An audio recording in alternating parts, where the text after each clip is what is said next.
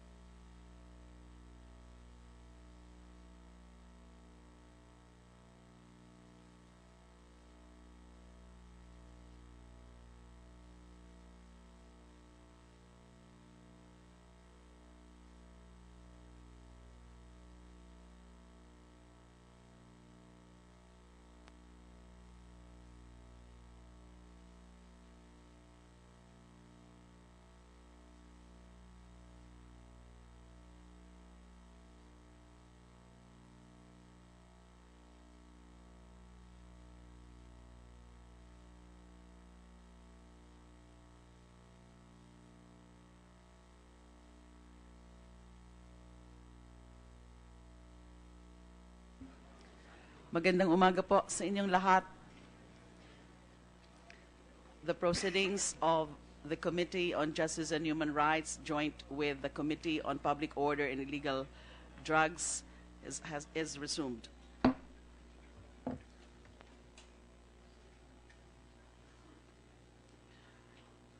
We were advised that uh, Director General De La Rosa is on his way already, so we need not wait for him. Allow me first to uh, present a summation of yesterday's hearing. This is a very short uh, summary of yesterday's proceedings. Yesterday, we asked, sapat ba ang umiiral na batas para tugunan ang patuloy na tumataas na bilang ng extrajudicial killings sa bansa?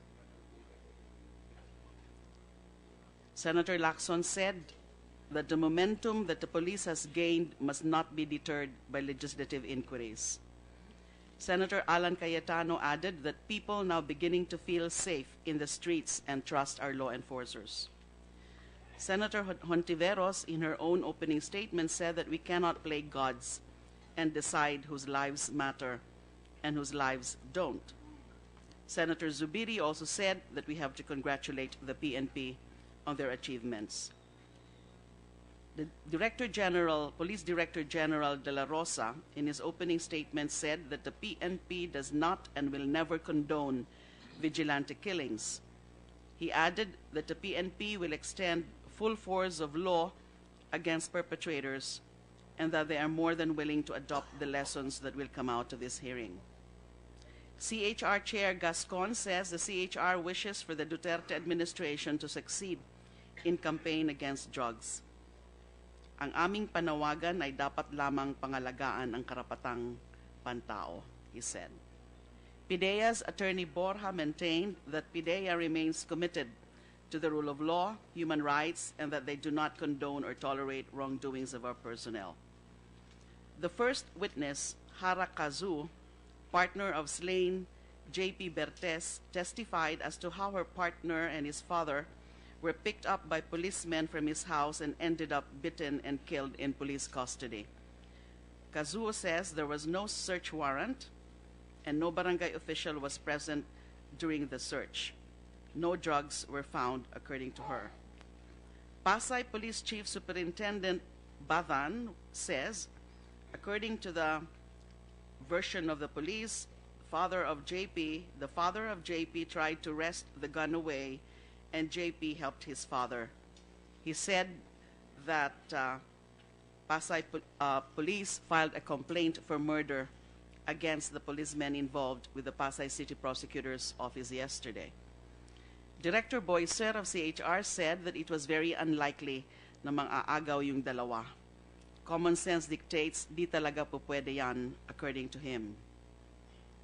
On motion of Senator Pacquiao, uh, the committee invited the two policemen involved in the continuation of the hearing today. Kazuo admitted her husband sold drugs. Pangtawid gutom lang. The second witness, Mary Rose, says her parents left the house to remit 50,000 to a policeman named Rabe. Mary Rose says her mother texted her uncle that if they were not able to return or, and that they are killed, they were killed by a certain Hong. She said that next time she saw her parents was in the morgue. Malinis na po sila, na autopsy na. Mary Rose further testified that her parents were police assets, but they were also being used to sell the drugs confiscated by their police handlers. Director General De La Rosa said that the police version is that the father was killed in an encounter and the wife was found dead the next day. However, he added that he will never tolerate this to happen. Hahanapin ko talaga ang mga pulis na yan, he said. Police Director General De La Rosa later updated the number of drug-related killings. 712 killed in police operations since July 1, 1,067 deaths under investigation, total of 1,779. He said that he will provide more details in his report or presentation this morning. Before I proceed, may I acknowledge the presence of my colleagues. Senator Panfilo Lacson as chairperson of the Committee on Public Order and Dangerous Drugs, Senator Kiko Pangilinan as the vice chair of the Committee on Justice and Human Rights, Senator Gregorio Nasan, I saw him earlier. He is the vice chair of the Committee on Public Order and Dangerous Drugs. We also acknowledge the presence of Senate President Pro Temp Frank Dillon, Senators Manny Pac- Pacquiao, Senator Bam Aquino, Senator Win Gatchalian, and Senator Mig Zubiri. And, sorry, Senator Nancy Binay. May I also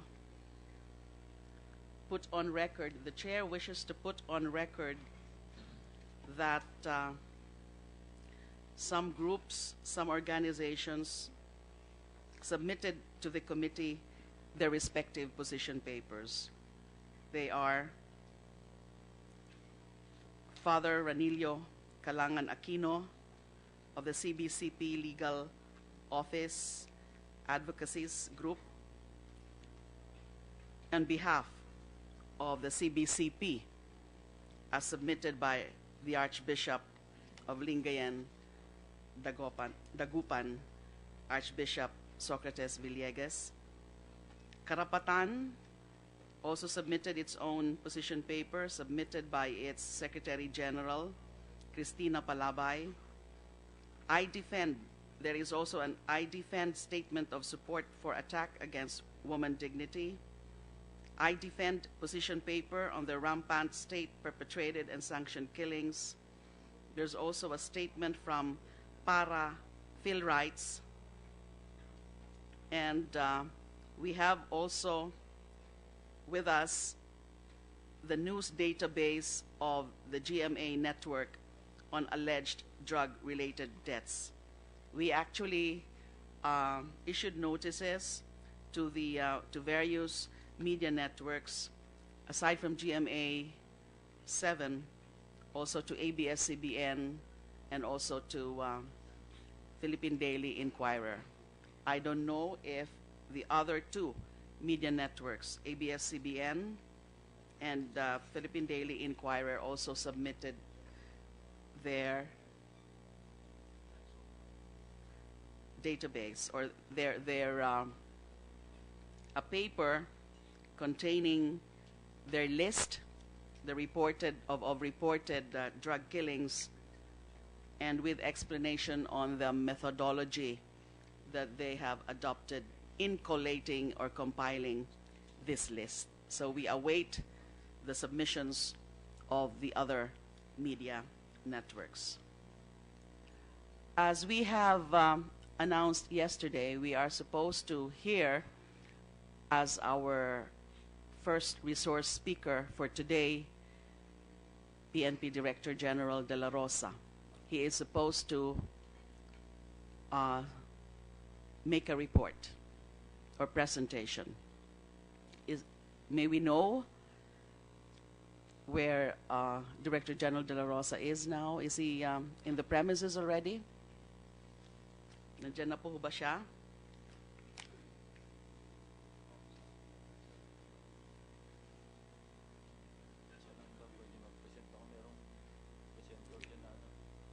Si Director General De La Rosa ba ang talagang magbibigay ng presentation? Yes, ma'am. Is in, is in the premises already? Yes, ma'am. She's, he is, ma'am. Two minutes suspension.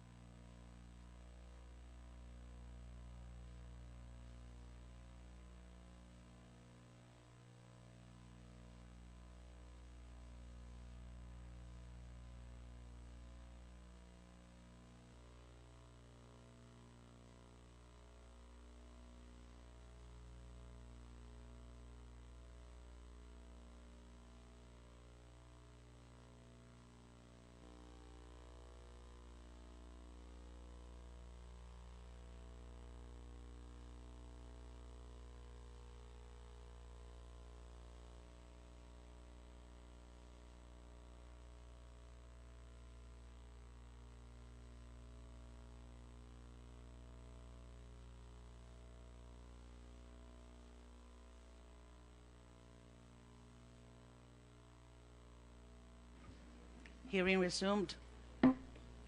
Good morning, Director General De La Rosa. Are you now ready to make a presentation or a report? Yes, Your Honor. Good morning, Your. Honor.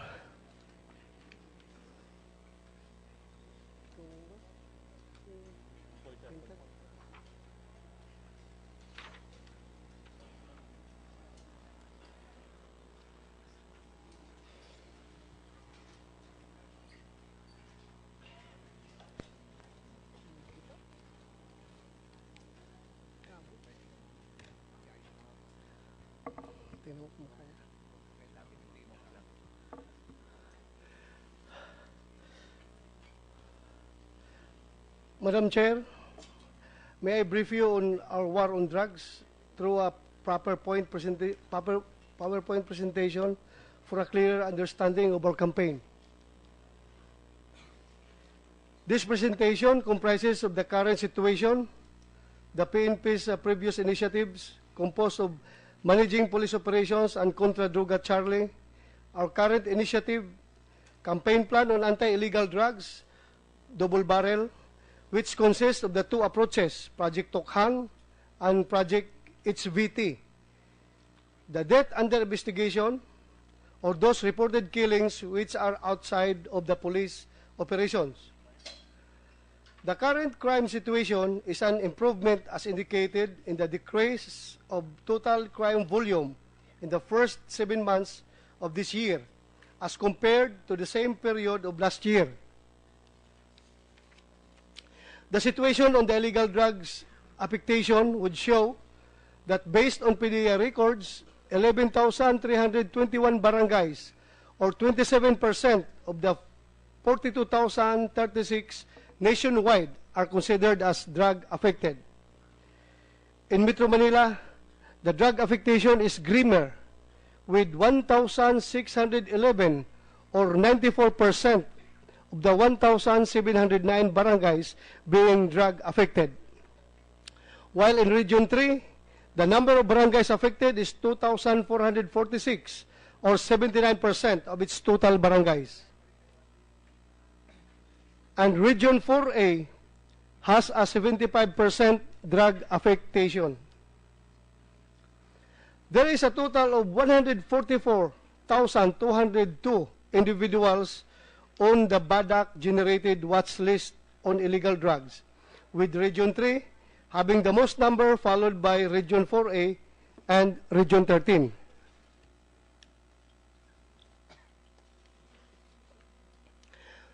The police has been employing different initiatives in the past to address the crime situation as well as the drug problem.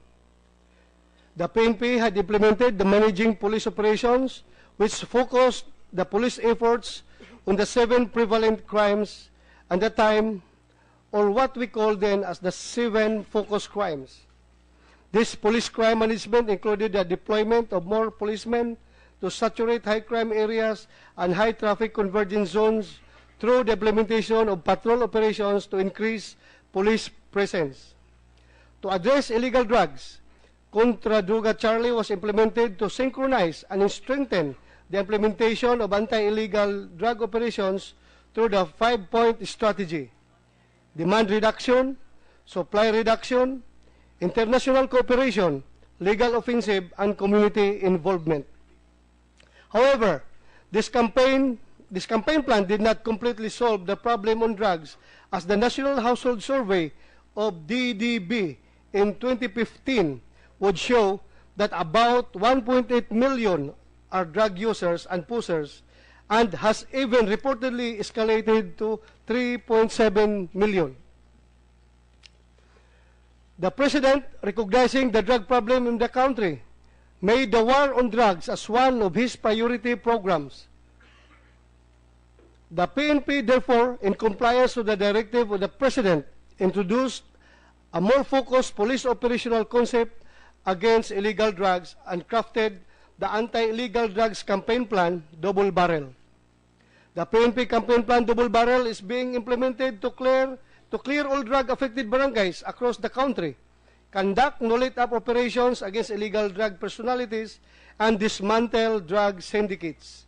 It is being conducted on a two- two-pronged approach named Project Tokhang, which is the conduct of house-to-house visitations to persuade suspected illegal drug personalities to stop their involvement in drugs, and Project HVT, or High Value Targets, which is a massive and invigorated conduct of illegal drugs operations targeting drug lords and drug syndicates. After seven weeks of, implement, of implementing the double barrel, we are pleased to report to the committee that we are getting a headway in this campaign. The police has now persuaded a total of 673,978 drug personalities to surrender and personally appear to the police stations for processing. Also, a total of 11,784 users and pushers were arrested, while 756 were killed during police operations. And contrary to the perception of some sectors of the society, the police operations in Double Barrel would show that the focus is really on Project Tukhang or in the conduct of house visitations in order to persuade users and pushers to stop with their illegal activity as there are more surrenders and arrested than killed. Drug personalities as a result of the police operations. The pie chart clearly indicates the greater volume of surrenderers than the number of the arrested and killed drug personalities. The accomplishment of PRO3 would show a total of 58,523 surrenderers, 1,777 arrested, and 173 killed drug personalities.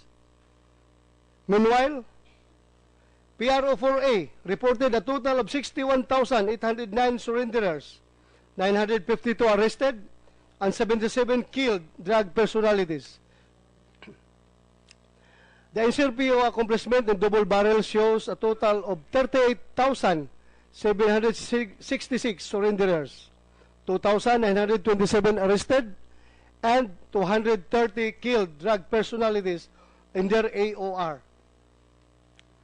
On the accomplishment of the PNP in the project HBT, one high-value target named Mikutan, Jeffrey Diaz alias Jaguar, is the number uh, one uh, drug personality in Central Visayas. Franz Sabalones, the number two in Central Visayas.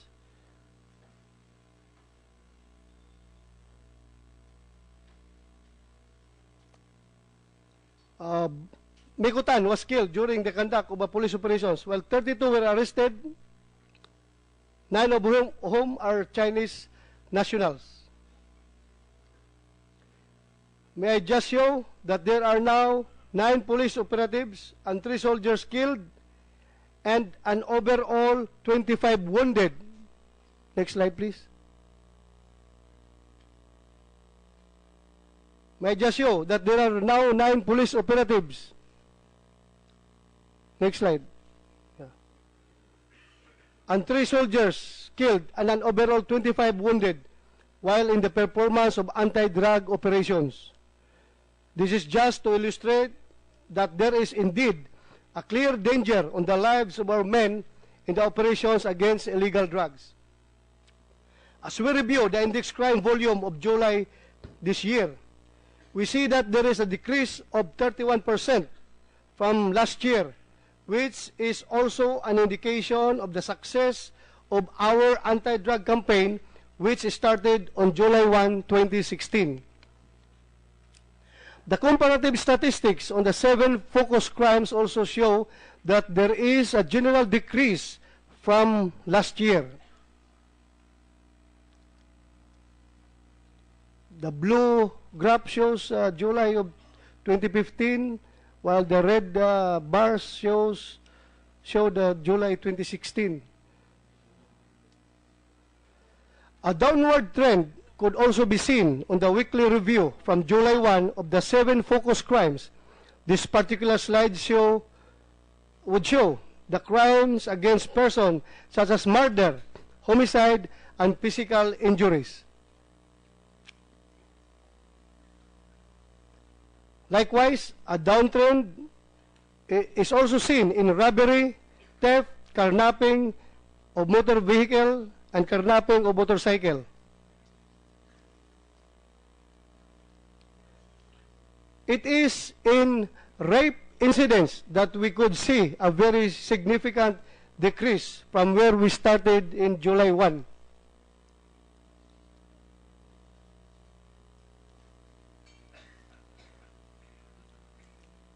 The nationwide daily average of the focus crimes decreased by 49% from the average of 100 499 incidents for the second semester of 2015 as compared to the average of 256 during same period this year.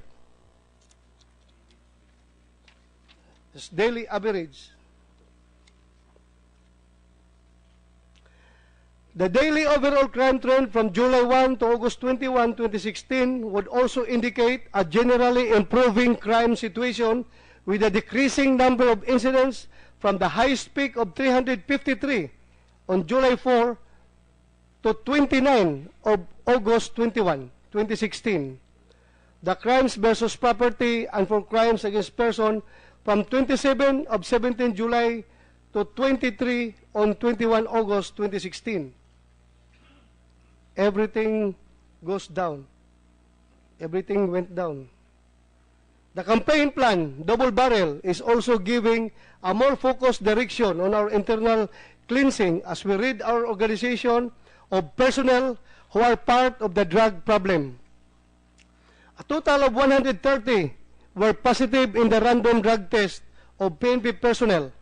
Likewise, for those who were placed in the DI counterintelligence watch list, six have been administratively charged, seven face criminal charges, 11 were killed as a result of our police operation, and 20 were arrested.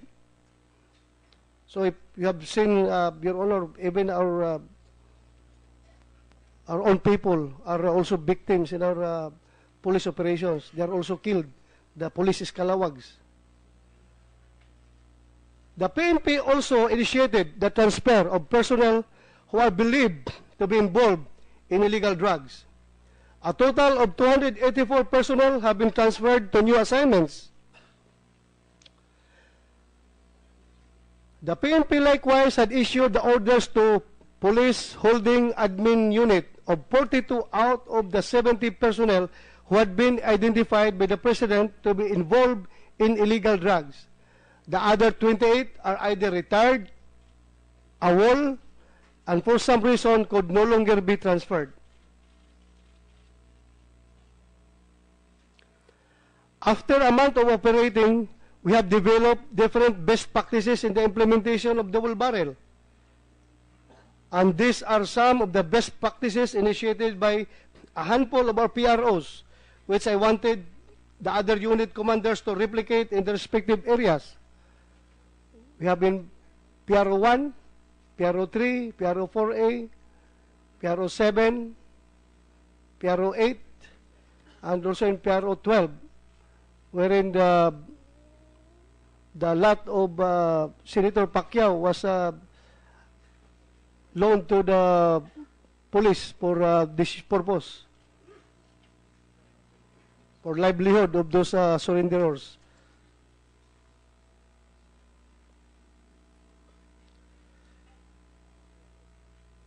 The PNP has or operationalized the synchronized communications in the anti-illegal drugs campaign to strengthen interagency coordination and cooperation. May I now report to the committee those deaths that occurred outside of police operations or what we term as death under investigation. There are a total of 1,160 persons who were killed outside of a police operation. There, and this is the distribution by age bracket of the 1,160 DUIs. Most of those uh, DUIs uh, belong to the uh, age bracket of 31 to 50. And the list number is uh, below 18, colored red. Uh, we have only 18, 18 uh, incidents throughout the country. There are two PNP personnel, eight AAP members, 29 elected government officials, 10 government employees, and 1,111 civilians whose deaths are still under investigation.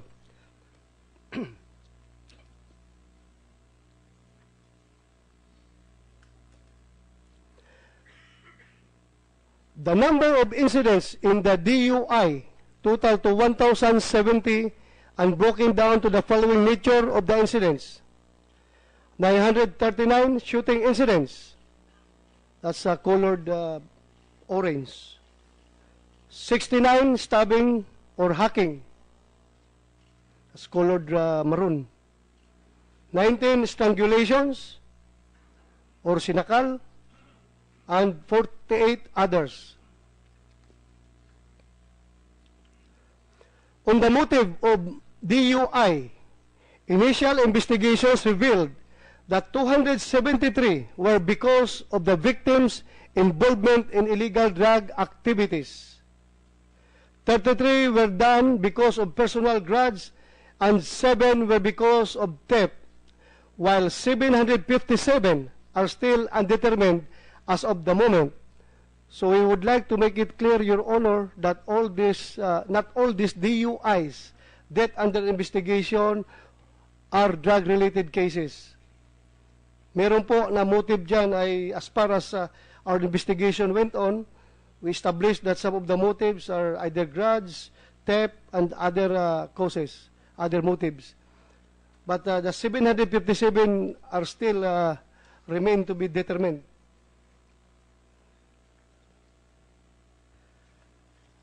A total of 212 cadavers were found, 80 of which are with karatula, and 23 were hogtied. Yung karatula po, uh, stating or uh, written on the karatula is, uh, ako'y drug pusher or uh, huwag niyong tularan, ako'y drug pusher. Yun po yung sasabi natin with karatula. 80 of which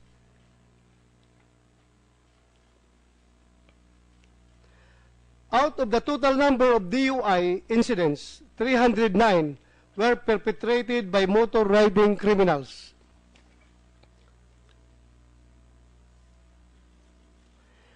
May I just report to the committee those dates which were investigated and therefore removed from the DUI files.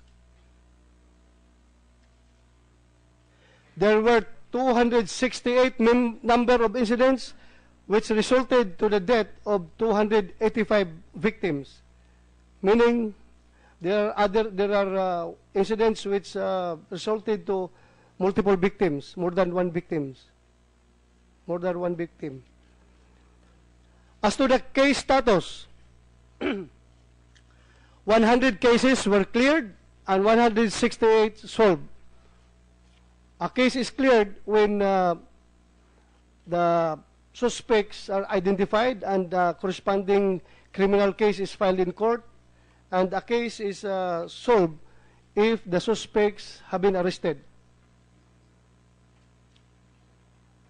From July 1 to August 22, there are 25 number of incidents done by motor riding criminals. The following are the other activities relative to the implementation of double barrel. The evaluation of unit commanders' performance, the validation of reports, the conduct of an assessment on the social impact of double barrel through GIS, and the oper- operationalization of CENTCOM. These are the challenges faced by your police in the war against drugs. Some local government executives and other officials are unsupportive and, and uncooperative with the PNP's anti-drug, anti-drug operations. The huge number of surrenderers expose the unpreparedness of the LGOs to process these drug personalities, especially in the rehabilitation and to include its lack of corresponding budget. And we are not blaming the LGOs.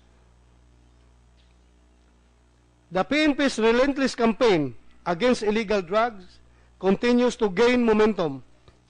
Given the full support of the government and communities as manifested by the number of surrenderers, the implementation of anti-illegal drugs campaign plan double barrel contributed to the significant decrease in the total crime volume, particularly on the seven focus crimes. Likewise, the PNP continues to investigate murder cases, categorized as death under investigation and found cadavers. The implementation of the PNP Anti-Illegal Drugs Campaign Plan Double Barrel has established a more focused approach in eradicating the illegal drug menace. The campaign's significant gains in the following aspects cannot be discounted. The disclosure of true picture of the country's drug problem, the voluntary surrender of drug personalities to the authorities through the persuasive efforts of the PNP and the no-let-up police operations and arrest of drug personalities resulted in the reduction of crime incidents. Likewise, the government's war on drugs is highly appreciated and supported by the general public. Just before I went up this uh, hall, Your Honor, uh, a number of barangay captains from NCR are uh, outside uh, expressing their support to the PNP. In closing, we reiterate that the PNP will sustain the momentum against crime and lawlessness in accordance with its mandate to serve and protect the Filipino people. I hope that what I presented is substantial to what we have discussed this morning. Thank you again and good morning to all of us.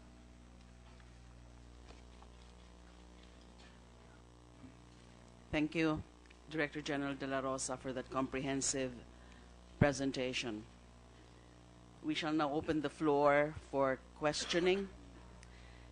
Yes, uh, Senator Win. Ma- Madam Chair, um, uh, with your kind indulgence, I would like to uh, just express a very brief statement and segue into just one question, Madam Chair.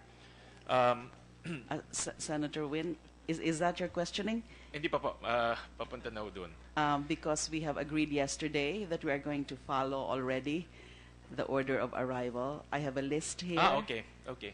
Yes, I- Um, yes, Uh, maybe I will just yield to the uh, order of arrival, Madam Chair. yes. I'm trying to look for your name here. Uh, did, did you Madam Chair. I'm not a member of the committee, but I have... Um, even, even then. Ah, okay. Members and non-members are, are welcome.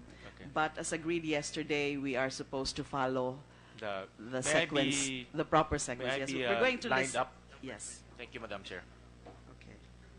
So I understand you were not present yesterday. Yeah. Okay. So you will be the. Sino susundan mo? 20. Okay.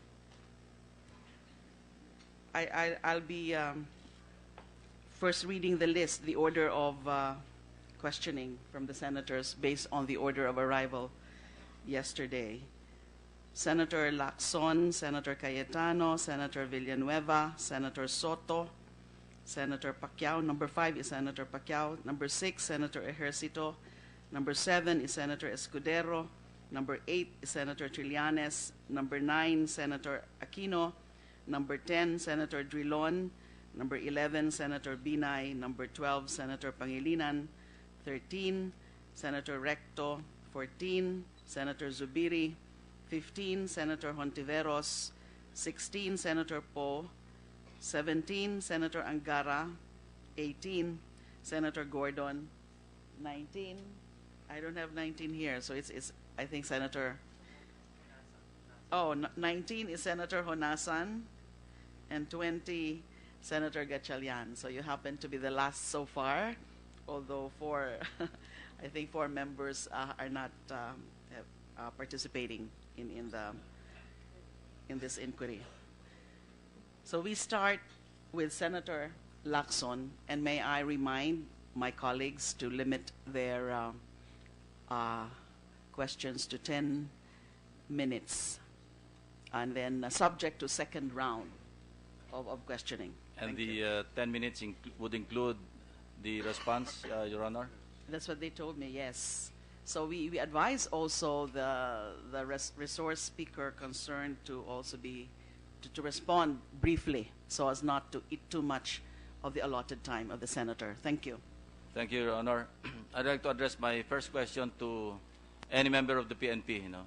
It's been for, uh, 54, 54 days, di ba, uh, to date, since you started this uh, no-nonsense, uh, bloody uh, fight against illegal drugs. And the numbers that you have chalked up no, are both impressive and alarming, depending on which side one uh, is on, ano, uh, depending sa advocacy saka sa beliefs. Now my question is, what is the PNP doing differently now compared to those that uh, were before you? Kasama na ako doon. Ano ba yung uh, kulang namin noon na ginagawa nyo ngayon? Kung bakit ganyang, uh, ganyan yung mga numero ngayon na ipapakita ninyo? It's uh, the aggressiveness uh, factor, uh, Your Honor. The PNP now are more aggressive in uh, the campaign against drugs. It's because uh, the PNP believes that uh, we have a president that is uh, willing to support us uh, all throughout this campaign. Walang iwanan, according to the president, Your Honor. So what you're saying is it's uh, more of leadership-driven, yung Yes, Your campaign Honor. ngayon. So, kung hindi si President Duterte yung Commander-in-Chief, baka, and assuming that you are the Chief PNP, hindi rin ganyan ang mga numbers na makikita ng ang mga kababayan natin? Precisely, Your Honor, because uh, even though if I am the chief PNP, I don't have the backing of a president like uh, President Duterte, I will not be very brave enough to encourage my men to uh, go after these people aggressively and uh, put an end to the drug menace uh, within six months per uh, directives of the president. Okay, Your that's Honor. clear enough. Now, I'll go to the, yung eh, mga SOP. Di ba meron naman tayo niya standard operating procedure na you know the drill, so to speak, ano? Pag lumabas yung mga tao natin sa field, alam na yung gagawin dapat. Ang tanong ko is, yung mga SOP ba na nasa manual, sinusunod ba ng mga nasa ground, yung mga mismo nag-ooperate? And if not, or if so, meron ba kayong mechanism sa PNP headquarters level to check if those uh, standard operating procedures are being followed or observed? Yes, Your Honor. All the And please elaborate na lang. all the drug uh, operatives, Your Honor, are uh, very much uh, uh, well trained as far as uh, police operational procedures are concerned. We've been uh, we've been uh, reminding them of the police uh, strict observance of the police operational procedure manual, and uh, after the said operations, uh, if there is a death uh, resulting to that operation, the SOCO is uh, there to provide uh, scene of the crime uh, operations uh, investigation, then uh, followed by IAS, Your Honor.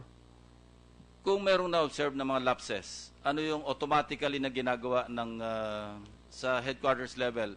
When I say headquarters, it could be regional headquarters or even yung police station headquarters kasi mga dumalabas sa mga tao, di ba, mga field, mga field operatives ito eh.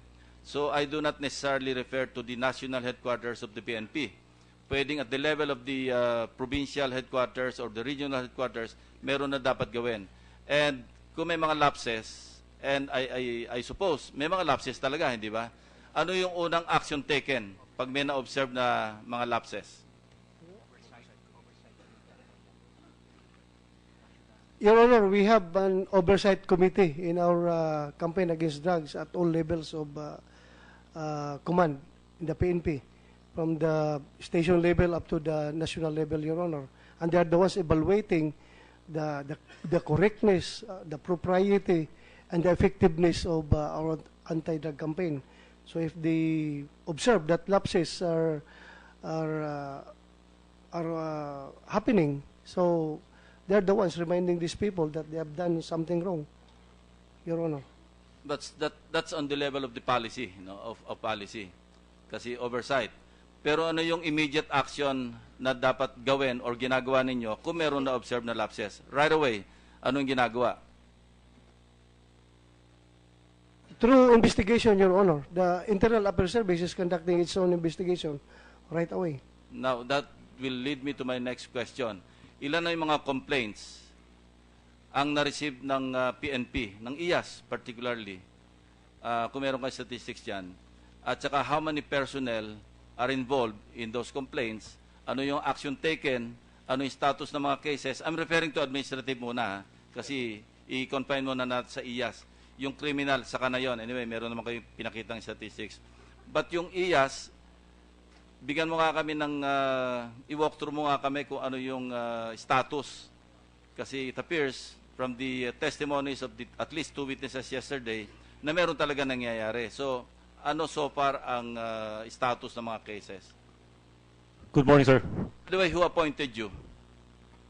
The Chief of the Philippine National Police, I received my orders from the Directorate for Personnel and Records Management of the Philippine National Police. I am the Acting Deputy Inspector General, sir. Di ba dapat presidente nag-appoint ng Inspector General? Yes, sir, the Inspector General, sir. I, I have no Inspector General right now. I am the Acting, Acting. Deputy Inspector General, And ang which sinasabi by law, sir, is uh, Yeah. supposed to be a two-star rank position. No, for- no. By law, ang sinasabi ng Section 40, civilian dapat ang Inspector General. That is correct also, sir. Yeah. So, I I suggest that you correct that right away, ano? Kasi you cannot go on violating a specific provision of 8551. No. I I I suppose you you have to correct that uh, that that violation. Uh, Your Honor, we are already submitting to the President a list of uh, uh, applicants for the position. And uh, we, will follow, we will follow that up with the President, Your Honor. Now, do sa baba, I understand parang separate, parang technical service na ng PNP yung personnel under the IAS. Totoo ba to? Yes, sir. Uh, So, puro PNP ito. May mga lawyers din sir na civilians na doon sa baba sir sa mga regional offices namin sa IAS. So it's treated as a uh, technical service like the medical service, dental service, legal service, parang ganyan na yan. Yes sir, but with more autonomy and more independence in our operations sir. It should be. Anyway, sagutin mo na yung tanong ko kanina. Yes sir, at the moment sir, um, the statistics of the Internal Affairs Service uh, process sir from the independent and uh, autonomous uh, collation of data uh, which we, we always pursue sa IAS sir is that um, we have recorded the 569 uh, police operations uh, resulting to similar uh, 581 uh, killed in uh, these uh, same drugs operations. And uh, we have investigated these cases, sir. Uh, pending for investigation right now are 222. And uh, we have terminated, sir, the, the investigation of 23 uh, of these cases when uh, we, we have proven them to be legitimate. Under pre-charge investigation, sir, are uh, more or less uh, 63.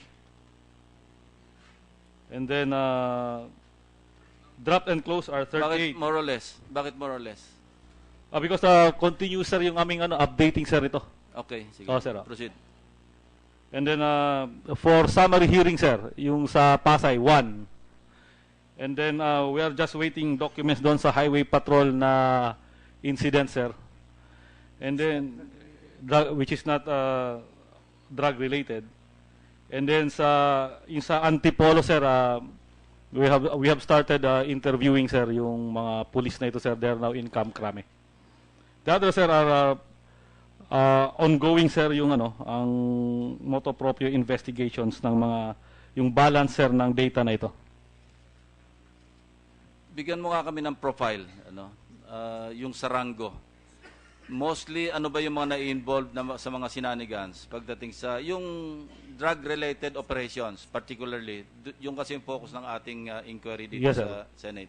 The So, data the data I have now sir is that uh, the police commission officers involved sir 196.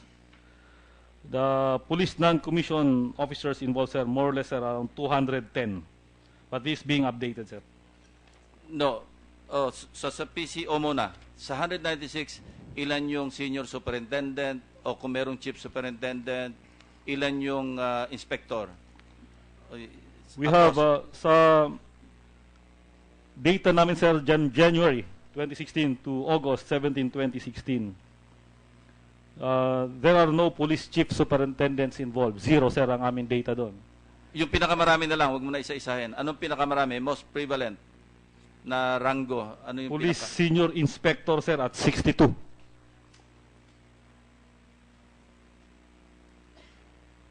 Yun ang pinakamarami? Yes, sir. Sa PNCOs? Sa PNCO sir, uh, PO1 at 81 sir.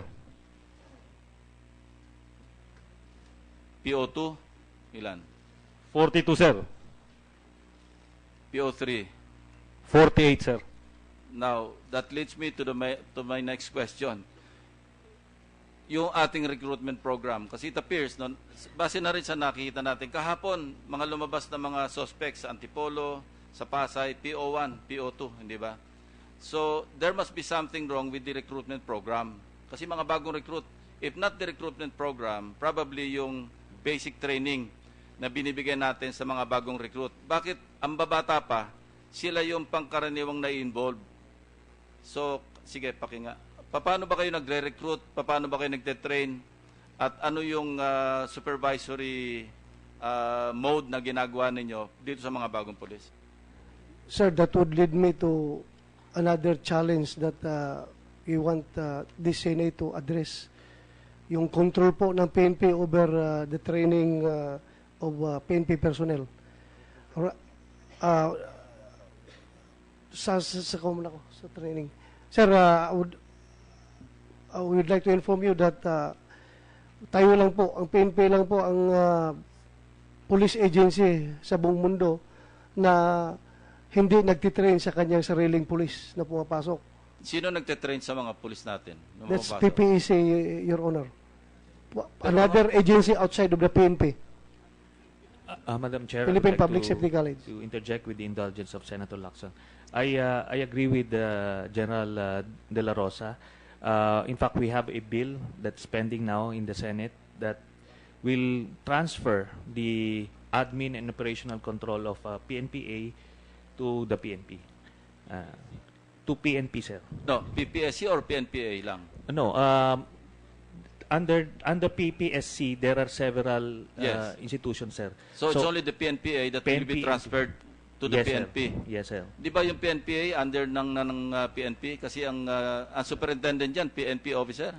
No, sir. No, Your Diba? Honor. Uh, niloan lang natin yung superintendent doon sa kanila but they are not uh, under our control. PPEC pa rin nagkukontrol sa Okay. kanila, Your Honor. Ah, okay. Si So- Yosek Kakoy, you want to say something? Uh, P- PPSC is uh, one of the bureau under the DILG, sir. And under the PPSC are the following uh, offices, the PNPA, the PNTI, which, which trains the new policemen, the PO1. Uh, there's also the National uh, Police College. So these are under one bureau uh, outside the PNP, sir. Anyway, saan committee ba na-refer yun, Sunny? Kung sa akin, I will attend to that. Ano, I, uh, that much I can promise you. I will attend to that uh, immediately. Thank you, Your Honor. And I agree with you. Kung wala kayong control sa training, pati sa recruitment, sa recruitment, of course, dumadaan sa DP, di ba? Yes, Your Honor. Pero yung training is left to another uh, unit, another Yes, agency. And the PNP has no say whatsoever. Yes, Your Honor. The the most that we can do as far as the training is concerned is only recommendatory in nature. We recommend to the PPC what we want to be done in the trainings of our own people. But if PPC doesn't uh, accept our recommendation, then wala po kaming control sa kanila. So that is why we strongly recommend, Your Honor, that ibalik po ninyo sa amin yung control over these uh, training institutions. Ibalik natin sa PNP. Noted and well taken. Kinalabit na ako, tapos na yung 10 minutes ko. Second round na lang ako, Madam Chair. Thank you, Senator Lacson. Senat- Senator Cayetano is not yet here, so the next in line is Senator Villanueva. Thank you, Madam Chair. I was tempted to yield to Senator Lacson, but uh, let me just uh, propound on uh, what Senator Lacson stated a while ago. But before that, let me uh, uh, congratulate the entire PNP for uh, doing a uh, great job in um, in your crusade against the evils of uh, illegal drugs. Alam nyo po, uh, PNP chief, kaya ho inimbita namin kayo dun sa Bulacan, ako'y taga Bulacan.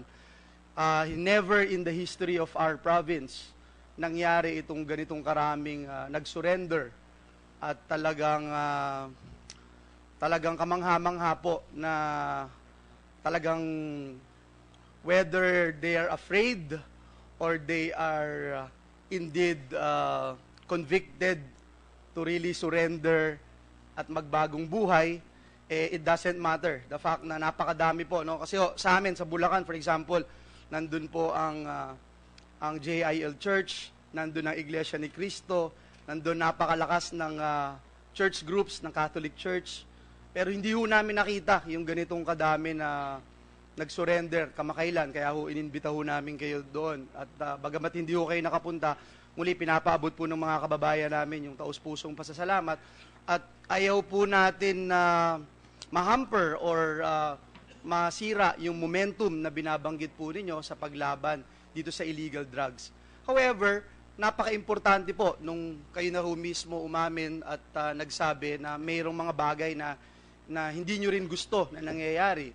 Itong ah, hindi nyo rin tinotolerate yung ah, extrajudicial killings, hindi nyo rin tinotolerate itong mga vigilante killings. At sabi nyo nga po kahapon at ah, tandang-tanda ko, nais nyong imbestigahan ito at nais nyo ring ah, ah, i-address ang problema ito. So, siguro to begin with, gusto ko lang sabihin, importante ho pareho, hindi lang dapat dun sa isang side, but the other side as well. Ah, susugan ko yung mga binanggit po ni ah, Senator Lacson about the training. And kanina po binanggit nyo yung ah, yung training na dapat ibalik. Ah, dati po ba nasa PNP ito at nawala? Bakit ho nawala? Because of uh, RA 551, Your Honor, uh, nakahiwalay po yan sa amin yung training. Uh, historically, Bakit nga po? Ah, ano po yung basis as to why ah, na, na, na, natanggal po itong muli sa PNP? as far as I can remember, Your Honor, uh, I think uh, ang purpose po na is to professionalize daw the PNP. But what happened is uh, the other way around. I, I don't know. Uh, we have to, I have to research, Your Honor. I, I, I agree with you, no, being uh, the former uh, TESDA secretary noon, napakahalaga kasi nung training at importante, ito yung nakabase dun sa inyong uh, requirement. Dati ho, nung nasa TESDA ho tayo, ang lagi natin sinasabi, bali wala yung lahat ng training kung yung industriya sasabihin, hindi naman pasado yung training na yan.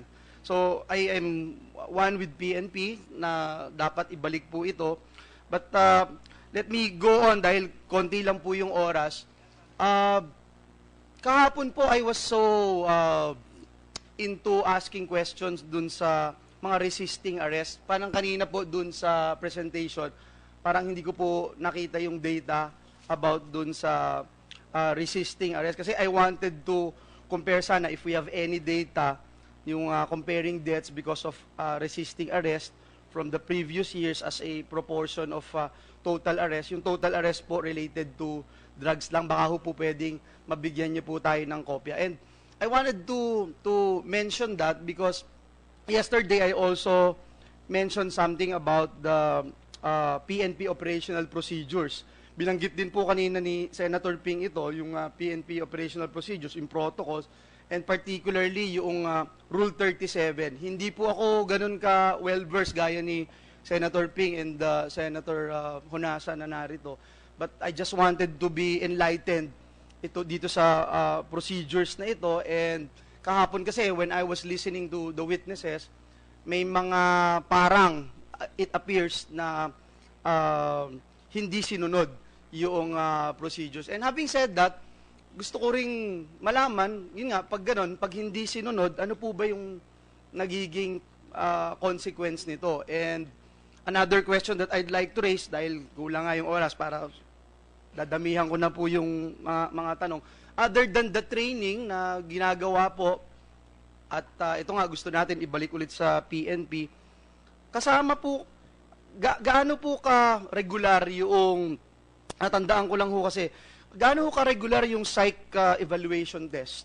Kasi natandaan ko kamakailan dun sa City Hall or, or somewhere in Manila, meron ding isang uh, pulis na na nag nag nag nag uh, nag-amok no and um, so ito, ito lang po yung ilan sa mga questions na na gusto kong i-raise uh, Chief PNP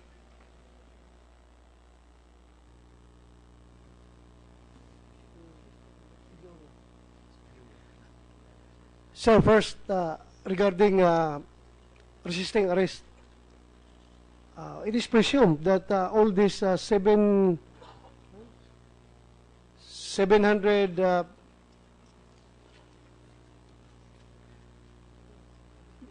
the 702 uh, deaths uh, in police operations uh, resisted arrest. That's why they are killed. Otherwise, if they did not resist and did not offer a threat to the to the arresting party, then they are alive. Thank So you. that's, uh, my, that's my presumption, Your Honor. Excuse me. Gusto ko lang malinawan, lahat po yun, ganun ho ba ang uh, situation? Again, the figures are 702. And lahat po yun, ganun ho ba ang uh, official version ng laban? Or Yes, Your Honor, that's arrest? 750, 756, Your Honor. 756 756 deaths. 756 deaths under investigation. No, no, no. Police operations. 756 deaths during police operation and the official version of all of this is nanlaban po. Yes, Your Honor. Are all of this indicated in the corresponding reports? Yes, Your Honor. Nanlaban. Ang laban. And Otherwise, if hindi sila ng laban, buhay sila, Your Honor. Yes. yan po ang uh, tinitingnan natin dito. Pasensya na po, Bakit Director po General Much as I would want to believe you, sir. I hope you believe me, Your Much Honor. as I would want to believe you. Yes, Your Honor. Yes, I think, yes, there are. There are cases na ganyan ho. Na nanlaban, nag-resist, o, o ah, ng, ah, ng attempt na agawan o mag-agaw ng Yes, armas. But uh, you're telling us, so you're putting it on record, that all of these 756 deaths, ganun ang surrounding circumstance, nanlaban. And this is, this is uh, supported by what you say are the police, the corresponding police reports. At kapag may namamatay po, dyan sa mga sitwasyon na yan, na allegedly nanlaban, I suppose, meron hong correspond, nandyan siyempre yung SOCO. Correct? Yes, Your Honor. Yung SOCO reports Yes, Your would Honor. confirm that na nanlaban. Yes, Your Honor. Are you sure of that, sir? Your Honor, uh, unless proven otherwise, there, there is uh, uh, there is uh, controverting evidence. I presume that my men are performing uh, their duties regularly. Tama po kayo. Pag meron- meron hong presumption of regularity the performance of official functions. Yes, Your Honor. Entitled din po ang kapulisan dyan sa presumption.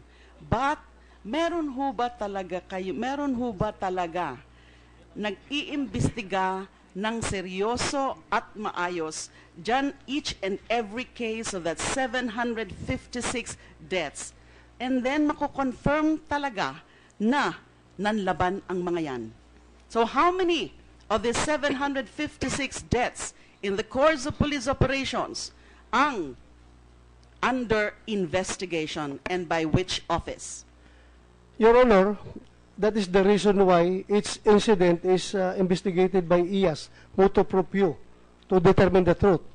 So after, And- pag may namatay, Your Honor, talaga automatic ang imbestigang IAS. Yes, that's under the law.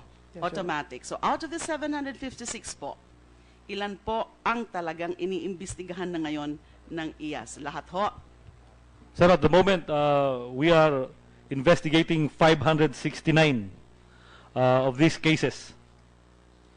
So hindi pa ho lahat iniimbestigahan. Ma'am, the manpower, Yes. the human resource of yes. IAS uh, Ta- will not tama allow po it. yan. So, sa- gusto ko hong sabihin nyo yon kung ano ang mga nagiging constraints ng inyong opisina, IAS, na may mandato na automatic, motoproprio, na in- dapat imbestigahan kada kaso kung saan nagkaroon ng discharge or firearms o kaya kung saan nagkaroon ng patay sa, sa the- operations, correct? Ma- Ma'am, at the outset, I can I can uh, tell you that in as far as the human resource uh, needs of the Internal Affairs Service is concerned, uh, we are short of our we are short of uh, so many How personnel. many ma'am. personnel do you have? Um, Kulang na kulang ho talaga siguro yan. I can, only, I can only imagine. And then, ang IAS ho is regional level daw po, according to Senator Lacson. uh, regional and uh, provincial levels, ma'am. Uh, there are I have when I was the Internal Affairs Service Director of IAS Cordillera, ma'am, there were provinces or provincial Internal Affairs Service offices manned by only two personnel. In uh, in ARM, there are two provinces, ma'am, uh, which do not have uh, PS offices because uh, there's a shortage of personnel to man them. So at the outset, ma'am, uh, there are so many needs. I can submit to you the needs of uh, the Internal Affairs Service. So it what is very clear to us po, what is very clear to us po, kulang talaga po kayo ng tao. Opo, ma'am. Kaya hirap na hirap kayo na imbestigahan yung 756 na yan. Opo, sa katunayan, ang iniimbestigahan nyo ngayon, as of now, is yung 500, 569, ma'am. 569. Meron na hubang mga resulta, yung investigasyon na yan, ng 569 out of 756 deaths in the course of police operations. Yes, ma'am. Um, we You know- terminated because it was proven to be legitimate. legitimate. And when And you say face, no- legitimate, sir, On its face, ma'am, lang po, paki-explica lang po. Yes, ma'am. When you say that these are proven to be legitimate, ano po bang ibig sabihin nun? Well, ma'am, on its face, uh, there was no prima facie evidence to, to prove that uh, they're otherwise. Of course, uh, this without prejudice, ma'am, to the uh, gathering of uh, additional uh, documents or other evidence which will controvert our, fi- our Pag findings. nag-iimbestiga ho ba kayo, ano yung pinaka SOP? Ano yung paano iniimbestigahan ang mga ito? Now, I would suppose, well, I, I'm, I don't think that the majority ng mga kaso na yan may mga testigo. Independent witnesses. Correct? Yes, ma'am. So, ang source ng mga information nyo o ng evidence are the policemen themselves involved in And the, the- police operations, and the right? se- the I just want to understand po. Yes, ma'am. And the scientific findings, ma'am, of the crime lab or the SOCO. So when you say scientific findings, this is the SOCO, Yes, ma'am. correct? Madam Chair. And inihiningi ho namin yon. Um, sino ba nauna? interject? Okay. Sir, I just hope that the the- time will not be Yes, will not that be is clear. deducted from this With representation. the Thank you. permission of Senator Yes. Villanueva and the Chair. Thank you so much, Madam Chair. of the 756 police operations, ito yung meron namatay na siyam at may wounded na labing walo, hindi ba? Kasama doon. Kailangan bang merong masugatan pulis o may mamatay na pulis para sabihin nating nag-resist ng arrest yung mga quarries ninyo sa illegal drugs? Automatic bang kailangan may masugatan na pulis? Hindi naman, di ba? Hindi po, Your Honor. Kasi minsan, bida rin naman yung pulis, hindi tinatamaan. Yes, Your Honor. So, the fact that there are nine dead, siyam yung Kia, labing walo yung Wia, ibig sabihin, talaga merong resistance. But it doesn't follow na kapag walang nasugatan sa hanay ng pulis, eh walang resistance, di ba? Yes, Your Honor. And uh, we, we should consider that uh, we are fighting uh, people who are uh, abnormal. Yung utak nila, ay apektado na po yung sa droga. They can do bizarre things uh, at any time. So, kami mga police, pag kami pumasok, maliguro talaga kami, Honor. That's all, Mr. Chair, uh, Madam Chair. Yes, Senator Kiko. the permission of uh, Senator uh, Villanueva, just a very quick question. Yung 756 police operations, kasama ba doon yung kaso ni ha, ha, ha, Hazu? Ha? Hara? Bertes. Puertes Bertes, na Bertes, July 6? Father and son. Dahil yun, may police operation, may legitimate, it is a, well, yun ang pinakita, pero today, o yesterday, nagsampan ng kasong murder. So, in other words, because merong ebidensya, uh, not necessarily na ibig sabihin lahat ng 756 ay talagang legitimate police operation. Tama That- po ba yun? That is why I said, Your Honor, that uh, unless there is a controverting evidence, which uh, they showed yesterday, we presume that uh, the performance of my men are in a regular manner. So, So, siguro ano yung, yes. So siguro yun po ang isang dapat sigurong uh, tingnan ng PNP no, no. Na ilan ba talaga doon sa 756 ang posibleng katulad? Kung meron, hindi ko alam. Wala ho akong uh, ebidensya. Sabi nga eh dapat may ebidensya. Dahil yun din naman ang concern din ng pulis na ayaw din po natin na yung naglilinis yung ilang mga police operatives na skalawag uh, at inililihim at ipina, pinapakita na legitimate yung pala hindi naman talaga. And I, I and having said that, uh, uh, ako naman ay nagpapasalamat din na mabilis ang naging aksyon ng ating PNP nung lumabas ang ilang mga uh, testimonya kagabi, ah, kahapon no? at uh, kumilos kaagad para magkaroon ng proseso ng pagdidisiplina. With the permission Yes, sir. of... May, answer- may ano ba yun? With the permission of Madam Sena- Chair, Madam Senator Chair. Joel, Sen- I'm, I'm Uh, recognizing now Senator Frank. But Madam Just Chair, we one make a, question. but before Senator Frank, we make, make an appeal to the, to the chairperson that there is an order and uh, we are waiting patiently for that order to finish. But I will, we, I will, I will allow, of course, Senator Frank Drilon, but after that, maybe we can continue with the order, Madam Chair. Just one question. Please proceed. Just to clarify the data on the record. Because nahihilo na ako dito, Migsa. Kahapon po, nung humarap kayo rito, ang sinabi po ninyo ay 712 ang namatay sa police operations. At uh, 1,067 outside of police operations or uh, death under investigation. 24 hours after, or today, at, uh, after 24 hours, ang sinabi po ninyo is 756 ang namatay sa police operation at 1,160 outside of police operations or deaths under investigation. Sa kabuhan po, kahapon sinabi nyo, isang libo, pitong daan, pitong putsyam ang namatay.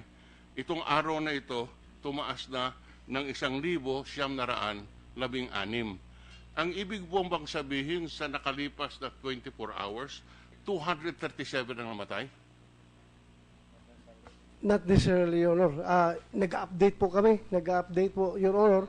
Mayroong bagong discovery na Ah, mas maalam po kayo, Your Honor, kung pinababa namin yan, yung patay kahapon, ngayon nabuhay. Pero baligtad po, yung buhay kahapon, ngayon namatay, so nadagdagan po because of police operations. Aggressive police operations po, Your Honor. so, so, ano, so ito, ang ibig sabihin, yung 712 kahapon ay kulang yon. Kulang yun, Your Honor. Kasi kahapon, pag-present ko kahapon, Your Honor, Okay. well, I was ba- presenting, merong namamatay. So, Okay. nadagdagan po ngayon, Your Honor. Bukas ba kung mag-hearing tayo ulit, pwede ba dagdagan ulit? Sigurado, Your Honor, merong madagdagan Siguro, bukas. uh, Madam Chairman, huwag na tayo mag-hearing, baka nadagdagan yung namamatay every time we hear. Thank you very much. Senator Joel, did, Thank you, Madam Chair. And uh, Chief PNP, maraming salamat po. No? Ah, gusto ko lang hong sabihin na nandito kami para suportahan po kayo, pati yung laban nyo, laban sa droga. Minsan, nakakapikon minsan pag ah, gumagawa ka ng tama at may mga isa, dalawang ah, balita na na nag-hamper dun sa inyong nais sa ma-accomplish. Balikan ko lang po yung unang punto na aking nire-raise dito no tungkol dun sa resisting arrest and yung kahalagahan ng ah, training. By the way, gusto ko lang hong sabihin, Chief PNP, nung nasa TESDA po tayo, yung training for security guards, kino-coordinate po ito sa PNP. At yung buong training regulation, pasado dapat sa PNP. Kaya nagulat po ako na yung sarili nyo palang training, wala ho kayong control. Kaya muli, ah, we wanted to give you that support para para muling maibalik ito sa PNP. Sir, kanina naitanong ko yung sa training, after the training, yung ah, natanong ko rin yung psych evaluation test, kung uh, namomonitor po natin ito, Ah, regular po ba to? Baka may kailangan pa kayo sa amin na kailangang ah, ponduhan o lagyan ng item, yung periodic drug testing, yung pong ah, pag-a-update. Dahil ito po, lahat ng pinag-uusapan natin the past ah, couple of minutes, eh, umiinog po o umiikot doon sa sa mga protocols. So again, na-update po ba sila? Papaano po 'yun? Yung up- update ng jurisprudence, yung relevant rules. Uh, because we wanted to make sure na mula ho nung naging PNP chief kayo, tumaas lalo yung tingin sa mga kapulisan. Eh gusto natin masiguro na manatili ito at uh, na tuwing makakakita tayo ng uh, pulis ngayon sa kalye, hindi na tayo tumataas ng kamay. Salamat po. Your Honor, uh, first of all, we would like to thank you sa support mo sa aming matagal na po naming mithiin yan na maibalik sa amin yung training. Sana mapabilisan po ninyo, Your Honor.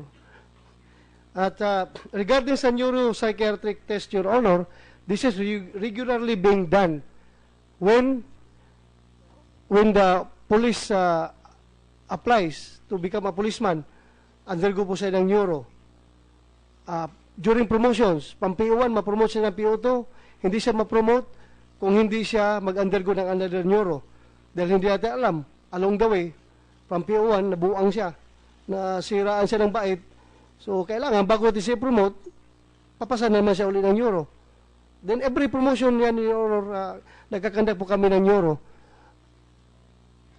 Ah, du- tungkol po dun sa pag-update ng jurisprudence, yung relevant ah, rules, paano po natin ito ginagawa and we make sure na nakakababa ito hanggang dun sa sa grassroots level ng kapulisan.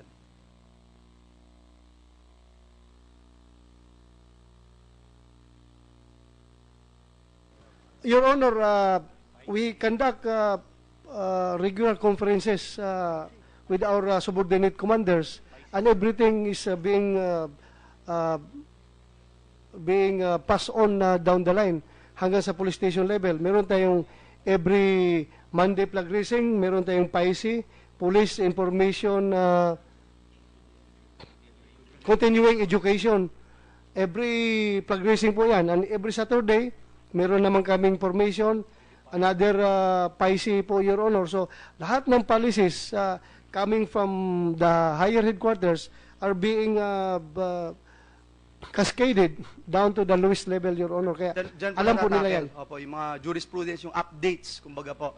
Anyway, uh, uh, Sir PNP Chief, uh, dahil kulang na rin yung oras ko, punta na po ako dun sa second point. Dun po sa mga ginagawang uh, house-to-house visit in uh, villages, I know na lahat tayo, we are aware that uh, police cannot enter homes uh, right away without uh, search warrants. Pero uh, with, with this, no, gusto kong uh, ma ma ma brief kami and makatulong din kung may mga kailangan gawin. Paano niyo ginagawa ba yung ah, inyong ah, surveillance work? Kunyari, yung uh, Siyempre, alam natin, yung entrapment, eh, legal po yan. Pero yung instigation, is not. Yung instigation na presupposes that the criminal intent came from the inducer and the accused would not have done would have would have not done it if uh, not for the inducer. So, pwede po bang bigyan nyo lang kami ng bird's eye view kung papaano po bang ginagawa itong uh, surveillance work, paano nagsisimula? May nagre-report ba or by random? Ano pong ano nyo dito? Our uh, Lalo na po siguro let's just focus in in in, in the fight against uh, illegal drugs. Yes, Your Honor. Yung ating mga police, uh, mga chief of police po ay humihingi ng mga datos galing sa ating mga barangay captains at sa ating mga badak, yung barangay anti-drug abuse council. Sila po ay nag-generate ng mga pangalan kung sino yung mga personality sa kanilang barangay. At ito po yung sinasubmit sa chief of police and the chief of police through his uh, intelligence uh, section will uh, validate this these names dahil uh, meron po tayong mga instances wherein yung sinabbat ng barangay captains na pangalan eh yung mga mga drug pusher sa area niya na hindi nagbibigay sa kanya or hindi sumusuporta sa kanya nung eleksyon.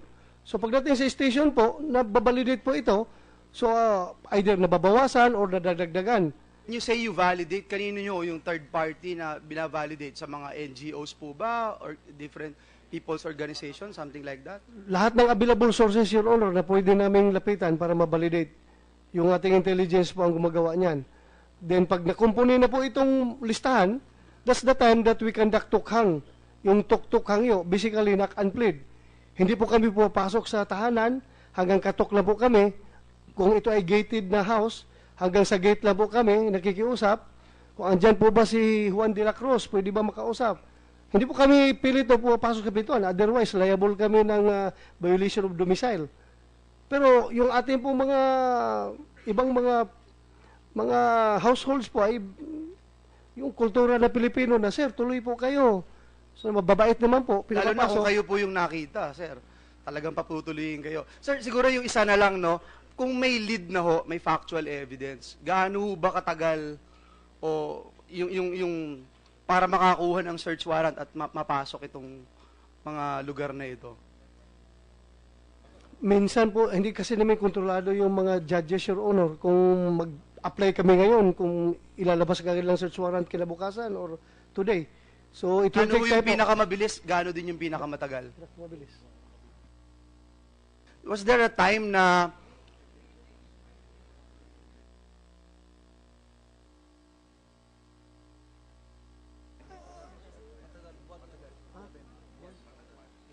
Your Honor, ang pinakamabilis po ay pwedeng 3 days at pinak...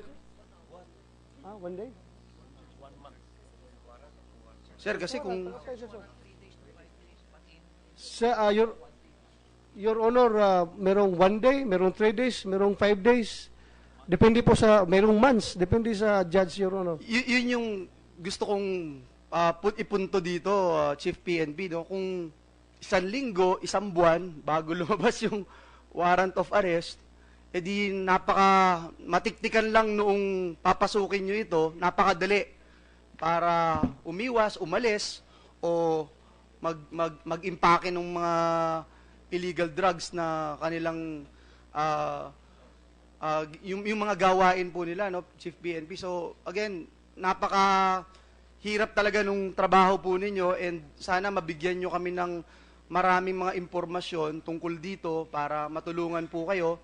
Hindi lamang po doon sa pagbibigay ng mas mataas na sweldo, yung training talagang napaka-importante po niyan. At ah, kami naman po talagang gusto namin paalam sa inyo dun sa kapulisan natin na we are with you in this uh, uh, war path of this uh, administration against uh, illegal drugs.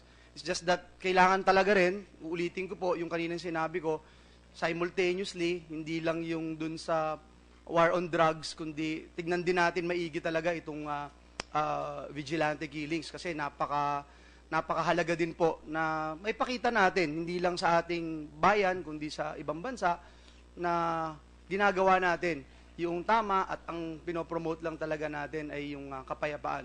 Muli, ah, Chief PNP, maraming salamat po sa inyong patience. Dalawang araw na po kayo dito. We are hoping and praying na hindi na na nasasayang yung panahon ninyo at hindi rin na na hamper yung momentum ng ating kapulisan para labanan itong illegal drugs. Maraming salamat po. Thank you, Senator Joel. Before I call on Senator Manny, you're the next in line. Is, may isang punto lang po. Ah, yung Operation Tokhang nyo po, are all of these covered by search warrants? No, Your Honor. When do you secure search warrants? Uh, when we conduct raids on suspected uh, drug personalities, Your Honor. When you, when you conduct raids? Yes, Your Honor. And of course, hindi naman lahat yan, o marami dyan, na meron kayong arrest warrants. Pwede rin, Na- Your Honor. Kailan ho tayo nakakakuha ng arrest warrants? Kailan ho tayo kailangan kumuha ng arrest warrants? At Ab- kailan ho binibigay ang arrest warrant? I just want to clarify that, ano, kasi parang yung hindi pwede dahil one, one month pa yan makakuha ng arrest warrant. Hindi naman talaga ganun ang proseso sa pagkuha ng arrest warrant. Honor, Diba? I'm talking about search warrant, Your Honor. Yes, okay, search warrant. Search warrant po, Your Honor. So only in, only in the case of raids kayo kukuha ng search warrant. yes, Your Honor. Pero basically, itong oplan tokhang nyo, you don't need a search warrant. Kasi sabi nyo nga, hindi pwedeng pumapasok Yes, Your Honor. sa bahay. Yes, Your Honor. Kasi nga, this is supposed to be just knock and plead. Yes, Your Honor. So, kung hindi welcome ang mga tao nyo, hindi pwedeng pumasok para mag-search. Uuwi po ang kap uuwi po ang kapulisan na luhaan, Your Honor. Hindi pinapatuloy, hindi pinapapasok sa bahay. Wala po kami magawa. Ano ho ba ang general situation? Ah, marami ho ba yung ah, nagko-cooperate in the sense na pinapapasok talaga sila o maraming ayaw mag-cooperate kaya umuwi ang kapulisan ng luhaan? Sabi nyo nga po. So far, Your Honor, sa ngayon, sa nangyayari, hindi na po kailangan ang pulis pupunta doon sa bahay magkatok. Yung mga drug personalities na po pumupunta sa barangay at nagre-report. So, ang police po, instead na mag-house to house, ginugrupo na lang po sa isang barangay hall o sa isang covered court Okay, at so- doon kinakausap at So, one sabi time. nyo nga may mga voluntary na nag-give up. Yes, Your Honor. Do you call them surrenderies? Eh, Anong tawag niyo po doon? Kapag kusa na na lumalapit sa barangay o sa pulis, in other words, you don't need o plantokhang, anong tawag niyo po sa kanila? we, we, please help us uh, find the term, Your Honor. Uh, we can call them reformists, surrenderers, uh, because based on their, uh, based on their, uh, in the, their uh, testimonies, they really said, uh, Sir, surrender na po ako. Dahil takot ako mamatay. Ako po isang puser. Matagal na po ako nag, uh, nagbibinta ng droga. Magbagong buhay na po ako. Opo. Actually, ang dami ko pa pong tunong sa, tatanong sa punto na yan. Kaya lang nahihiya po ako sa mga kasamahan ko. So later siguro ako yung last na magtatanong. So uunahin muna po natin. Uh, the next in line is Senator Manny Pacquiao. Thank you. Thank you, Madam Chair. Ah, pwede ko ba po bang tanungin yung mga witnesses natin? Ah, yung ah, kahapon, ah, kasi hindi natapos yung ah, usapin kahapon. Alin po yon? Is that the one in Pasay or yun po sa yung Antipolo? sa si Hara? Pasay. Ah, sa Pasay, o sa Pasay. Hara, are you here? Okay. s- Opo. Hara, let me just remind you na you're still un- under the same oath nung kahapon. Thank you. With, with the assistance of counsel, Attorney Fernandez is here of uh, Mabini. Thank you.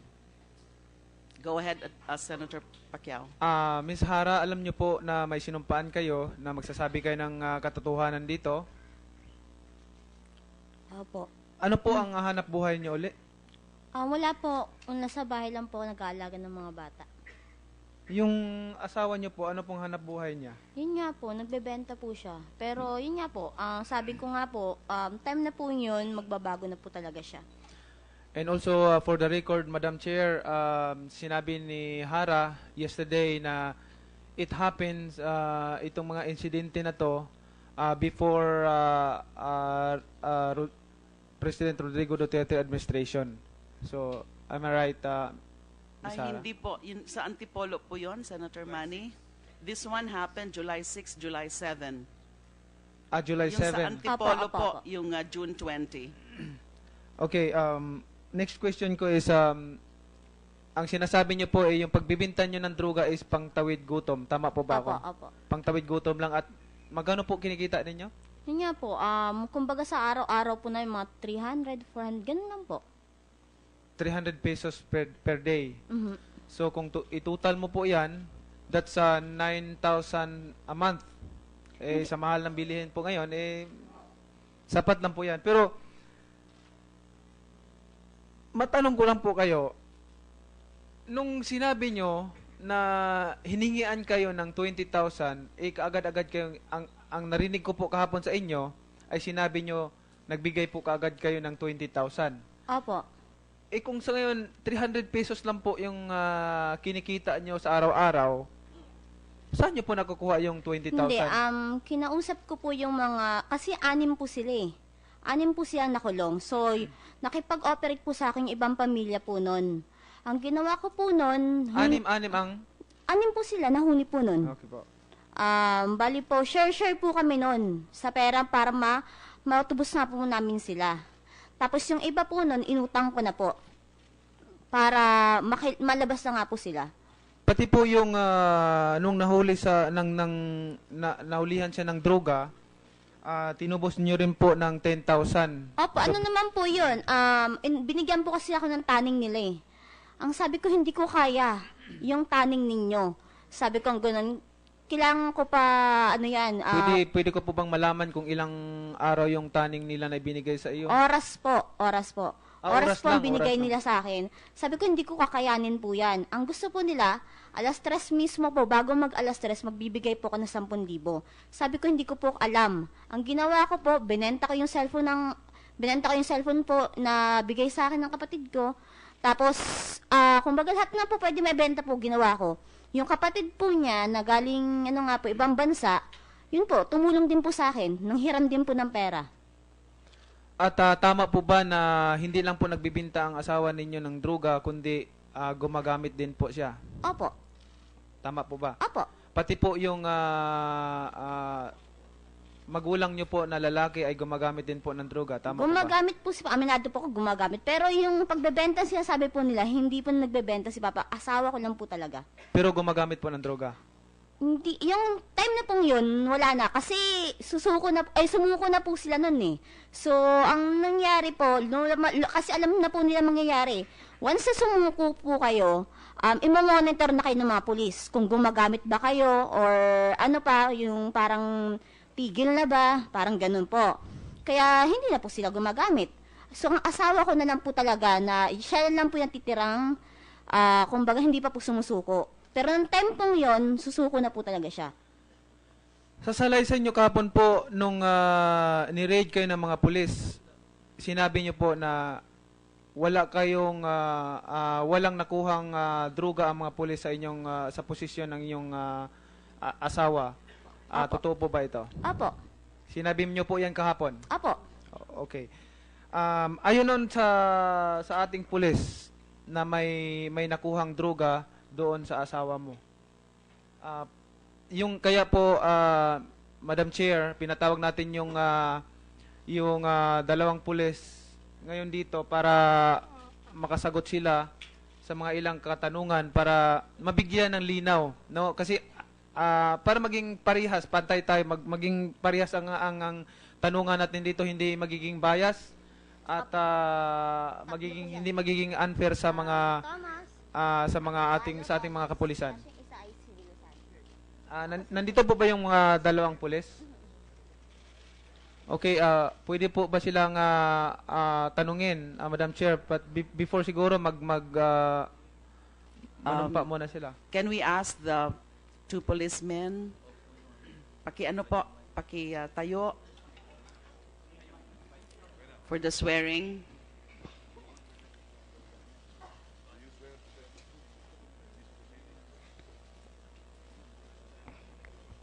Do you swear to tell the truth, the whole truth and nothing but the truth in this public inquiry?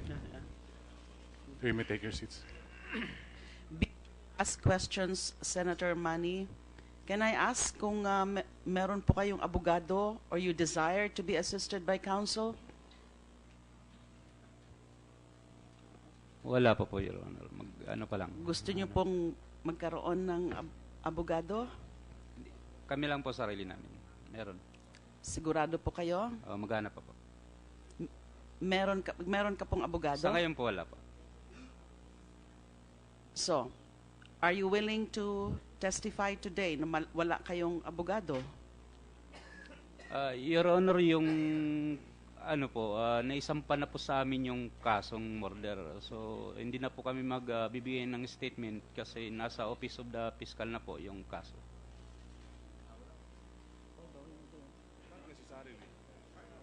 One minute suspension.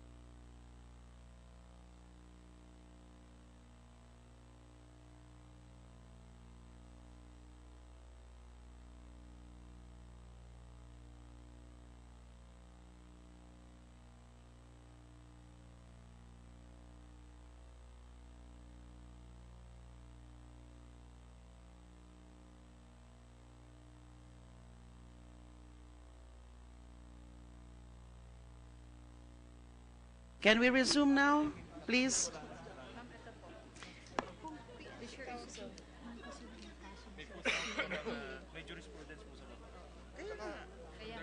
Issue kung sino yung abogado nila. Hindi. Hindi pwedeng PNP. Kung hindi siya. Hindi, kailangan under rin. He may offer to answer. Pero ano naman eh. Ah, sige, sige. So, hearing resumed. So, balik po tayo sa tanong ko po. Sabi niyo wala po kayong abogado ngayon. Gusto gusto niyo Yes ho bang po, ah, magka-abogado? Kami lang po ang kukuha ng abogado namin. Ah, wag mo muna sa ngayon. Ah, by the way, paki-state for the record po ang mga pangalan ninyo. I'm Pio Alipio Balo Jr. Kayo po, I'm PO1 Michael B. Thomas, Your Honor. PO1, PO2 and PO1. Okay. So, gusto ho nyo ba magkaroon ng abogado para i-assist kayo ngayon? Your Honor, yung kaso po namin eh, naipile na po ng murder. Eh. Opo, alam po namin yan, binanggit ho sa amin yan ng hepe nyo. But may I inform you po na under the rules, hindi po yan ground para hindi kayo mag appear sa amin at magte-testify. Eh, Your Honor, sorry po. Eh, sa court na lang po kami mag ah, titestify. I- ah, hindi ho masyadong, mukhang hindi nyo po naiintindihan, ano po. Pinatawag po kayo dito para mag-testify. Alam po namin na meron kayong kaso na. Nasa prosecutor's office. Your Sabi po ng aming rules, which is the uh, rules of procedure governing inquiries in aid of legislation, the filing or pendency or any prosecution of criminal or administrative action shall not stop or abate any inquiry. And meron din hong jurisprudence that the sheer institution of a criminal or administrative complaint before a court or tribunal should not ipso facto stop the conduct of legislative investigations o lalo na hong hindi ho dahilan yan para hindi kayo mag-appear sa amin at mag-testify. Pero tinatanong ho namin kayo, kasi karapatan nyo po yun, gusto nyo ho ba magpatulong o magpa-assist ng isang abogado? Minute suspension, Mr. Madam Chair. One minute suspension. One minute, Just, just, just, sandali lang, Mr. Sabi. Just, I just. one minute suspension.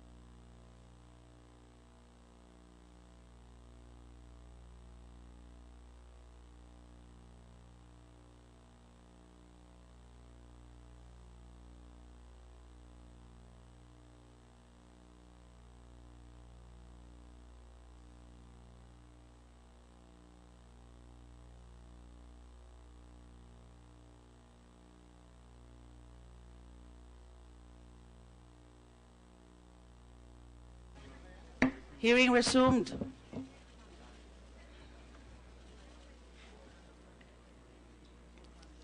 Start na po tayo.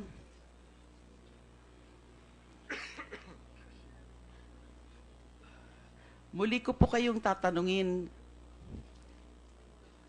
kung gusto nyo po na meron kayong abogado.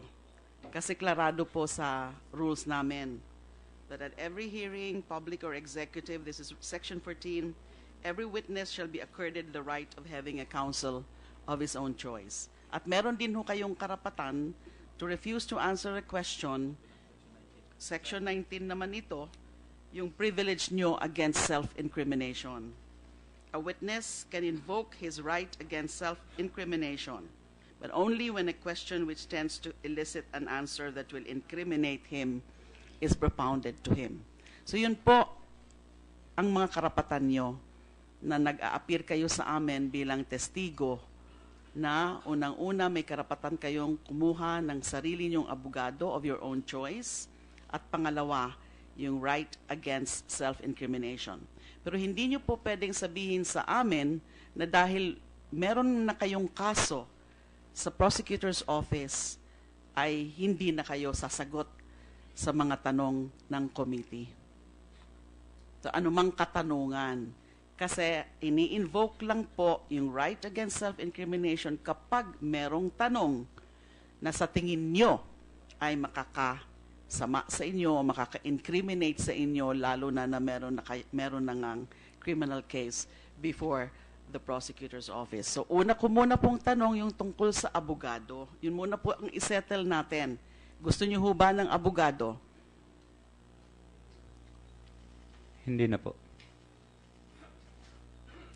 How about si uh, PO1 Tomas? Hindi na rin po, Your Honor. So you are waiving your right to counsel. Yes, Your Honor. So expressly made in open court that they're waiving the right to counsel.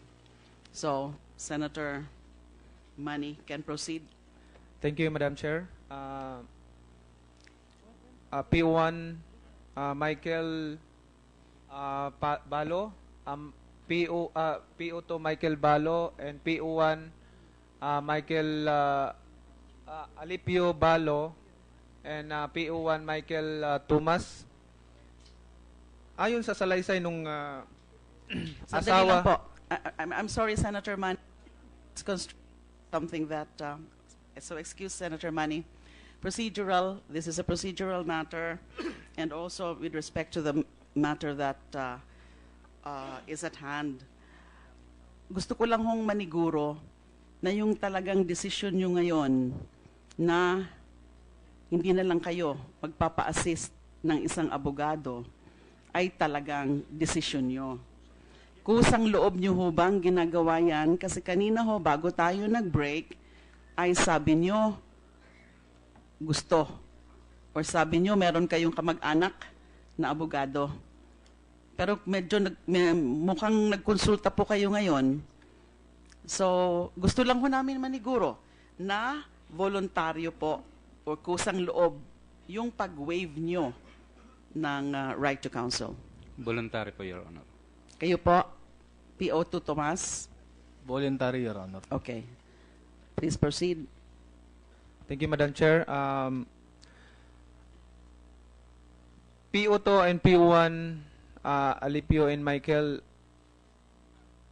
ang salaysay nung asawa nung uh, uh, biktima o uh, uh, namatay na si uh,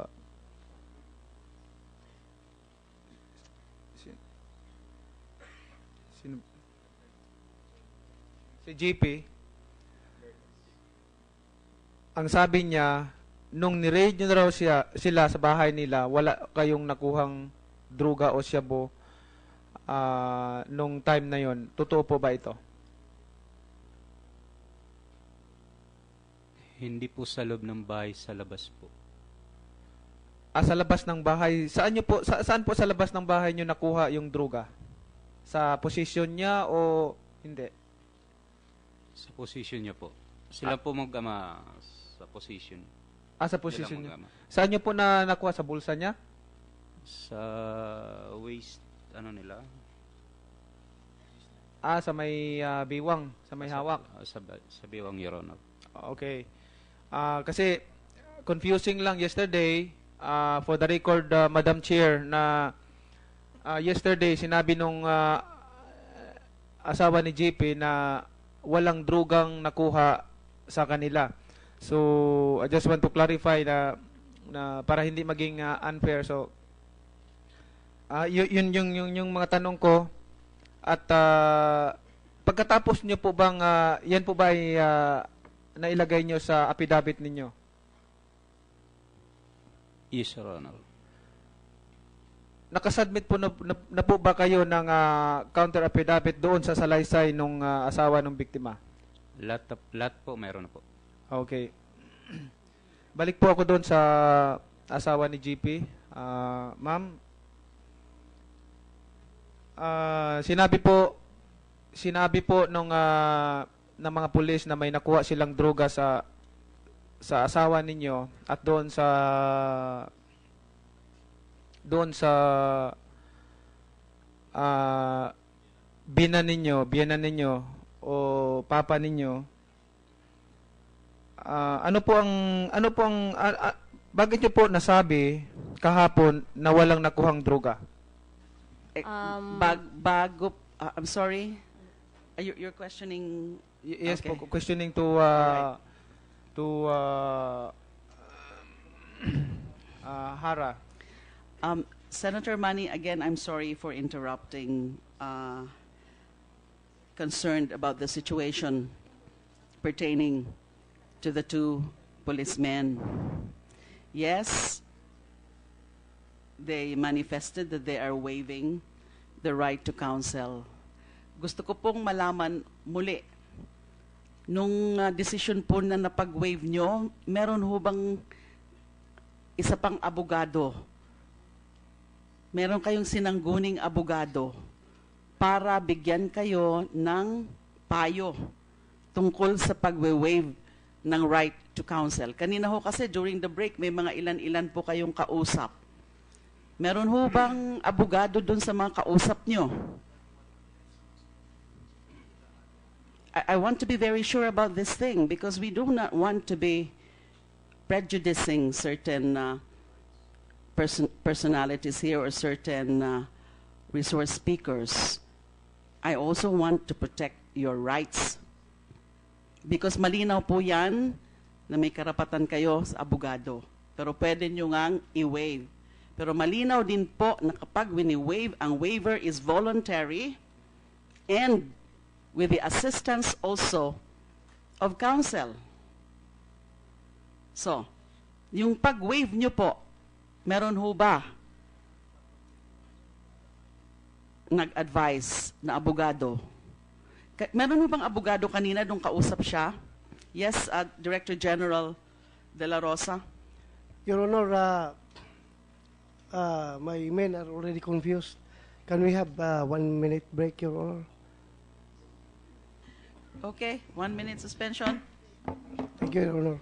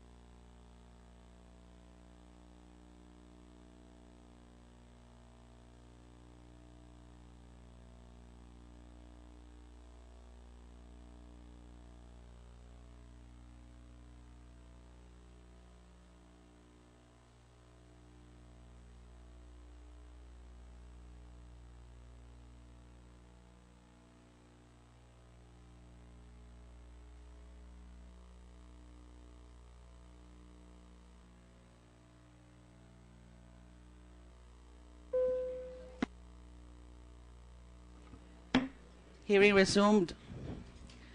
So ano ano ho pinag-usapan nyo before we we uh, decide on this?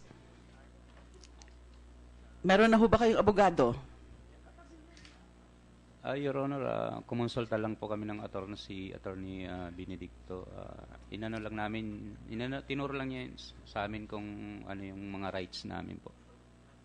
Sino po si Attorney Benedicto? Are you part of the Philip of the PNP? Mhm. So, Good morning, Your Honors. can we have your full name? Uh, for the record, Attorney Benedicto Malcontento, Your Honor. And you are I am a private practitioner, Yes, Your Honor. not part of the PNP as an institution? Not part of the PNP as an institution. May we know why you are here? We are um, providing a free legal service, Your Honor, for uh, the Philippine National Police, Your Honor, in a private capacity. You are a private lawyer but providing legal service to the PNP.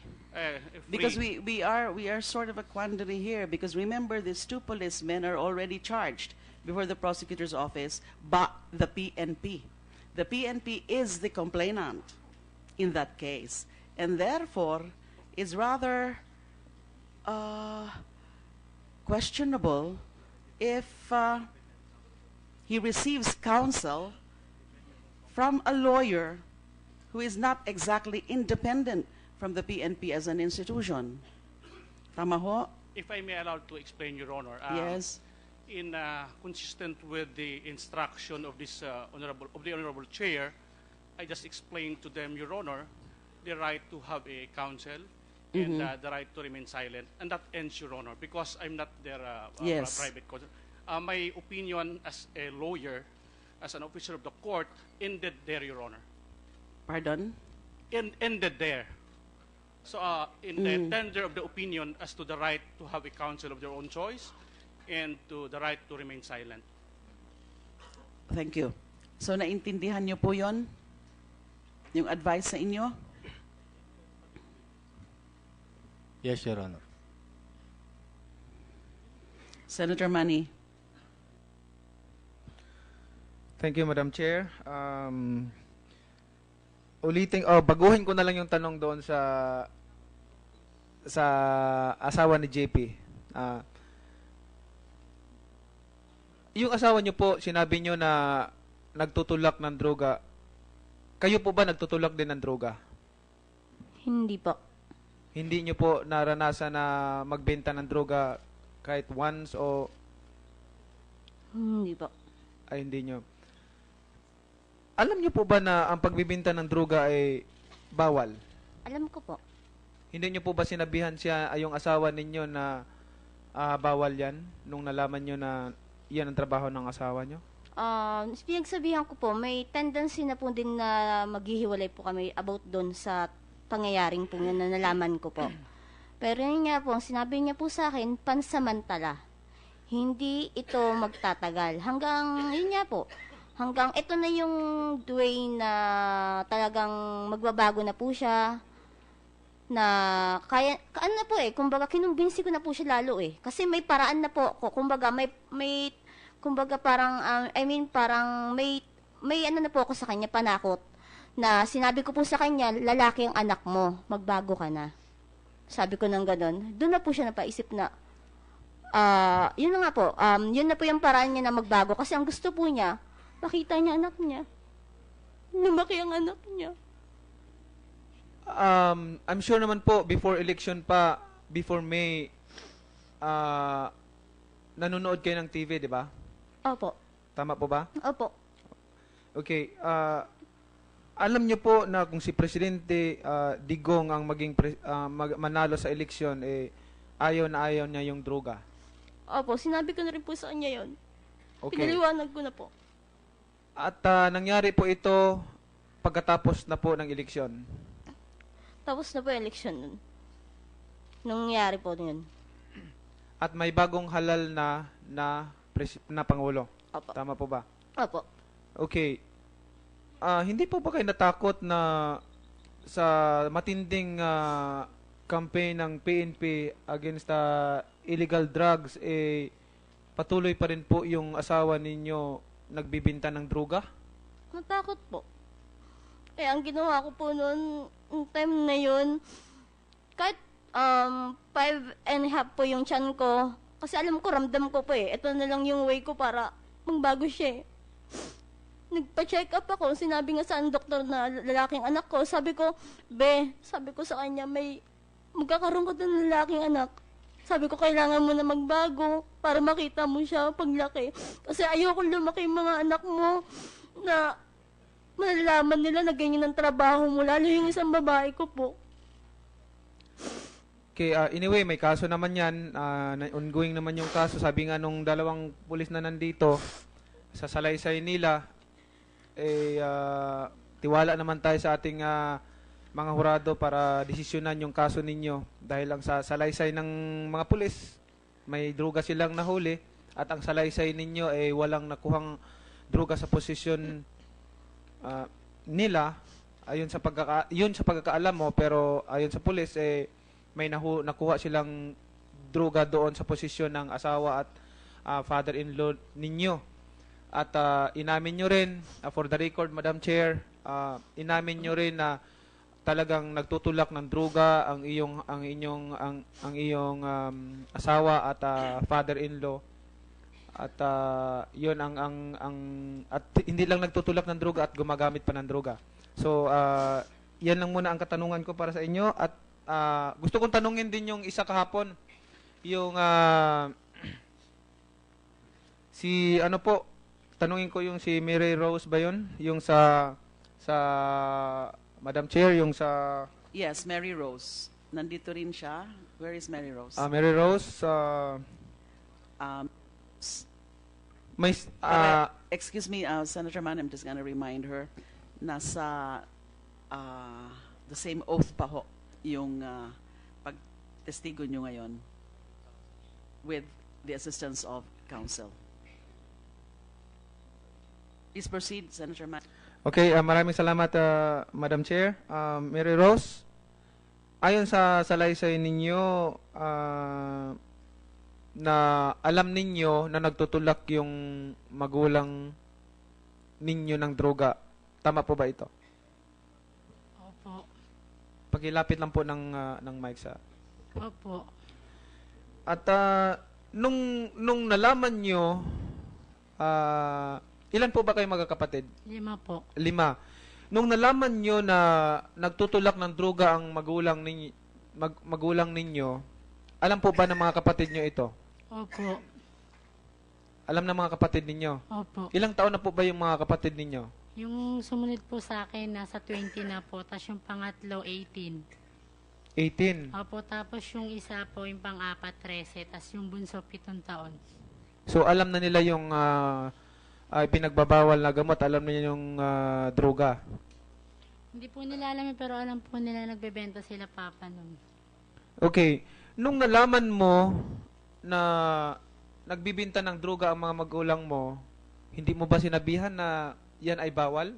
Sinabihan ko po na mabawal yan kaso gusto na po nilang kumalas dun sa pagbebenta na yan. Sinabihan po kami ni mama na hindi madaling kumalas kasi pag kumalas daw po sila papatayin sila kasi marami silang alam. Okay, um, uh, for the record, Madam Chair, uh, um, tama po ba na sinabi nyo na nangyari ito bago ang uh, Duterte administration? Opo. Ah, tama po ba? Opo. Okay. Um, nung nung nung umupo si ah, ah, si Duterte at nanalo siya sa election, hindi niyo po ba sinabihan yung magulang ninyo na itigil na yan dahil matindi ang ang kampanya laban sa illegal illegal na droga? Titigil na nga po sila nun, last na nga po yun. Hindi na nga po. Hindi na nga po sila makawala sa pagbebenta na yun kasi binabantaan na po sila eh. Na pag kumalas po sila sa grupo, baka daw po ikanta nila yung mga pulis na yun. Mary Rose, ah, alam ba ng mga pulis na alam ba ng mga pulis na alam ng mga kapatid mo rin na magulang mo ay na alam nila na na ang mga magulang mo ay nagbibinta ng droga? Ano po? Alam ba ng mga pulis ano, alam ba ng mga pulis na alam din ng mga kapatid mo yung mga transaksyon nila? Hindi po. Ah, hindi Senator nila. Manny, that should be your last question. Yeah, Your, uh, ah. time is up. Ah, malapit na Thank po. you. Mga dalawang tanong na lang po. Okay. Ah, gusto ko pong ah, ah, linawin na yung yung ah, yung tatay mo at yung mami mo ah, wala bang sinabi sa iyo bago sila umalis ng bahay? Meron po. Anong sinabi sa iyo? Na magre-remit na nga po sila. Last na po yung araw na yun kasi magbabalik maneho na po si Papa. Natatakot na sila. Baka mapatay sila. Okay, maraming salamat po kasi wala na akong time. May may dalawang po, may isang katanungan lang po ako para sa sa mga pulis sa sa PNP Madam Chair. Um, last na lang. Uh, to our uh, uh, active no na na CMP uh, Chief PNP uh, General uh, De La Rosa.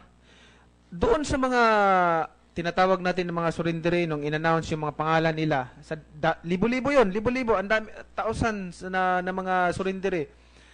Ah, yung iba kung hindi pa pinangalanan yung mga pangalan ay hindi mag-surrender. Hindi nag kung hindi i-announce sa TV i-broadcast sa TV yung mga pangalan nila. Ang tagal pa nila nag-surrender. So ang tanong ko lang may kaso na po ba sila? Nakasuhan po ba sila? Yung iba, Your Honor, yung ating case build up against them are still ongoing. Yung iba naman ay nakasuhan na po. Like yung uh, isang drug lord na nag-surrender from yung number 2 from uh, Cebu, yung si Fran Sabalones at yung mayor ng uh, mayor ng uh, Albuera Leyte na si Mayor uh, Espinosa ah nakasuhan na po illegal possession of firearms at saka yung uh, illegal possession of firearms and explosive at saka yung illegal drugs. Pati po si Espinosa? Yes, Your Honor. Hinintayin lang po na yung warrant maglabas. Then, uh, i- i- isi-serve na po namin. Okay, ah ang sabi kasi nung ah, ang ang tandingin ko kasi dito pag dumami na po yung pa- sa dami ng mga sumuko pag walang makasuhan baka mag mag, mag sumabog at hindi na natin makayan yung yung mga issue na yan. Um, good thing na, na, na narinig ko na may mga kaso na sila. Anyway, ah, marami pang magtatanong ah, ah, General no. L- lahat ng campaign nyo about sa drugs nandito lang kami sa ah, sa likod nakasuporta sa mabuting adhikain para sa kapayapaan ng ating bansa, para sa katahimikan na tayo mamuhay dito sa sarili nating bansa na may may yung may, may may matiwasay at ma yung confident ka na, na mamuhay dito sa bansa natin wala kang takot mag maglakad-lakad diyan sa sa sa kalsada ah, na, na may pagkakaisa walang krimen na nangyari gusto po natin yan na na mangyari. So suportado po namin kayo sa inyong ah, advocacy na na pagsugpo sa droga sa pinagbabawal na gamot. Maraming salamat, Madam Chair. Thank you, Senator Pacquiao. We now recognize Senator Bamakino. Magandang umaga, uh, Chairperson. Magandang umaga mga kasama. Good morning, uh, Director General Del Rosa. Yung mga tanong ko po para po sa inyo. So kahapon po, may mga tanong na rin tayo. I think nasagot nung iba nung inyong presentation. So gusto ko po lang pong linawin ulit, no? Meron po tayong meron na po tayong mga nahuli na mga pushers at uh, addicts. Yun po ay nasa 11,784. Tama po, no? Yun po yung presentation po natin. Um, and of these, 756 po yung napatay during the course of the operations, no? Okay. Yung isa pa pong numero na pinakita po ninyo, yung mga death under investigation, ito po ay 1,160. Dito po ako gusto mag-focus, no? Ito po bang 1,160, hindi po ito lahat drug-related, no? Yes, Your Honor. So, kung ano mang, tama ba na ito'y during the course of the war on drugs or kasama dito mga non-drug related? Uh, yung time frame na kinukonsider natin, Your Honor, is that is the time that we are waging war against drugs. Okay. Na nakita ito silang patay, but hindi natin na-establish na talagang re- drug-related sila. Okay. Ito yung napakarami na yung hindi na-establish. Pero meron po tayo na-establish na ibang motibo, hindi related sa drugs, kundi Personal, grudge. Okay, nakita ko yun. No? Yes, Your Honor. So, ito ba ang lahat ng death from July to August 22? Yes, Your Honor. Okay, so lahat yan. Hindi na natin alam, mar- 757 yung undetermined, no? Doon po sa chart ninyo. So, ito po, posibleng ibang motibo, crime of passion, kung ano man. Pwede rin drugs, Your Honor. Pwede rin drugs. Yung undetermined pa. Okay, pero yung sigurado tayo, yung 273. Yes, Your Dahil ito yung may placard, hogtied, at iba pa. Yes, Your Honor. Opo, paano natin na-determine yung, yung balanse na drug-related ito kung hindi naman sila naka-placard at hindi naman sila nakagapos? Yung mayroon tayong investigation na ginagawa, Your Honor, at na-establish na itong mga tao na ito na napatay ay mga drug posers. Okay, gusto ko pong tanongin yan. Dito po sa 273 um, deaths na tinatawag po nating drug-related, na-investigate po ninyo, yan po 273 drug pushers? Yes, Your Honor. At ah, sa inyong investigation, wala kayong nahanap na mistaken identity, na pagkamalan lang, o ginamit yung ah, war on drugs para mapagtakpan ang ibang krimen? So far, wala pa, Your Honor. Yung napabalita sa media na yung babae, na magandang babae, nakasakay sa jeep na binaril, hindi po yun drug-related, Your Honor. Hindi yung drug-related? Hindi po yung drug-related, Your Eh yung tungkol po dun sa choir member na meron pong duct tape sa bunganga na sinasabi pong uh, dinideny po ng mga magulang. I think this is the Chamson the Chamson case. Yun po, nasama po ba siya sa 273? Kasama siya kasi may placard siya, no? Yes, Your Honor, magkasama.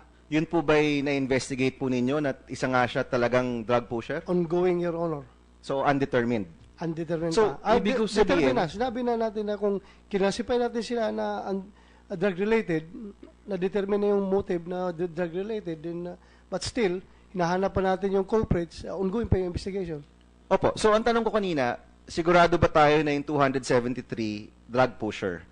Sigurado tayo na drug-related, pero tatanungin ko po ulit, sigurado ba tayo na yung 273 na patay, drug pusher nga, o hindi? When we say drug-related, Your Honor, either poser siya o user na na-establish doon sa doon sa investigation. So, wala ho kayong nakikita sa 273?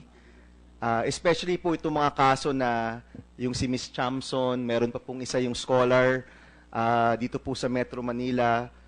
Kasi ho, yung kanilang mga magulang at kanilang mga pamilya, dinideny po na mga drug addict po sila o drug pusher. Sigurado na po ba tayo in, in the, ah, sa tingin po ng PNP, lahat po talaga sila drug pusher at drug addict? Ongoing pa, Your Honor, yung investigation nan. Kaya nga, General, so kung ongoing pa siya, hindi pa tayo sigurado na drug pusher sila. Yes, Your Honor. Okay. So ulitin ko po, itong 273, drug-related po siya, pero hindi pa po tayo sigurado kung drug pusher nga po sila. Yes, Your Honor. Okay. Kasi nakalagay doon eh, yung business natin, nung may karatula. Yun lang business natin na Opo, pero karatula. General, yun ba enough basis na na matawag na drug kung may karatula po yung tao? Kasi marami ho ngayong umiikot na baka naman ibang krimen ito, pinagtatakpan lang, ginag- ginagamit po yung war on drugs, naglalagay ng placard. Meron pong follow-up uh, investigation niya. Na ongoing? Yeah, ongoing. Okay.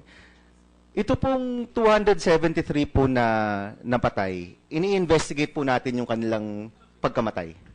Yes, Your Honor. Sino po yung nag-investigate po sa kanila? Yung ah, depende sa station na nagko-cover sa area kung saan nangyari, Your Honor, yung may jurisdiction over the case. Meron na po tayong nahanap ng mga suspect. I think kapon po na-mention ninyo may kinasuhan na po kayo. Yes, Your Honor. Sino-sino po yung mga, you don't have to name names, no? Pero sila po ba'y kasama ng sindikato? Sila po ba'y mga asset ng kapulisan? Sino po yung mga kinasuhan po ninyo sa mga killings po na ito? Karamihan, Your Honor, ay mga drug pusher din na naging hitman ng mga drug lord. Mhm. Sila po nag-eliminate yung kanilang mga kalaban, mga kasamahan nila. Yung hindi na nakaremit ng pera doon sa drug lord, eh, pinapatay. Pinapatay po. Yes, so meron na po tayong nahuli na mga ganyan po, hitman, kasama ng sindikato, ginagamit ng mga sindikato. Meron na po tayong nahuli. May isa na patay, Your Honor, wala pang nahuli, but lahat po sila identified. Okay. Yung kaso po, may mga pangalan. Yes, Your Honor. Identified Okay. po sila, may Okay. kaso na. So, pag sinabi niyo pong may kaso, nakafile na po yan sa piskal. Yes, Your Honor. Okay. Ongoing case na po yan, nasa justice system na po natin. Yes, Your Honor. So, so lahat po ng mga kasong ito, fina-follow up po ninyo. yes, Your Honor. Ini-investigate po ninyo. Yes, Your Honor. Ini-investigate po nyo, pareho yung biktima, kung totoo ngang drug pusher o drug addict, at ini-investigate po ninyo kung sino may kagagawan po nito. Yes, Your Honor. Kahapon po, parang nagkaroon po ng, I'm not, I don't remember kung sinong senador po yung nagtanong, pero kahapon po, sabi nyo, o kung ayaw ninyo, wag na lang natin to gawin. Parang, parang may nasabi po kayong ganoon. Sa tingin po ba ninyo, ah, itong pag-imbestiga sa mga napatay na mga vigilante or napatay na mga sindikato, ito po ba'y pabigat sa inyo o kasama po sa inyong trabaho bilang PNP? Kasama po sa trabaho namin yan, Your Honor. Ano pong paningin ninyo sa mga sa mga ganito pong klasing pagkapatay? Ito po ba'y nakakatulong sa war on drugs o nakakasama po ito sa war on drugs natin? Nakakasama po yan, Your Honor, dahil uh, as I've said, I don't I don't like uh, personally ha. Opo. Kahit ako hindi chief kahit ako isang civilian, Opo. ayaw na ayaw ko po yung yung extrajudicial killing or uh, I hate to use extrajudicial killing dahil merong contention yung isang senador po Opo. natin na ayaw niya yung term na yan. But uh, yung yung vigilante killing, ayaw ko po yan, Your Honor. Ilang beses ko na po hinamon ng barilan yung mga vigilante na yan. Kung gusto niyo pumatay ng ng tao, bakit papatayin niyo yung tao na walang kalaban-laban? Ako harapin niyo. Ilang beses ko po na hinamon yun sila kung sino ang mag- magagaling dyan na pumatay. Ako harapin niyo. Pagbarilan tayo. Hinahamon ko yan sila, Your Honor. Ayaw ko talaga yung ginagawa nila. Thank you, General. So, with the full force of the PNP, yung lahat na makakaya ng PNP, yung lahat po ng inyong ka- kaalaman, intelligence, assets, hinahabol nyo po ba nga ang mga vigilanteng ito? Or hindi ho natin hinahabol? Hinahabol po, Your Honor. Kaya ongoing yung ating investigation. Kaya nga may na-identify tayo dahil nga sa investigation natin. At yung na-identify natin, kasalukuyan natin hinahanap. Nagtatago po yun dahil uh, membro sa sindikato. Okay, General, itong kahapon na pag-usapan natin yung ah, mga pulis na nasangkot sa droga. Alam ko po, mabigat po to sa inyo. Gaano po na-infiltrate ang ating PNP ng mga masasamang elemento na connected sa droga? Malalim po ba ito? Iilan lang po ba ito? O marami po ito? Ah, kung sa standard ko, Your Honor, may personal standard, marami na po. Dahil gusto ko po, zero drug tolerant, ah, zero drug tolerant ako, Your Honor. Ayaw ko kahit na may isang pulis ko na na-involve sa droga. Pero ito po, sobra na po. Sobra sa 10, sobra sa 100, maabot ng 300, like that. So, mabigat na po sa akin yun. 300 na po yung na, nasa watchlist po ninyo. Nakita ko po, no? Yes, Your Honor. Sa tingin nyo po, nung kutob nyo, ilan po ba talaga yan? 500? 400? 1,000? Ilan Ano- po ba talaga? Honestly, Your Honor, Oo. akyat pa yung number na yan. Dahil ngayon sa ating war on drugs, ang dami na po naglabasan ng information. Ang dami nag... ah, yung aming watchlist po, honestly, yung aming watchlist sa intelligence, nabulaga po kami nung nag-start yung aming war on drugs. Nagpasokan yung information na, uy, ito pala, tumatanggap pala ito. Ito pala, nagbibinta pala ito. Dahil nga, nag-cooperate na yung buong bayan. Nagiging hindi lang whole of government approach yung ating war on drugs ngayon, naging whole of nation approach na eh. Dahil lahat ng communities apektado. Nagtutulungan na po lahat at nagbibigay, nagsusupply ng information. Kaya dadami at dadami pa yan, Your Honor. Okay. I, I tell last, you. last two questions, Mr. Chairman. Ano pong dapat gawin sa mga pulis na kasangkot po sa droga?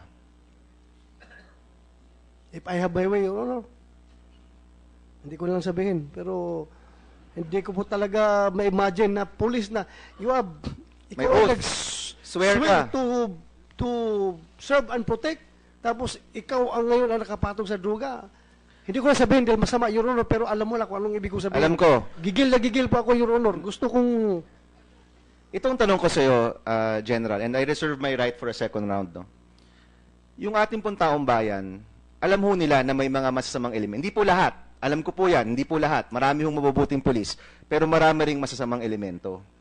Eh kapag kinakatok na po sila sa bahay, kapag hinihiling po silang mag-meeting, di na ho nila alam kung ito bang kausap ko ay masama o mabuti.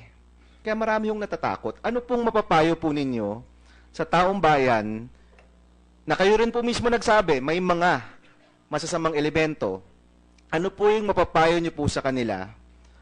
Kung sila po, nakita po nila isang pulis, hindi ho nila alam kung ito ba'y kasangkot o ito ay malinis. Ano pong pwede nilang gawin? As of now, Your Honor, this I can assure you and the public na yung po mga pulis po na markado na nakasama sa sindikato sa droga ay dahan-dahan na pong nawawala Mhm. sa kanilang assignment. Nilipat na po namin sila. At hindi po namin sila in-involve ngayon sa aming Uplan Tukhang at Uplan na HBT. Kasi po, habang nakikita sila ng taong bayan, hindi maniniwala ang taong bayan na itong kampanya ng pulis sa laban sa droga ay seryoso dahil andyan pa si PO1, PO2, ganun, nandyan pa sa lugar na, kaya tinanggal namin.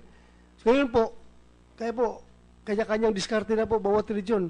Merong, merong naghaharana para makuha po yung... Para hindi ho matakot yung Hindi tao. matakot yung tao, naghaharana. Meron pong libreng sakay, kanya-kanyang diskarte. Merong nag-offer ng purlon.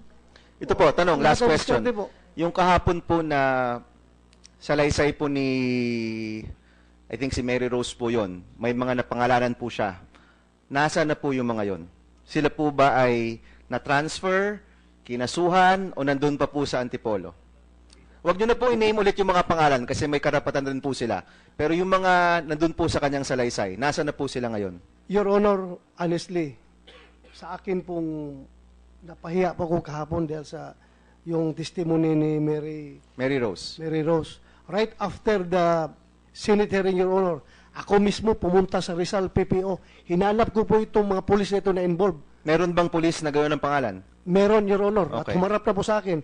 Pinatanggal ko sila sa Rizal PPO. Pina-assign ko sa Krami at para doon i-compile namin at ready to press to face the IAS anytime for investigation, Your Honor. Alright. Thank you, Director General. Tinanggalan na po namin ng armas. Huwag po matakot sila, Mary Rose. Hindi na po kayo under threat kasi yung mga pulis na yan, tinanggalan namin doon. Umuwi na po ko sa inyo. Pwede nyo tanggalin yung inyong mga cover sa mukha. Please. Andito kami. We are here to protect you. Huwag kayo mag-alala. Yung mga pulis na yan, nakakumpay na po. Ginagaranti nyo ba yung safety ng witnesses natin, General? Eh, if you want to sub- pumunta kayo sa akin, ako mag-present, ah, patirahin kita sa White House. Doon ka tumira. Safe ka doon. Thank you. Thank you, Direct. Thank you, Senator Bam. Thank you for your prompt action, Director General De La Rosa. We rec- thank you so much. Um, Senator Ejercito, Senator JV, your turn, please.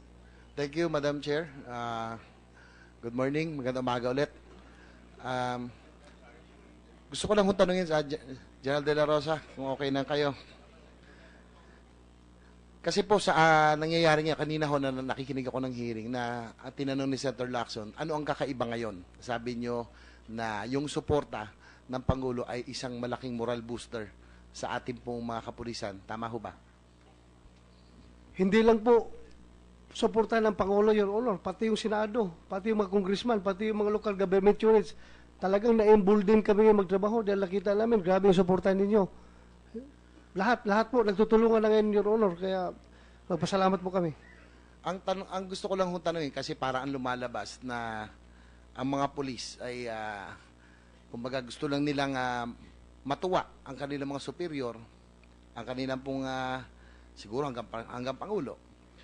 Ay ah, tanong ko lang, iriris ba ng ordinaryong pulis ang kanilang karir, ang kanilang ah, yung mga benepisyo, ang kanilang buhay para lamang um, matuwa o maging satisfied ang kanilang superior. Iriris ba? Sa tingin nyo ba iriris ng isang ordinaryong pulis yan?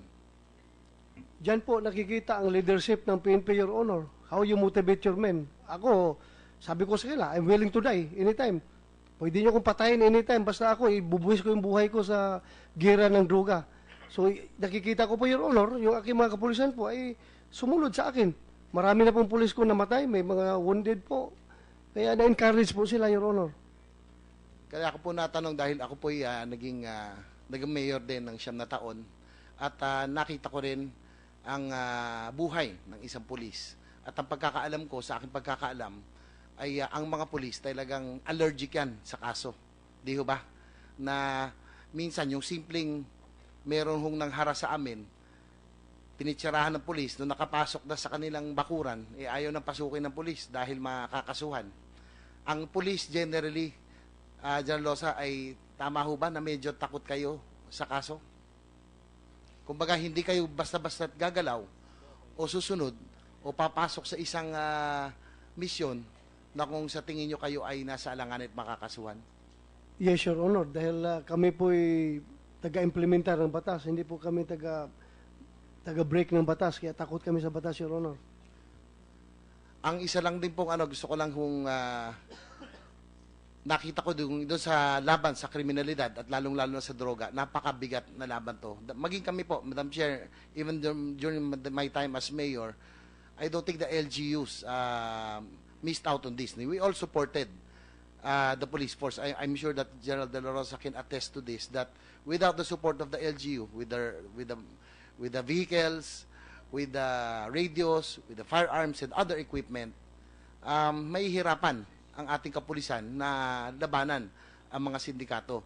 Ang my my point is, um, Madam Chair, um, tuwing nagkakaroon ho ng kaso ang isang pulis, na, ito po nakita ko, kinasuhan ng dating isang dating kapitan namin na allegedly ano rin to no? Medyo may connection din sa droga. Dalawang pulis po yon nasuspindi po sila. Siyempre lumapit po sila humihingi ng tulong kapag nasususpindi po ang pulis wala ho silang sweldo lahat ng benepisyo ay uh, tigil tama ho ba General De La Rosa Yes, Your Honor.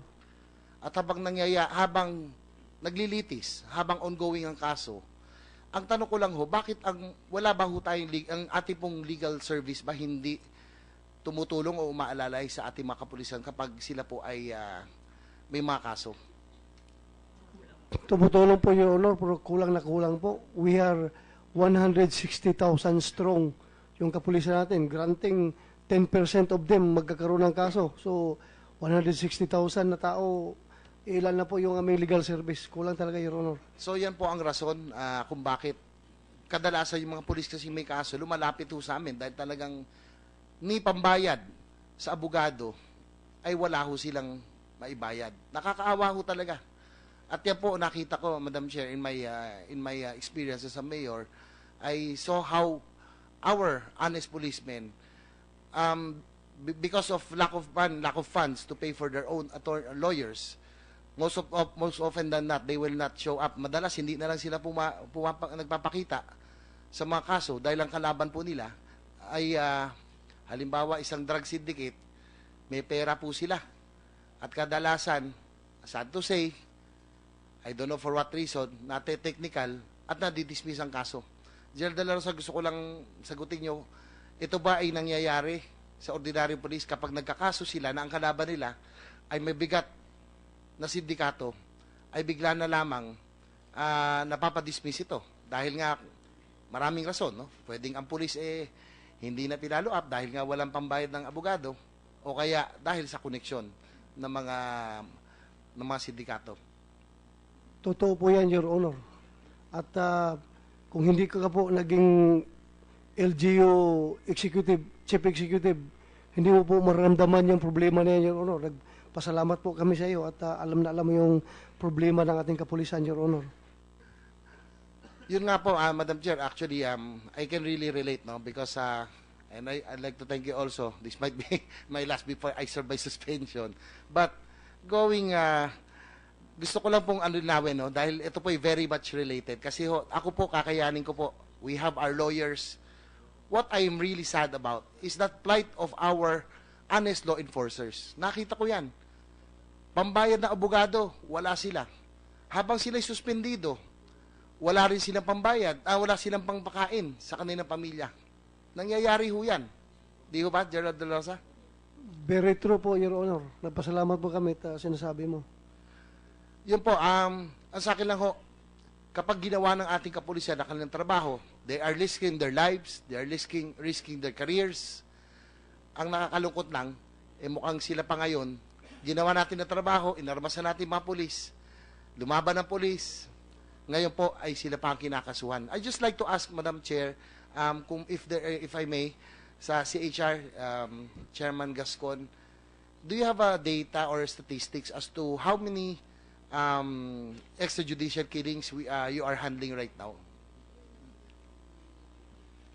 Kas, kasalukuyan po ah, sa tala ng media at ng pulis, ah, wala pa pa po kami sa 15% ng aming mga investigators ang may hawak na mga kasong ah, sinusubaybayan. Ang intention po namin, tulad rin po ng IAS, ay ah, ultimately ma maimbestigahan lahat. Pero kasalukuyan, nasa 150 cases of the cases that were um, stated earlier that we have an active investigation on.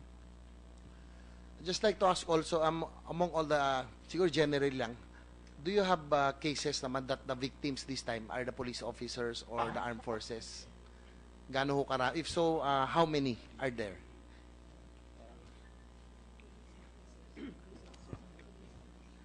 Normally po, uh, yung mga cases na hinahandle namin involving human rights violations, often ang respondent po yung security forces. Uh, but there is uh, one uh, we have been informed uh, that involves uh, a police officer in Cebu. But the general rule is the cases that come to us involve complaints against security officers. So the, um, it's it's not often that the law enforcers or the security forces or the armed members of the armed forces are the victims. That, uh, kumbaga, Well, we know, uh, you know, anyone can be a victim of uh, human rights violations because every person uh, has human rights, including uh, the members of the police force. However, we have a we have a higher standard or obligation on the part of the government in terms of being uh, duty bearers. So when the police, for example, are in uniform and perform their duties and obligations under the police operation procedures, they are expected to comply with human rights standards. In fact, uh, Your Honor, in uh, the police operation procedure, Rule 1, functions of a police officer, Rule 1.1 says to serve and protect. The second, Rule 1.2, is to observe human rights and the dignity of the person. So, uh, this is part of the obligations of our uh, men in uniform. And uh, what happens is from time to time when there are uh, lapses, uh, we receive complaints and we process those complaints in due course. So you have a data um, as to how how many cases you are handling right now uh, vis-a-vis uh, police and military uh, against uh, vis-a-vis the criminal uh, or other persons? Kung kung ang tanong po nyo ay kung meron pong ah, kaso na iniimbestigahan namin ay na ang biktima ay ang pulis. Ah, sa aming record, ang sabi ay isa lang at na naganap po sa Cebu. Kasi po, anyway, kung meron pong mga paglabag halimbawa sa mga ah, ginagawa ng pulis, meron pong ah, batas na nalalabag doon kaagad. Yung ah, ah, disrespect to a person in authority. So normally po, hindi po mapunta sa Commission on Human Rights yung complaints ng police dahil meron po silang internal system to enforce the law. Okay, thank you. Uh, Madam Chair, po, again, uh, thank you. I just like to uh, relay my uh, my experience again and uh, because the policemen are human too and um, we just have to give them also the support no? because the risk that they take in undertaking um, these uh, dangerous operations, they're either risking their lives, um, their benefits, everything, their careers. So we just have to, we have to, uh, uh, we just have to also uh, consider no, that they are also human. Thank you, Madam Chair. Thank you. Next is uh, Senator Escudero. Thank you, Madam Chairperson.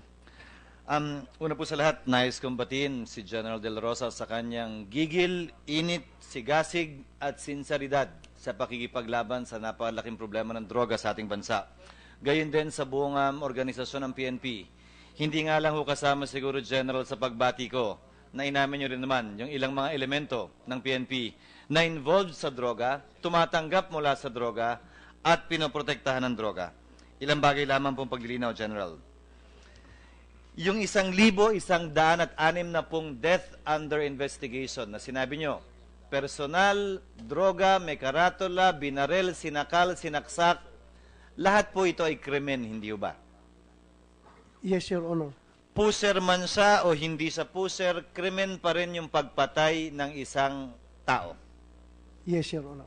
Ang hiling ko lang po siguro, General, tulad ng binanggit na ilang mga kasamahan ko, yung init, gigil at sigasig sa paghahabol sa mga tulak at um, user, sana pakita rin ho natin dun sa mga pumapatay, involved man sa droga o hindi, para yung imahe ng ating bansa sa labas. Hindi naman masabi ng sinuman na nagkakaroon ika nga ng grabing patayan dito sa ating bansa. Pangalawa po, sir, nabanggit po ninyo na may anim na raan mahigit na libong taong sumuko na. Ang pag sumuko po ba, anong ibig sabihin nun? Ipepresenta yung sarili nila? Gagawa po ba sila ng affidavit na inaamin nila, tulak ako? Gagawa po ba sila ng affidavit na inaamin nila, ako ay user? Paano po yun?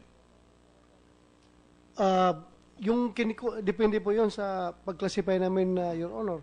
Yung iba na nakikita namin na magagamit namin sa pag-prosecute nung sa pag-case build up against doon sa mga drug lord na nasa taas nila, kinukunan po namin ng affidavit para magamit namin sa pag uh, file doon sa kaso doon sa mga drug lord sa taas nila. Dito sa mga nag-surrender po, meron po ba kayong inaresto? Nung sumuko po sila, di ba, pinresenta yung sarili nila, pinangalanan ng badak na ito user, ito pusher. Um, may inaresto po ba kayo o lahat pinagsabihan lamang? Meron po, Your Honor, yung upon surrender, nalaman namin na merong merong uh, standing warrant of arrest yung uh, Yung wala po. ay yung wala wala wala po your honor wala po kaming basis bakit namin na uh, arestuhin your honor So, yung umaming tulak, pagsasabihan, magbago buhay kayo, uwi na kayo. Ganun po? yes your honor at minumonitor po namin dahil kusang loob po sila that that's our come on to them kung mag-surrender po kayo hindi namin kayo kakasuhan basta mag-promise kayo na magbagong buhay ganun po ang kaming aming uh, sinasabi sa kanila Magandang polisiya po, General, pero um, legally, pwede po bang magdeklara unilaterally ng amnesty ang PNP sa anumang krimen? Dahil krimen ang pagtutulak. Krimen ang paggamit ng droga. Pupunta po ako dun sa rehab later. Pero um, yung pag-amin lang siguro, wala silang abogado ron, kaya hindi pwedeng magamit yung extrajudicial confession. Pero um, kung umamin pa rin po sila eh, hindi ba dapat i-process at um, sampahan ng karampatang kaso? Ganon po kabait ang PNP, Your Honor. Hindi po namin sila kinakasuhan. Ayaw, kung otherwise, kung pinagkakasuhan namin sila, that will discourage other from surrendering. So pag umulit, doon na sila kakasuhan at arrestin. Kaya po, Your Honor, meron nang nag-surrender sa Tukhang, then the, the following day, nakita nyo na bulagta, puma, napatay sa operations. Dahil po, ngayon nag-surrender, kinabukasan, umulit. nagtutulak na uli. Paano naman po yung user? Sa ilalim po ng batas, ang user dapat i-rehab. Kung kaya i-rehab, Your Honor, pinaparehab natin. Pero yung, wala, kulang talaga tayo, Your Honor. Alam ko pong kulang, maaari bang isumite niyo po sa aming komite, tama-tama magbabudget deliberations po kami. Ano po ba ang kailangan mga facilities sa rehab sa buong bansa? Kada probinsya ba? Kaya na bang kada rehiyon? Kada munisipyo ba? Kada syudad ba? At magkano po ba ang kailangan para magkaroon ng rehabilitation center para po sa lahat ng mga ito? Pakisumite na lang po sa Yes. Your Honor. Maraming salamat, Your Honor. Yes, sir. Isa pa pong punto. Nabanggit ng ating kagalang-galang na Solicitor General na ipagtatanggol daw niya ang mga pulis kapag ka sila'y nakasuhan sa laban na ito sa droga. Ayon sa aming Research General, hindi po niya pwedeng gawin yon. Gustuhin man ng Solicitor General, nagkaroon na po ng desisyon ng Korte Suprema na hindi pwede mag-appear ang Solicitor General's Office sa isang criminal case laban sa maski na sinong opisyal ng gobyerno, pulis, sundalo, congressman, senador, mayor, o kahit na sino paman. Susundan ko po yung sinabi ni Senator Ejercito kanina. Ang remedy po ninyo sa ilalim ng PNP law ay ah, magkaroon ng pribadong abogado o hindi man palakasin po natin yung DLS ninyo. Hiling ko po sana, isumitin niyo dun po sa amin, ano po ba ang kailangan ninyo para magkaroon ng mas malakas na DLS o Department of Legal Service? At ano po kung sakasakali ang kailangan ninyo para magkaroon ng sapat ding abogado? Dahil sa ilalim ng Section 56 ng ah, PNP law, may kapangyarihan po kayo kumuha ng mga pribadong abogado. Siguro kulang lang ang pera, kaya yun po ang nais naming malaman para mapagtanggol yung ating mga pulis na nasangkot sa isang legitimate na operation at nagkataong kinasuhan po sila. Yes, Your Honor. Uh, Tama-tama po yan, Your Honor, because uh, right now we only have 95 legal officers catering to the 160,000 policemen or 190,000 including the civilian employees, the non-uniform personnel. 95 lang po, Your Honor. Kung madagdagan po nyo yung, I don't know how we do it, kung additional uh, compensation or to make this uh, being a legal officer under the legal service attractive uh, position, Your Honor. Sana matulungan nyo kami makapag-recruit ng marami.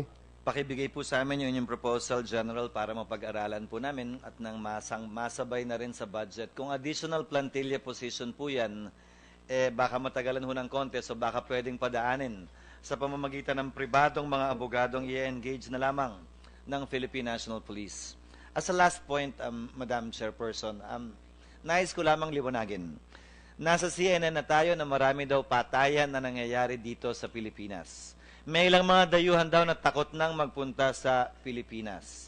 Maraming mga negosyanteng nag, nag, nagpapasabi ng pangamba kaugnay sa operasyong ito. Kaya nais kong tanongin ang mga katanungan ito para mabigyang linaw at mabigyan din kayo ng pagkakataon para masabi ang polisiya ng pamahalaan ngayon.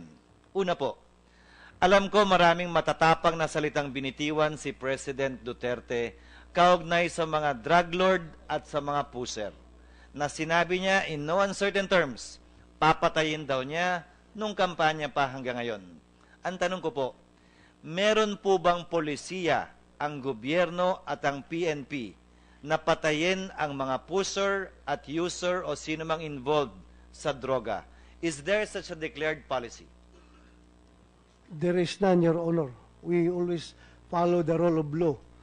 Siguro, yung sinabi ni Presidente, yan po ay para takutin yung ating mga mga drug personalities. Dahil ito pong labanan ng droga, eh, this is psychological warfare.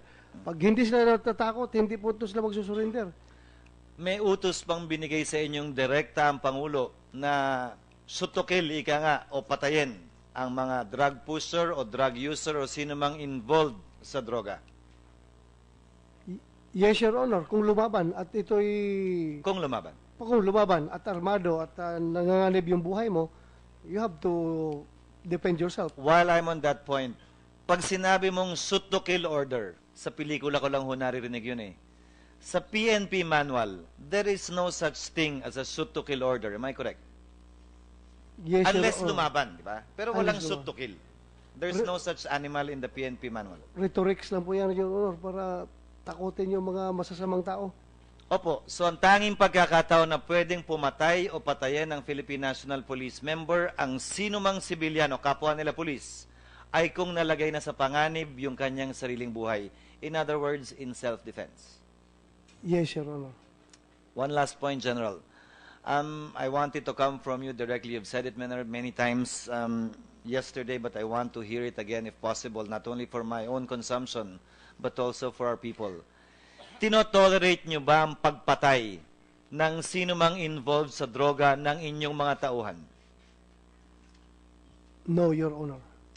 Tinotolerate nyo ba or do you look the other way? Yung pagpatay na ginagawa ng sino mang grupo, vigilante man ang tawag o hindi, ng sino mang tao din na involved sa droga? No, Your Honor. In fact, we are investigating those cases, Your Honor.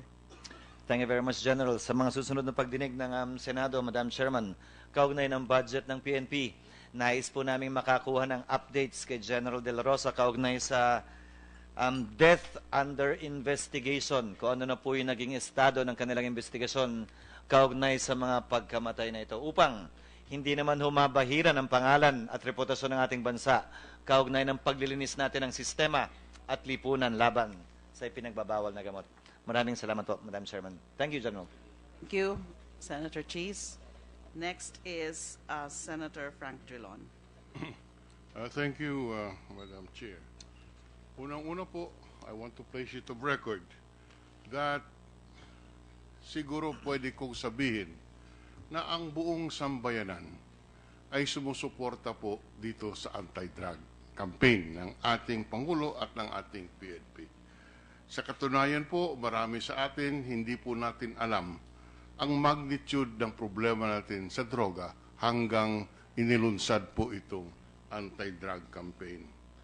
Ah, ito po ay pangkaraniwang mamamayan. Ito, yan po ang kanilang opinion. But having said that, ang mamamayan po ay concerned din sa kar- karami, kadami ng namamatay. So while they support the anti-drug campaign, including this representation, we are all concerned about the number of deaths taking place. 1,916 in 54 days from July 1, 2016. Yan po ay mga, ang computation ko eh, 36 deaths every day since July 1. Uulitin ko lang po, 36 ang natutumba bawat araw mula nung Hulyo 1, 2016. Eh, dalawang oras na tayo rito, ay sana naman walang tatlong namatay nung habang nag-uusap tayo rito. But that is the statistics that is being presented to us. By any language po, this is alarming. Now, you, we, we, the, the count started on July 1. On, from, for the month of June, can you tell us how many died? For the month of June, I know this is before you, but I assume since PNP is an institution, you have record kung ilan po ang namatay sa buwan ng Hunyo 2016, both for from police operations and uh, tawag nito, death under investigation o yung sinatawag na natin sa media na vigilante killings. Ilan po, uh, uh, General?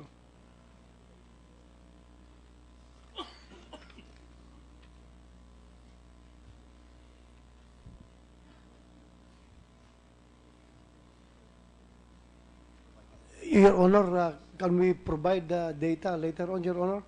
Sure. I-research pa namin, Your Honor. Opo, paki-research lang po. Yes, Your Honor. Okay. Now, but as, but just limiting ourselves to the last 54 days, ah, ito po ay merong may chilling effect. Natatakot po ang taong bayan. Dahil lang, pwede naman po magkamali eh. Hindi po ba? Pag nagkamali ka, yun pong pagkakamali ay hindi mo na mabawi dahil namatay na yung subject. Ngayon, kaya po natatakot ang taong bayan. Ngayon, yun po bang uh, uh, Oplang Tokhang, mayroon ba tayong quota for apprehensions?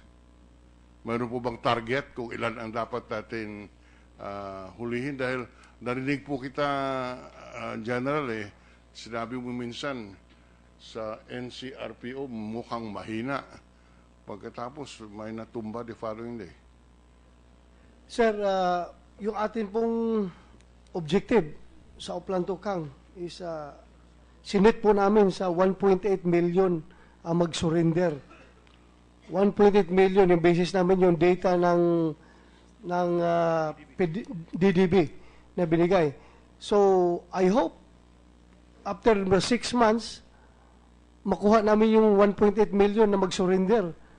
Pero, yun nga, that's impossible. Pero sinet ko talaga at 1.8 dahil sabi ko nga, zero tolerance dapat sa drugs. But kung magpo-filter kami somewhere, baka after six months, nasa 80%, 70%, or depende na po kung sabihin ni Presidente, passing, ano yung passing grade niya, Your Honor. At kung hindi po passing grade, manghuhuli pa tayo para umabot tayo sa 1.8, hindi naman. Yes, Your Honor, we have to do that because uh, we want to, we, we want, we want to achieve our target. Yes, but uh, you- you're saying that in your intelligence reports, uh, nothing that uh, certainly is uh, uh, based on evidence, ang estimate natin ay 1.8 million ang dapat mag-surrender sa ating Oplan Tukhang. Pag hindi umabot doon, ay manghuhuli pa tayo para mapuno natin yung 1.8. Ganun po ba?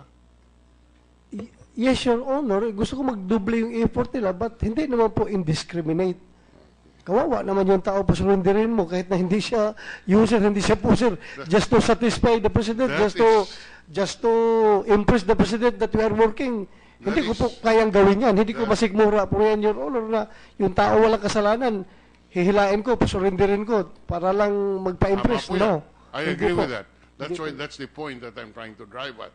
That's why I was asking you whether you had targets and you said your target is 1.8 million at pag sana naman pag hindi umabot doon hindi tayo kukuha ng kung sino-sino at sasabihin we achieved our targets. In any case, let's uh, leave that behind. On your operation Tokhang, uh, Mr. General, alam mo, from the social media, marami po kaming nasusource ng mga notices from the uh, uh, village associations. Ito po, galing yung uh, BF Homes. Dito po, mga notice ng, uh, ng village associations, sinasabi po na bibisitahin ang mga bahay ng pulis. Okay? Let me read it to you just for the record. Uh, it says, to all BF dash 5H homeowners. I'll just quote one paragraph. Under the modified Tokhang operation, the PNP, accompanied by the barangay official and or officers of the homeowners association, will be conducting a house-to-house visit of all residents of BF Paranaque. Ibig sabihin, kakatukin po nila, may naka-uniforming pulis, may kasamang barangay, chairman, or whoever, hindi po ba nakakatakot ito? Ah, at at ah, ah, yung ah, epekto po dito sa ating mga mamamayan na may kakatok sa kanila na on, uniformadong pulis at sasabihin, eh, pwede mo ba kaming pumasok? eh, pag sinabi mong hindi kayo pwedeng pumasok, hindi mo alam kung anong susunod. O kung papapasukin mo, hindi mo alam kung anong mangyayari. Ang punto ko lang po, hindi po ba ito ay ah, medyo nakakapagkaba, nangangaba ang ating mga mayan na habang sila po ay sa loob ng kanilang mga bahay, ay kakatok, pagbukas mo ay pulis, eh kung ikaw naman ay mamamayan na walang uh, kinalaman sa anumang ah, ah, law enforcement agencies or or what or brushes with the law, eh kung may pulis sa harap mo po, nakakatakot. That is what I want to relate to you, uh, Mr. General, uh, on that point. May I answer that, uh, Your Honor? Yes, please. I think the signatory of that letter is uh, not uh, from the police. Is not the siguro homeowners association. That's correct, yes. I am Yeah. saying home, Okay. homeowners association. I'm not saying this is the police. This is the notice of the homeowners association to the residents. Yan po, uh, at, uh, at uh, ito po, uh, Park Lane Homeowners Association. Ito po ay notice sa mga uh, homeowners. At ito po ay pagkatapos ng meeting with the PNP. Kasi nakalagay rin dito, uh, we'll report uh, after a General Assembly, yun po, uh, uh, uh, ipina, liwanag kung ano yung Operation Tokhang at ah, yan na nga yung ah, sa yung pupunta sa mga bahay kakatok ang pulis. So yun po galing po sa homeowners ito. Your Honor, the spirit of Tokhang po, yung aming uplan Tokhang na dinisseminate pababa, hindi po ganoon ang mode of implementation. Siguro po, yung, yung nasa baba po, eh, gumawa na sa rin diskarte. That's why sinabi na modified Tokhang. Siguro at their level, nakikita nila na kailangan bisitahin na yung bawat bahay, kaya sila gumawa ng letter. But ang spirit po ng Tokhang is, you only visit the house na merong suspected na drug personality.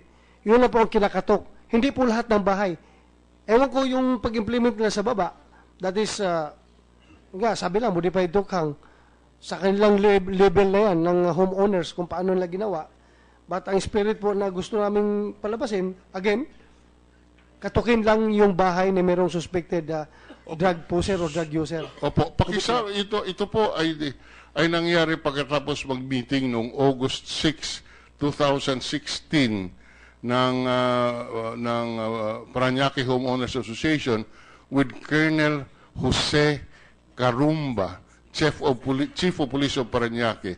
Ah, ang sinasabi na the the uh, PNP will be implementing a modified Tokhang operation in BF Paranaque starting Monday, August 8, 2016, and quote under the modified Tokhang operation, the PNP, accompanied by barangay officials and officers of the association, will be conducting a house-to-house visit of all residents in BF Paranaque. I will correct that, Your Honor, uh, but pardon us, Your Honor, maybe yung ating mga pulis po sa baba at ng mga barangay sa baba ay nagiging uh, excited lang po at uh, gusto lang i-prove na itong aming uplantukang hindi lang po pang mahirap ito. Pati yung mga mayayaman na subdivision na merong suspected na drug user, drug user, eh, sinasama nila sa uplantukang. Eh, that's maybe a reaction from them. But I, again, as I have said, yung uplantukang po, hindi po ganoon dapat. I will correct that, Your Honor. I, I promise you. Uh, please, because again, uh, this has a chilling effect on the citizenry, where you, a uniformed policeman would knock on your door and say, pwede po bang pumasok? Eh, talagang nakakatakot po yan. At uh, sana po hindi ganon ang ating pangyayari. Kasi, yung iba, Operation Tukang, nababasa natin sa payagan, kumatok, pumasok, medyo may natutumba. Kaya hindi mo po basisi yung ating mga mamamayan kung talagang eh, ito po may chilling effect sa kanilang pamumuhay. Maraming salamat, Madam Chair. Thank you, Senator Gilon. Next is Just one more point. I asked the General De La Rosa to submit to us the on-the-spot reports of all the 700, uh, ano? Ilan ba yung namatay?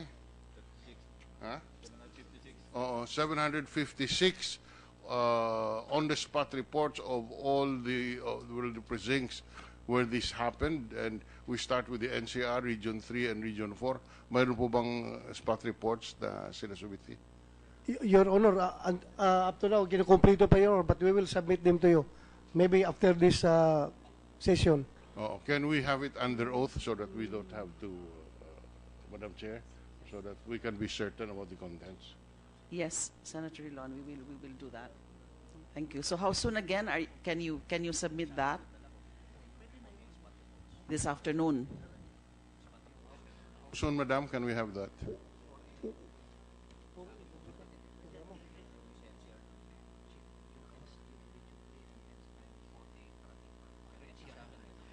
Uh, the Region 3 and Region 4 po, Your Honor, are coming. Parating na po, Your Honor. Once makumpleto, ibigay po namin. How about the NCR, uh, sir? Yung NCR nandito, Your Honor. Isasubmit namin mamaya pag Ah, kumpleto na po. Okay, thank you.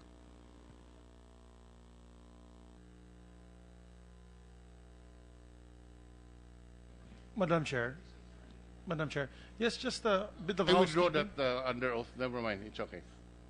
Just a bit of uh, uh, housekeeping, Madam Chair. If, if they want to eat their lunch, they can have a working lunch, Madam Chair. Baka gutom na sila. Lalo na yung mga witnesses, eh, hindi pa kumakain. Maybe they'll be allowed to eat while being uh, while we're continuously working, Madam Chair? Thank you for that, Senator uh, Zubiri. I think our witnesses, uh, nagpapalit-palit sila kung sino pwedeng kumain ata. I think they've, they've eaten. Have they taken their lunch? Ah, nandyan na yung food sa... ka- Okay. Uh, next is Senator Onasan. Thank you, uh, Madam Chair. Uh, Director General uh, De La Rosa, are you still okay? Medyo... Oh, sige lang, sir. Okay pa rin, sir. Okay, sir. Di ba, mahirap kasi, Director General, kung dito ka pa sa Senado mga yayat. Eh, okay. Ah, dalawang beses kitang narinig na sabi mo, we are engaged in a war on drugs. Okay, uh, war, di ba? Di gera. What exactly do you mean by this? Para our people can get a better appreciation of what what this implies. That's, uh, yung objective lang po niyan, sir, is after six months, sana magiging drug drug-free ang Pilipinas. Yan po yung pinaka-objective niyan. Okay. Tinaasan po namin ang gustong objective para, yun nga, pag nag-falter tayo, mataas-taas pa rin. I will go to that timetable of six months, no? Because Yes, ang, yes, Your Honor. ito, pananaw ko ito, no? Uh, the Philippine National Police, if we are engaged in a total war, no? Against drug, is not in a position to guarantee that. Okay? Uh, le- let me be frank with you, no? Uh, ito, yes or no lang, para pabilisin natin so that we'll fall within the time limit. When you say war on drugs, total war ito. Total Hi- war, hi- Hindi lang ito trabaho ng pulis. total war, Your Honor. Okay. Wala itong frontline. Hindi yung yung kalaban nasa kabila ng ilog o nasa kabila ng kalsada o nasa kabila ng barangay. Wala yes or no? Honor. Walang... O, frontline. walang frontlines. Walang clearly defined physical frontlines. Yes, yes, Your Honor. Okay. Yes. Hindi ito conventional war. Very unconventional, Your Honor. Very unconventional. Hindi ba yung tinuro sa atin nun sa tactics, di ba? Yes, Your Uh, Honor. two squads in front, one behind, and then one in reserve. Yes, Ito pinasok na nito yung tahanan natin. Yes, Your Honor. Pinasok na yung kalsada natin. Lansangan. Yes, Your Honor. Pinasok na yung eskwelahan natin. Yes, Your Honor. Kung saan tayo nagtatrabaho, apektado na rin. Apektado lahat, Your Honor. Ito ang malungkot. Pinasok na rin yung mga nasa itaas natin. Yes, Yan Your ang Honor. report, di ba? Yung katabi mo, ngayon lang natin nalalaman na may mga duda na tayo, agam-agam. Na yung katabi mo, kabady mo, di ba? Yung nag-uutos sa'yo, baka involved sa drugs. Yes, Your Honor. Okay, ga- ganun kalala. Yes, Okay, let's go to what this war against drugs is costing us. Okay, human life, di ba, sa Article 3, life, liberty, and property.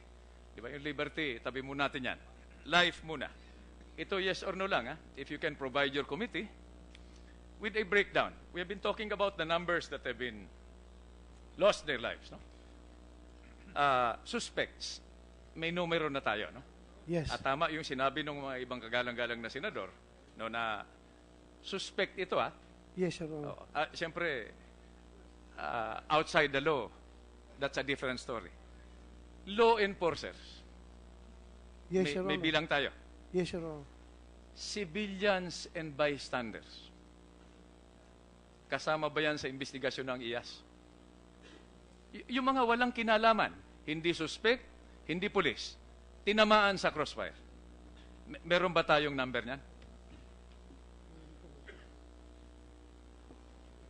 Ba, di ba Ah. isasama yan sa... Y- yes, Your Honor. Okay. Pag, pag ito'y during uh, operations, nakita na tinamaan siya, so kasama sa investigation, Sa akin, ah, para sa akin, ha, importante yan, Director General Rosa, no? Hindi ka pulis, hindi ka suspect, tinamaan ka. Me- Medyo malungkot yun. Hindi ba? Ngayon, let's go to property. May mga bahay ba na nasira? Kasama ba yan sa datos natin? May mga sasakyan na nasira. During operations, Your Honor? During operations. Yes, Your Honor. Okay, so uh, ang request ko lang, no, uh, in behalf of the committee with the uh, permission of the chair, is to include this para malaman natin kung what this war on drugs is costing us. Ano ang halaga na pantubos natin dito? Itong financial cost, moral cost, social cost, political cost, kami na ang bahala dyan. Yes, Your Honor. Okay. Ngayon, my next question is, ikaw ang chief PNP. May nag-uutos sa'yo sa itaas mo, di ba? Yes, Your Honor. Si, sino ang pwedeng mag-utos sa'yo? Sa itaas mo? The Secretary of Interior and Local Government and the President, Your Honor. So, dalawang tao lang yan. Dalawang tao, Your Honor. Minsan ba, since you took over, may ginawa ng utos ang dalawang nasa katungkulan na ito? That is illegal, immoral, o pag sinabi sa iyo yung order na yan, nagkaroon ka ng duda na, teka muna, baka hindi tama ito. Was there any instance? There was no instance or wala po, Your Honor. Okay, now we go down. Ikaw ba nag-issue ka ng order? Na illegal, immoral, o may dahilan yung nasa baba mo? Na magduda? Wala po, Your Honor. Wala, okay. Kaya ako sinasabi yan, no, dahil hindi ko na babanggitin yung kung bakit ito, no, yung sinatawag natin na chain of command. Dahil iba na namang issue yan, no? Dito ini-establish yung tinatawag na authority, responsibility, and accountability. Yung katungkulan. Di ba? Nung nag-uutos. Yung saklaw ng katungkulan niya para masunod yung utos. Yes, Your Honor. At saka yung pananagutan. Nung nag-utos at nung inutusan. Yes, Your Honor. By the way, uh, Director General Ronald, no, this is these are not motherhood statements. This is happening on the ground. Kaya sinisiguro ko lang na, na nasa lugar tayo. The Philippine National Police does not make policy. Correct? Yes, Your Hindi Honor. kayo ang naggumawa nitong batas. Yes, Your Honor. Hindi rin kayo ang dapat mag-interpret ng batas. Yes or no? Yes, Your Honor. You implement policy. Yes, Your Honor. Sumusunod lang kayo sa utos. Pero itong hearing na ito, malaking tulong ito sa amin, no, sa mga mambabatas. Para yung batas, kaya niyong ipatupad. Hindi, it will not operate in a vacuum. Okay. My second to the last question. Anything to add? Wala. Okay. Uh, second to the last question, Madam Chair. Sabi dito na yung pillars, this is about justice, no? Justice. Ang pillars natin ay enforcement, the courts, prosecution, yung correctional, no? At saka yung community.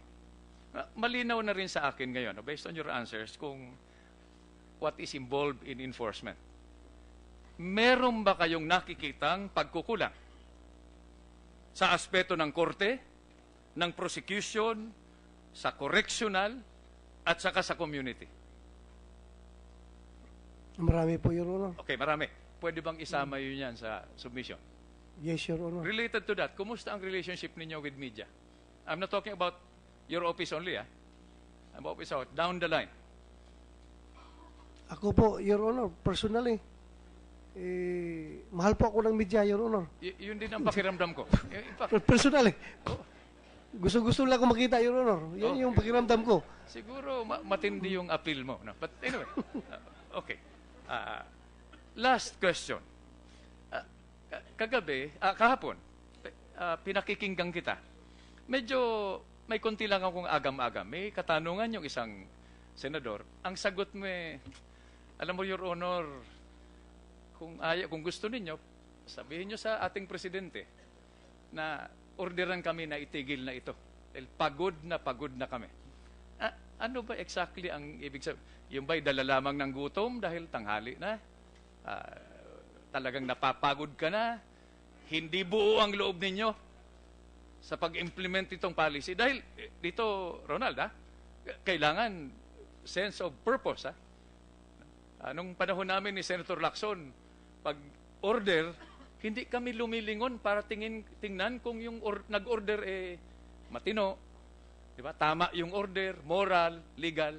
Okay, so ano ang ibig mo sabihin nung parang huminga ka ng sama ng loob na pagod na kayo kung gusto ninyo.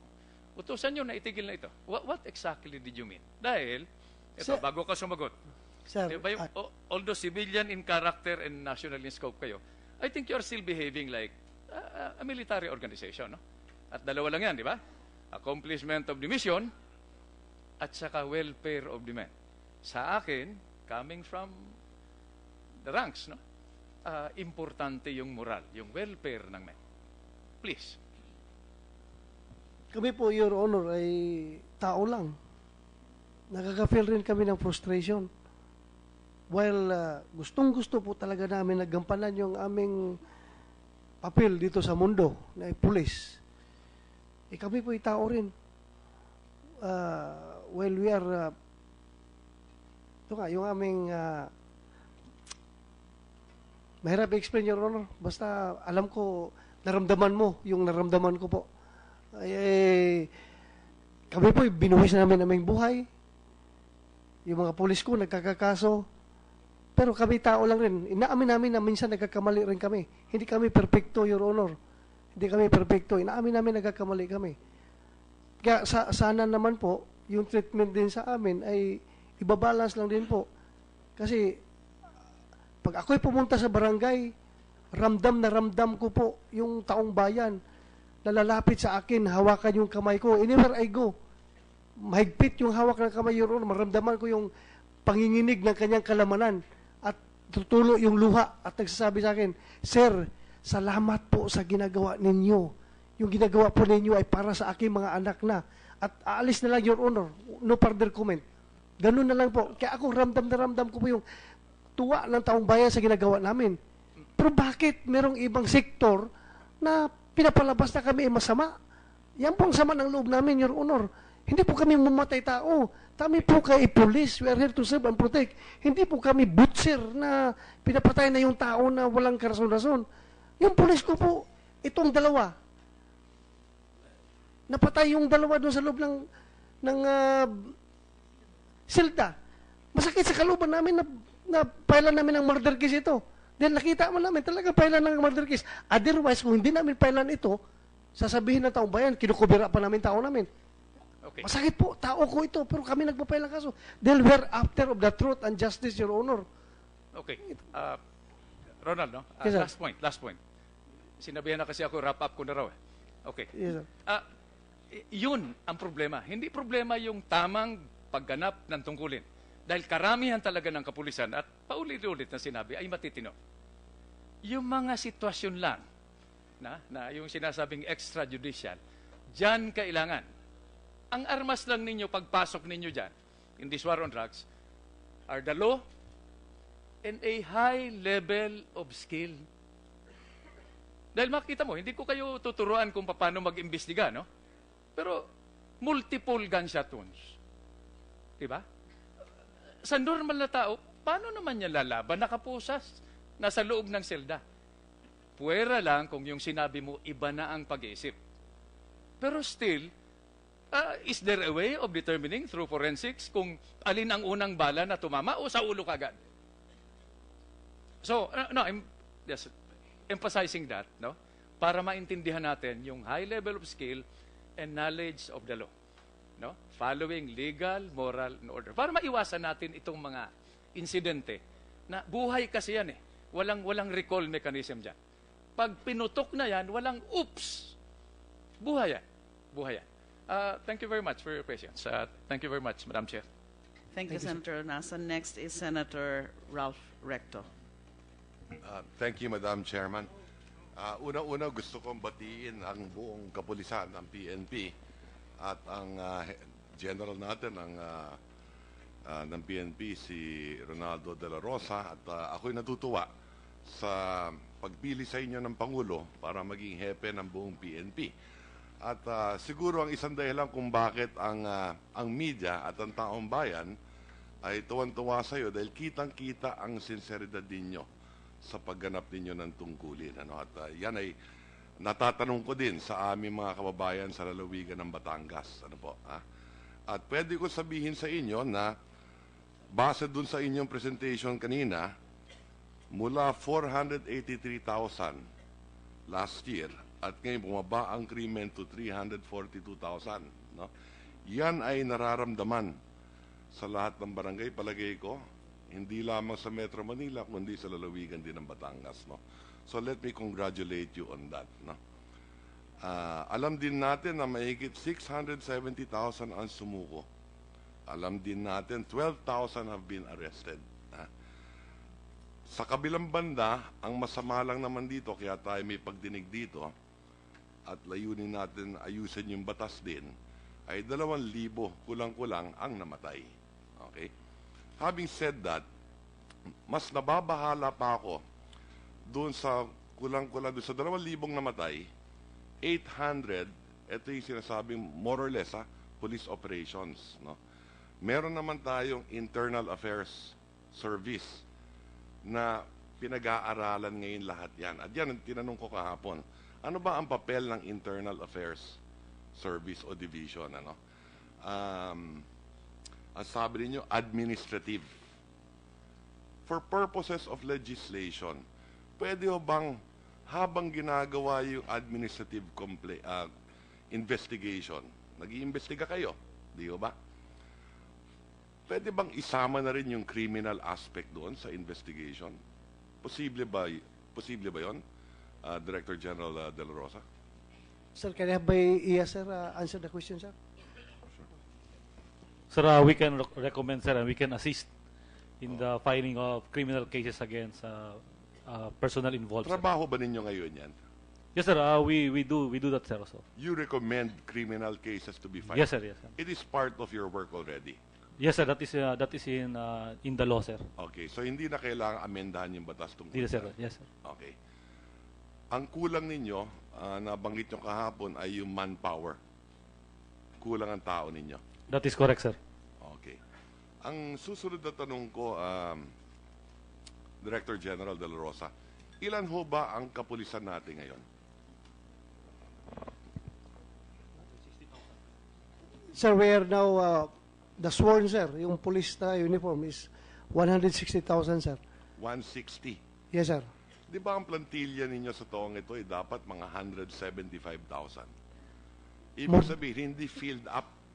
Hindi pa po filled up, sir. Kulang pa, sir. Base sa aming pagsisiyasat, kulang pa kayo ng 25,000. More or Yes. less. Yes, sa taong Honor. ito. Yes, Your Honor. Tama ho ba yun? Yes, Your Honor. Okay. Ah, next year, nagmagdadagdag ba kayo ng tao sa PNP din? Uh, every year po, Your Honor, nag-re-recruit po tayo, Your Honor. Oh. Kaya bang mag-fill up kada taon ng 25,000 na dagdag? Hindi kaya, Your Honor. Hindi kaya. So, We- we kulang lack the ating training facilities. eskwelahan, yung training natin. Yes, Your o Honor. siguro isa yan na pwede natin tignan. Ha? Para dagdagan natin yung ating kapulisan. Kasama na yung training ng ating kapulisan. Hindi ba? Yes, so, Your Honor. 25,000.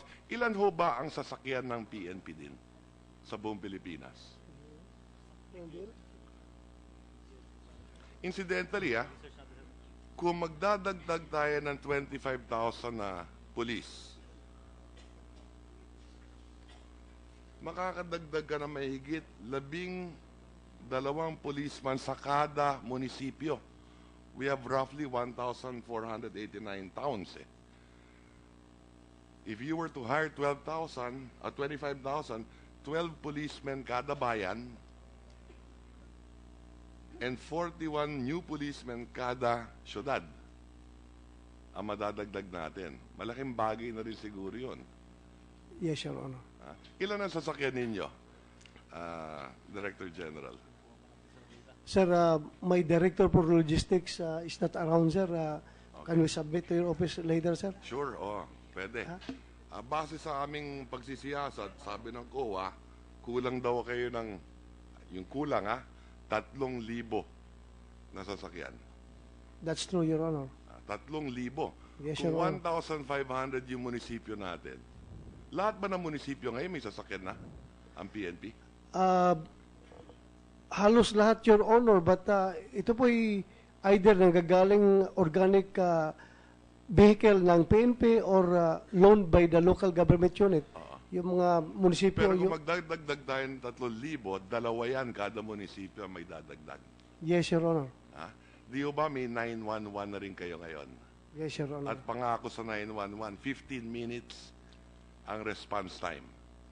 Kung wala kayo sa sakyan at kulang ang polis, mahirap naman yung 15 minutes yung response time, makakapunta kagad yung kapulisan. Yes, Your Honor. Ha? Ilan naman sa pulis ninyo ang walang baril?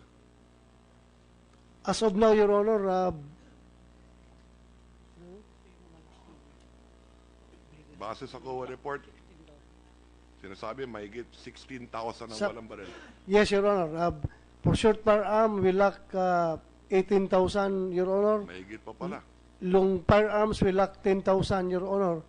And for the vehicles, uh, we lack 16,356, Your Honor. Ganong karami. Ganun karami po ang kulang namin. Ganong karami. Your Honor. Okay.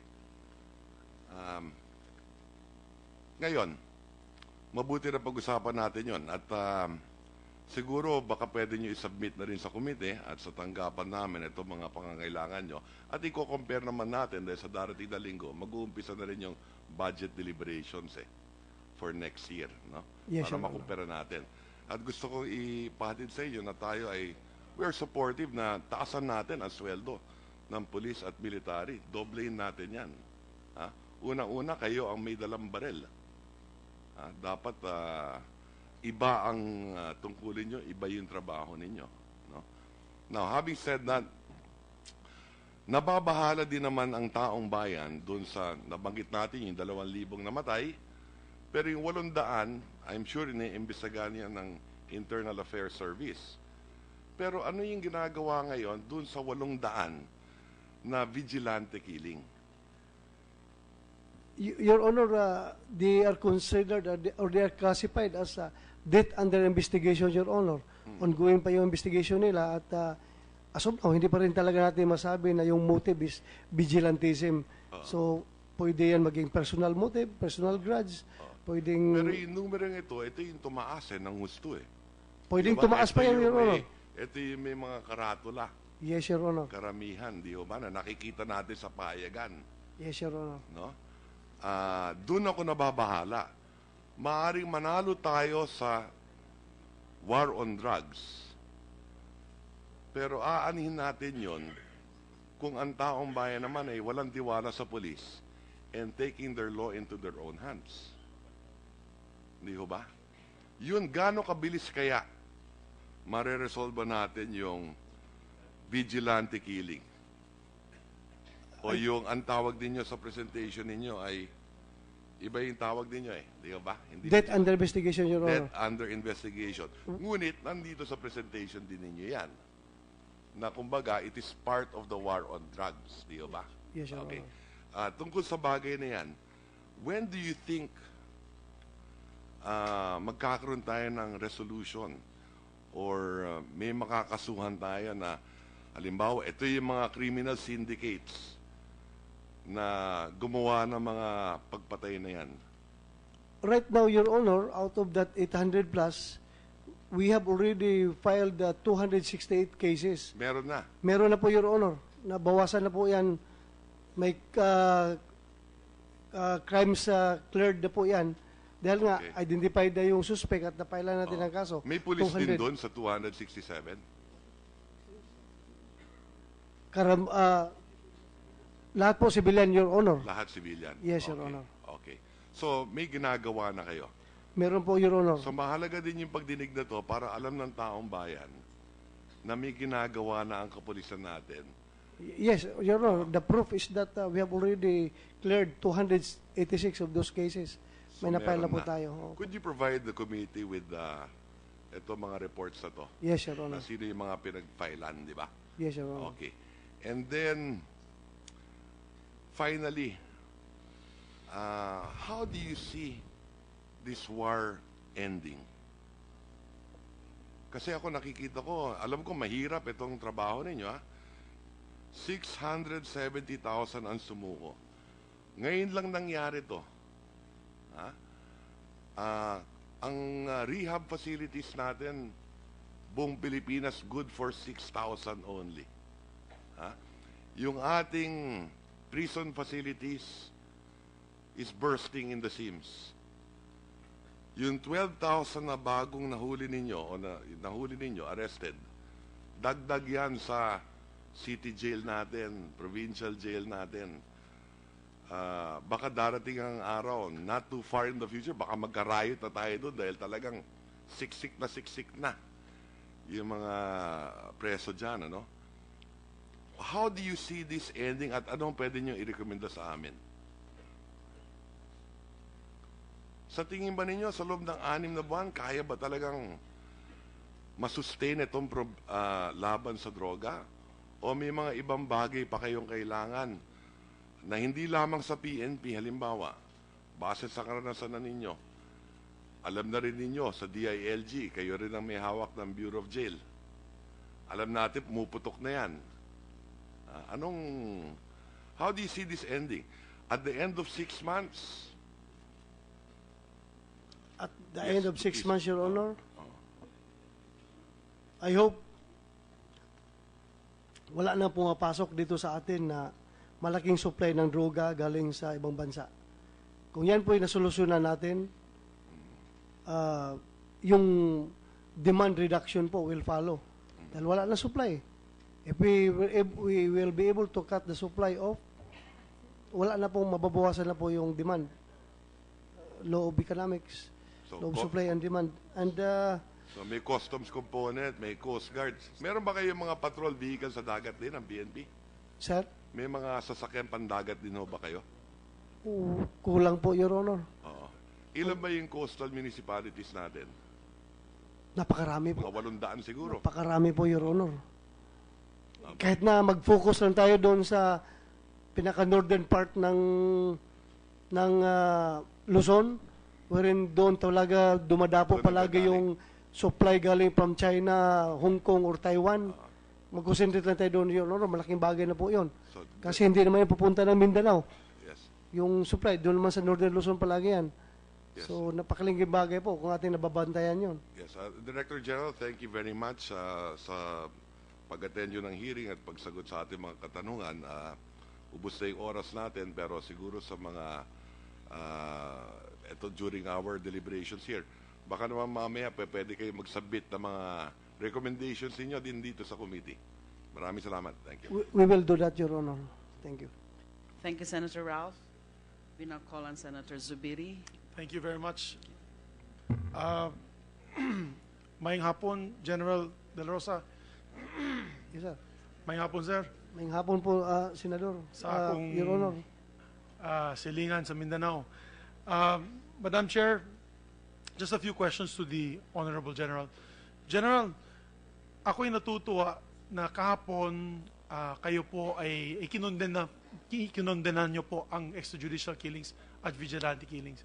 Kasi may misconception, tama po kayo, may misconception na ang lahat na nag riding in tandem tapos naglalagay po ng karatula ay police na ayaw naman po ninyo yun at tama sinabi nyo hindi naman kayo gagawa nun kasi kung legitimate naman itong mga o, mga illegal mga sindikato sindikato ay talagang huhulihin nyo under legitimate operations magandang ilabas palagi po ninyo yan general sa ating mga media para mawala yung misconception na yun at hanapin natin itong mga riding in tandem o ito namamaril na ito. And that is very important.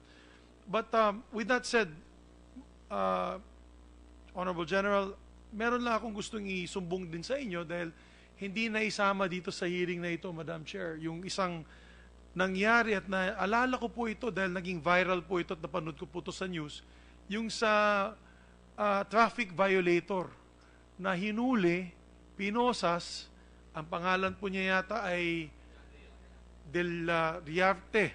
Opo. Ah, John De La Riarte. At ah, ito po hindi drug lord, hindi po siya pusher, ay hinuli lang po ng HPG at ah, hindi pa nakarating sa presinto ay patay.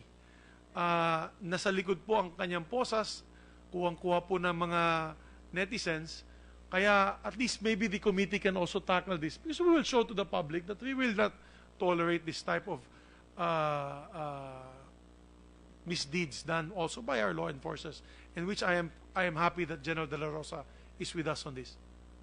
Your Honor, uh, for the update regarding the suspect shot inside the police mobile by HPG personnel, the HPG and the NBI are conducting joint investigation on the incident.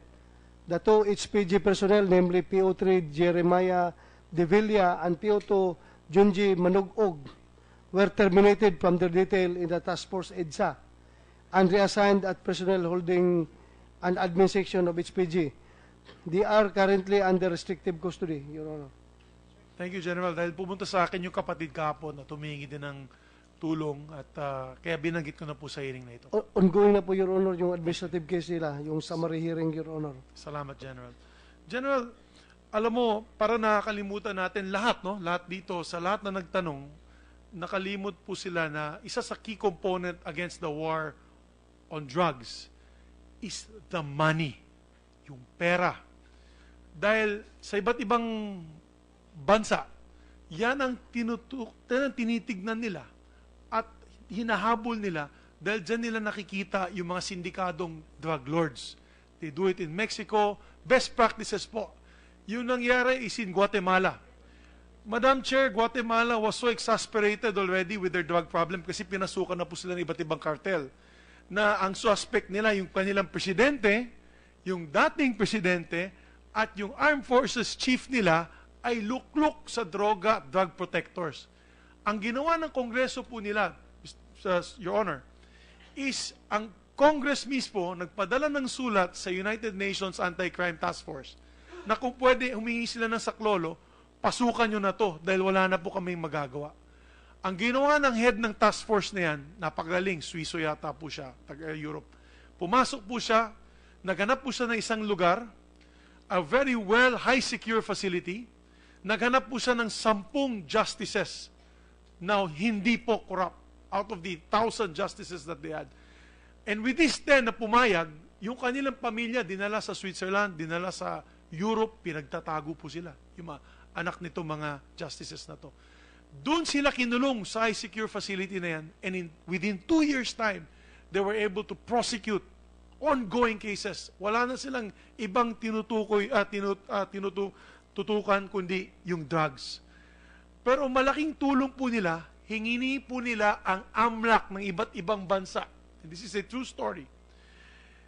That with the help of the United States, ang mali nitong mga drug lords na ito at yung mga ah, politiko at mga generals na lum- lumaki po ang kwarta nila. Ang dami namin po nilang pera, bilyon-bilyon, ay namili po sila ng property sa Estados Unidos. Miami, Florida, mga mansion, yate, ah, at iba't ibang pera sa bangko doon sa Estados Unidos. Nung humingi sila ng tulong sa US Federal Reserve, ang ginawa po ng US Federal Reserve, hinold itong perang itong lahat. Tinago po yan, siniz ang pera na yan at ang mga assets. Ang nangyari, it was a multiple approach, may, legisla- may uh, uh, judicial approach, at kinuha po yung pera ng mga drug lords. It became so difficult to transact dahil wala pong bangko, nakabantay po lahat sa bangko. Pag may pumasok na transaksyon na malaki, hold. Pag hindi po pa- mapakita na ikaw ay isang legitimate businessman at yung pera na yan ay hindi po mabigyan ng ah, explanation kung saan galing. Yung ill-gotten wealth, ika nga. This is also in line with the President's fight against corruption. Kasi galit din po tayo sa corrupt public officials. And as you have exposed, and the President exposed, unfortunately, ang daming generals, ang daming mayors, pati congressmen, pati iba't ibang mga appointed officials of government in the executive are part of this drug mess that we are in now. That's why in aid of legislation and to follow Guatemala's example, would you agree, General De La Rosa, that dapat buksan na natin itong bank secrecy law dahil sa sobrang higpit nitong bank secrecy law, tayo ay naging stambayan ng lahat ng sindikato, lahat ng magnanakaw, lahat ng smuggler at illegal operators of different vices. Dahil hindi po sila nahuhuli. Sang-ayon ba po kayo as an aid of legislation that we also revisit the bank secrecy law? Yes, Your Honor, the PNP has nothing to lose. Madam The Chair. PNP has everything to gain. With the permission, Ah, meron Yes, po akong Senator bill, Ping. pakisuportahan ninyo. Meron akong bill dyan. I will be your co-author, principal co-author, Your you, Honor. Your I will Honor. support you. Ako rin Ah, po. Thank you, meron Madam din Chair. po akong ganong bill. At meron po akong ifa-file in, in what? In um, the next few days or several weeks or few weeks, yung POCA, the Proceeds of Crime Act. Ma-address po yung sinasabi nyo about yung pahirapan, pagte-trace ng mga assets ng mga uh, syndicates, including drug syndicates. We're Yes, just, ma'am. we're just uh, completing Because- the draft. Because we also are going to look into the AMLAC as what had happened in the RCBC scam wherein 81 billion yata ninakaw sa Bangladesh. Eh, walang red flag galing sa AMLAC. Kaya titignan din po natin, bakit yung AMLAC hindi nagbibigay po ng warning sa iyo, General? Meron pong nahuli yata mga cheque. Nabasa ko sa newspaper, di ko nababanggitin kung sino. Isa sa mga mayors na binanggit po ninyo na galing daw sa kanilang sindikato, 500 checks, if I'm not mistaken, totaling 500 million. How can a mere local executive have 500 million pesos in cash at any point in time in the banks? Di ba? Buti kung si Tita Cynthia Villar yun, eh, na bilyonaryo, na legal na bilyonaryo. Yan ang katotohanan, General. Ang dami po nating kailangan paggawin. And you have our support in that, uh, Your Honor, that we must amend the AMLAC, strengthen the AMLAC, and penalize the AMLAC for the non-compliance of the red flags pag may pumapasok na pera sa kanilang mga account. Pangalawa, yung bank secrecy law for all government officials, both elected and appointed, together with the judiciary. Kasama dapat yung judiciary. Kasi yun yung nangyari, General, sa Guatemala. Out of, I think, uh, 95% ng judiciary was in the pockets. Pa- Pabor po kayo dyan, General. Please include the prosecution, Your Honor. Kasama na po yan. Kasi yung prosecution ay part of the, ano yan eh, uh, three, three branches of government. Uh, and so, with this support, I believe, General, no, I- I'm here, we are here to support you. This is just food for thought na sana pag nakausap nyo din po yung uh, ating Pangulo, na isama po niya ang Bank Secrecy Law Amendments, tsaka yung meron na po kaming uh, panukala dito, pero kailangan po natin ng push galing sa Malacanang para sa ganun ay matulungan po natin kayo. Dagdag ngipin po ito. Kasi hindi nyo lang po kaya, eh, kung uubusin nyo lahat ng pusher, genocide na po yan because that's already 50,000 pushers. Baka magka-genocide na tayo dito, hindi na po pwede yun. But we have to give you the tools to fight the problem of drugs. And one of the tools is the money. You find the money, General, you will find these syndicates. Maraming salamat po, Madam Chair. Maraming salamat po, General. Thank you. Congratulations, General. Thank you, Senator Zubiri. Senator Grace po is next. Thank you, Madam Chair. Magandang hapon po sa inyong lahat. Maraming salamat muli sa inyong pagdalo ngayon para maliwanagan ang ating mga tanong. Alam niyo po, sa kahit na anong laban, dapat kilala natin ang ating mga kaaway. Um, sigurado ako sa inyong mga intelihensya, meron na kayo talagang mga pangalan ng mga dapat hanapin. Nais ko lamang itanong, kung ito bang mga pangalan na ito, lalong-lalo na kung malakas ang ebidensya at kailangan puntahan, ito ba'y nakapaskil ang kanilang mga litrato o ito ba'y naka-upload sa anumang website ng PNP o ng gobyerno para makatulong rin ang ating mga ordinaryong mamamayan at makilala sila para maiwasan sila. Sa ngayon, uh, Your Honor, kung wala pa silang warrant of arrest, wala pa wala hindi pa hindi pa po namin sila pwedeng i-publish yung kanilang mga mukha. We, may we might be violating uh, uh, the law kung ipapublish natin. Pero kami po sa intelligence, uh, meron na po kami mga mukha ng ibang personalities na yan. Ito naman po kasi marami rin naman mga pronouncements ang mga kasama natin sa gobyerno kahit wala pa namang mga lehitimong kaso o warrant. Sinasabi na rin ang pangalan nila at mga mukha nila ay naka ay nakikita na natin sa sa dyaryo. Maaari sigurong kung hindi man banggitin ah, officially na sila ay may kaso pa o talagang guilty na, siguro pwedeng um, sa law, sa law enforcement ninyo sa baba, lahat po sila ay may kopya naman yan ng mga hinahanap ninyo. Lahat po ba ng mga police ah, precincts merong mga kopya niyan? Ng mga hinahanap ninyo? Meron ba kayong top 100 o or top 200 na mga hinahanap sa ating bansa ngayon? Uh, Your Honor, yung sa police station level po, uh, iba po yung hawak nila, Your Honor. Sa kanila, meron silang sariling top 10 na hinahabol. May mga mukha yan, may pangalan. Uh, sa provincial level, meron ding iba. So, up the line po, Your Honor, meron po kayong mga mukha. Pero yung top 10 na yon, yan ba yung may mga warrant or not necessarily? May warrant, Your Honor. Hindi May po namin warrant. pwedeng ilagay sa wanted list kung walang warrant of arrest. So, dun lang sa intelligence ninyo, ang may kopya nung mga wala pa naman warrant, pero merong basis for questioning. yes, Your Honor. Okay, para maliwanagan lang yan. Tapos, kasi nabanggit din na ang Pilipinas ay kasama sa global drug trade. Hindi ba ah, mismo ang ating Pangulo sinabi rin na marami nga sa mga big time, wala na dito sa ating bansa, nasa ibang bansa, o kaya galing sa ibang bansa. So, meron po ba kayong ah, pakikipagtulungan o ugnayan sa intelihensya halimbawa ng China para matukoy kung sino-sino itong mga ito na naririto sa Pilipinas o may kaugnayan sa Pilipinas? Yes, Your Honor. So meron kayong pakikipagtulungan. Yes, Sila po ba ay ah, maayos naman na nakikitungo sa atin tungkol dito? Mm, They're expressing their uh, desire to help us.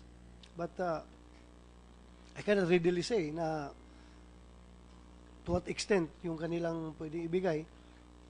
Kasi hindi po natin hawak yung utak na, Your Honor. At ma- sa tingin niyo ba pinoprotektahan rin nila ang kanilang mga mamamayan at ayaw din nilang masyadong tulungan tayo? At sa, sa ngayon, Your Honor, uh, very aggressive po sila sa kanilang pag-offer ng services sa atin. Every now and then, tumatawag sa atin at ikipag-meeting. Meron bang Chinese triad dito na nag-ooperate sa droga?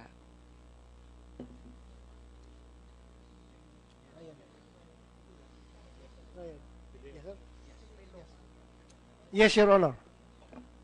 Meron at um, natutukoy naman ninyo, nandito ba yung pinakaulo nila o wala? Wala po, Your Honor.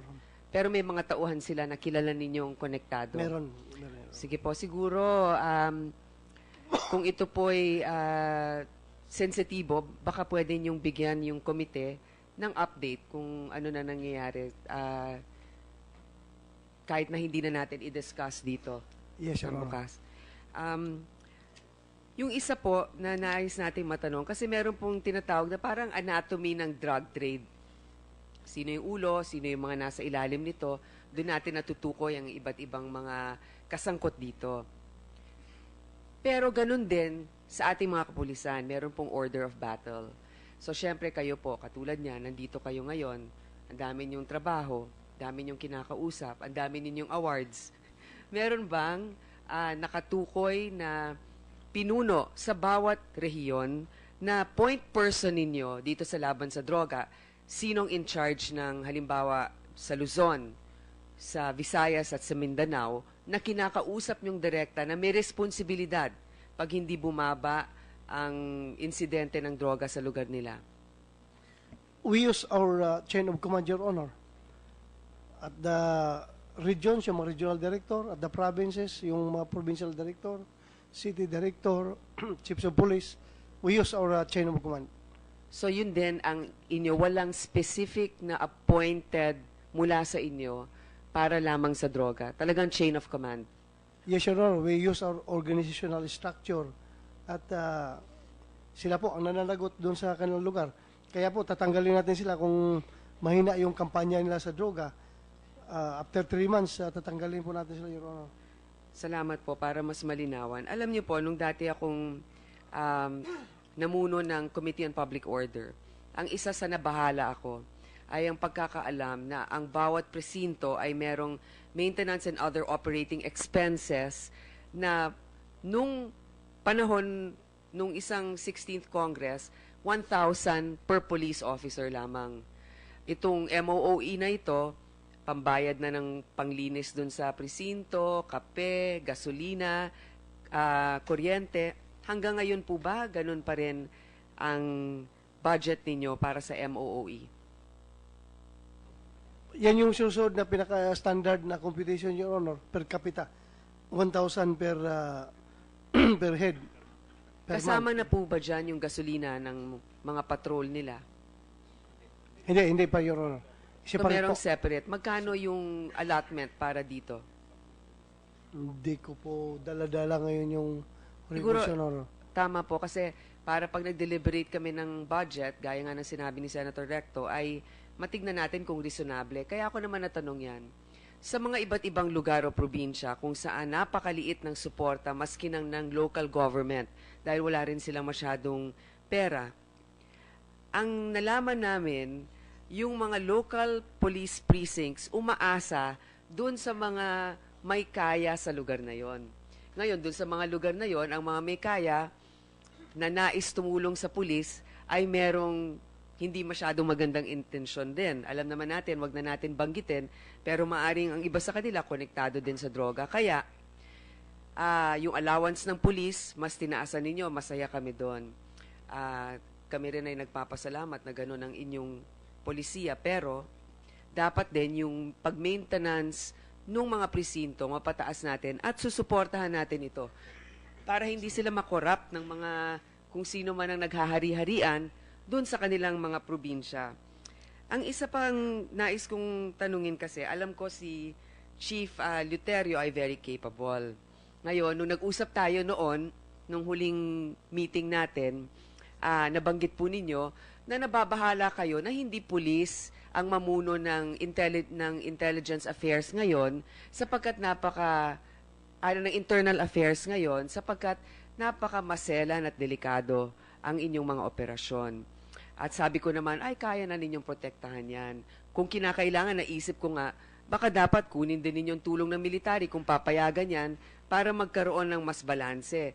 Um, ito lang po kasi na naisip ko, at hindi ko natanong sa inyo noon, sabi nyo kasi ngayon marami kayong ginagawa pa. At siguro pag natapos na ninyo yung kampanya at saka ninyo papalitan at gawing sibilyan. At narinig ko rin po at ako'y masaya na nakapagsumiti na kayo sa Pangulo ng mga pangalan ng mga sibilyan na pwedeng mamuno ng IAS. Ito ngayon ang aking um, nais itanong. Sa operasyon ninyo ngayon, na nais ninyong makuha ang inyong layunin na mabawasan ang problema ng droga in six months, mas kailangan po kasi natin ngayon ang sibilyan na nandyan.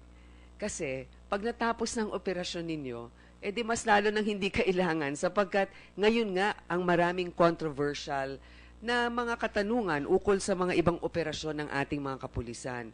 Kaya para hindi na rin kayo ma mapulaan, sa tingin ko mas maganda yon At si ah, si Chief Lutero, pwede naman kasing side by side sila doon eh. Ewan ko kung ano yung struktura ng intelligence. Wala po akong question sa inyong kapabilidad, sir. Ito lang po talaga yung nakasaad. Kaya nga po pinipilit ah, natin na matupad. At alam ko, ang kabaliktaran ninyo dun sa mga nakaraan na nakaupo dyan, kayo ay action-oriented. Kaya umaasa ko na yan ay matutugunan sa lalong madaling panahon. Um, nais ko rin pong tanungin,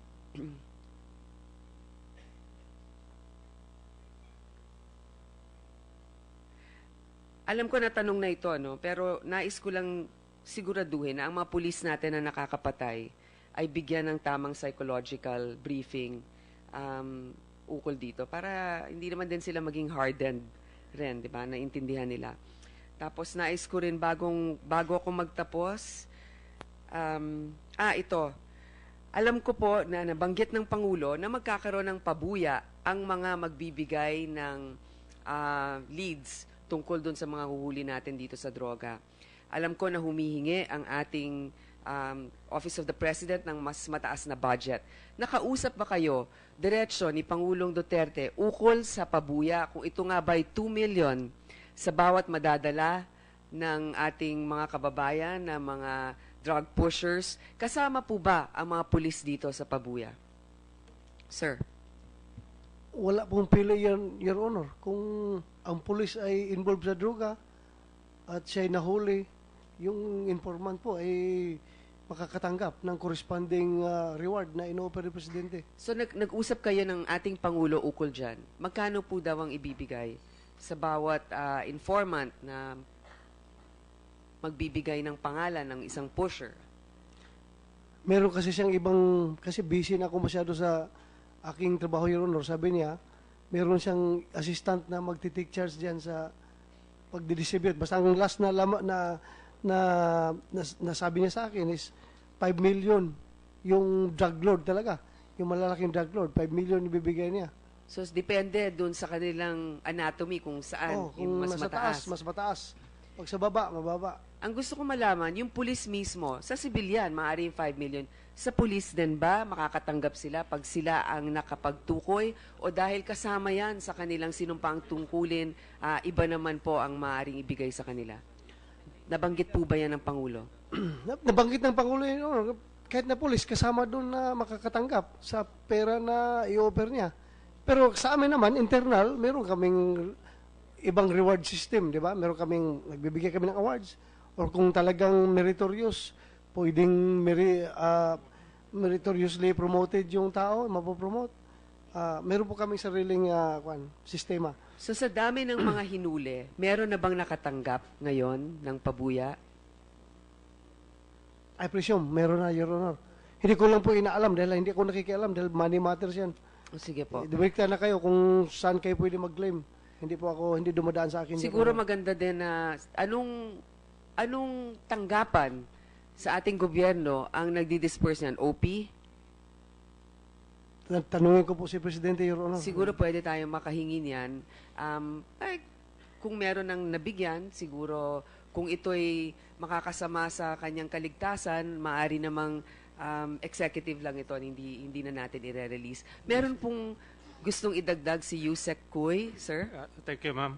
Ma'am, doon sa recent uh, meeting ng Dangerous Drug Boards, there was a resolution uh, prepared uh, allowing or encouraging the different uh, operating units uh, under the Dangerous Drug Boards like the PNP, the PDEA, the NBI to give awards, uh, I mean uh, monetary incentives to their uh, operatives for successful drug operations.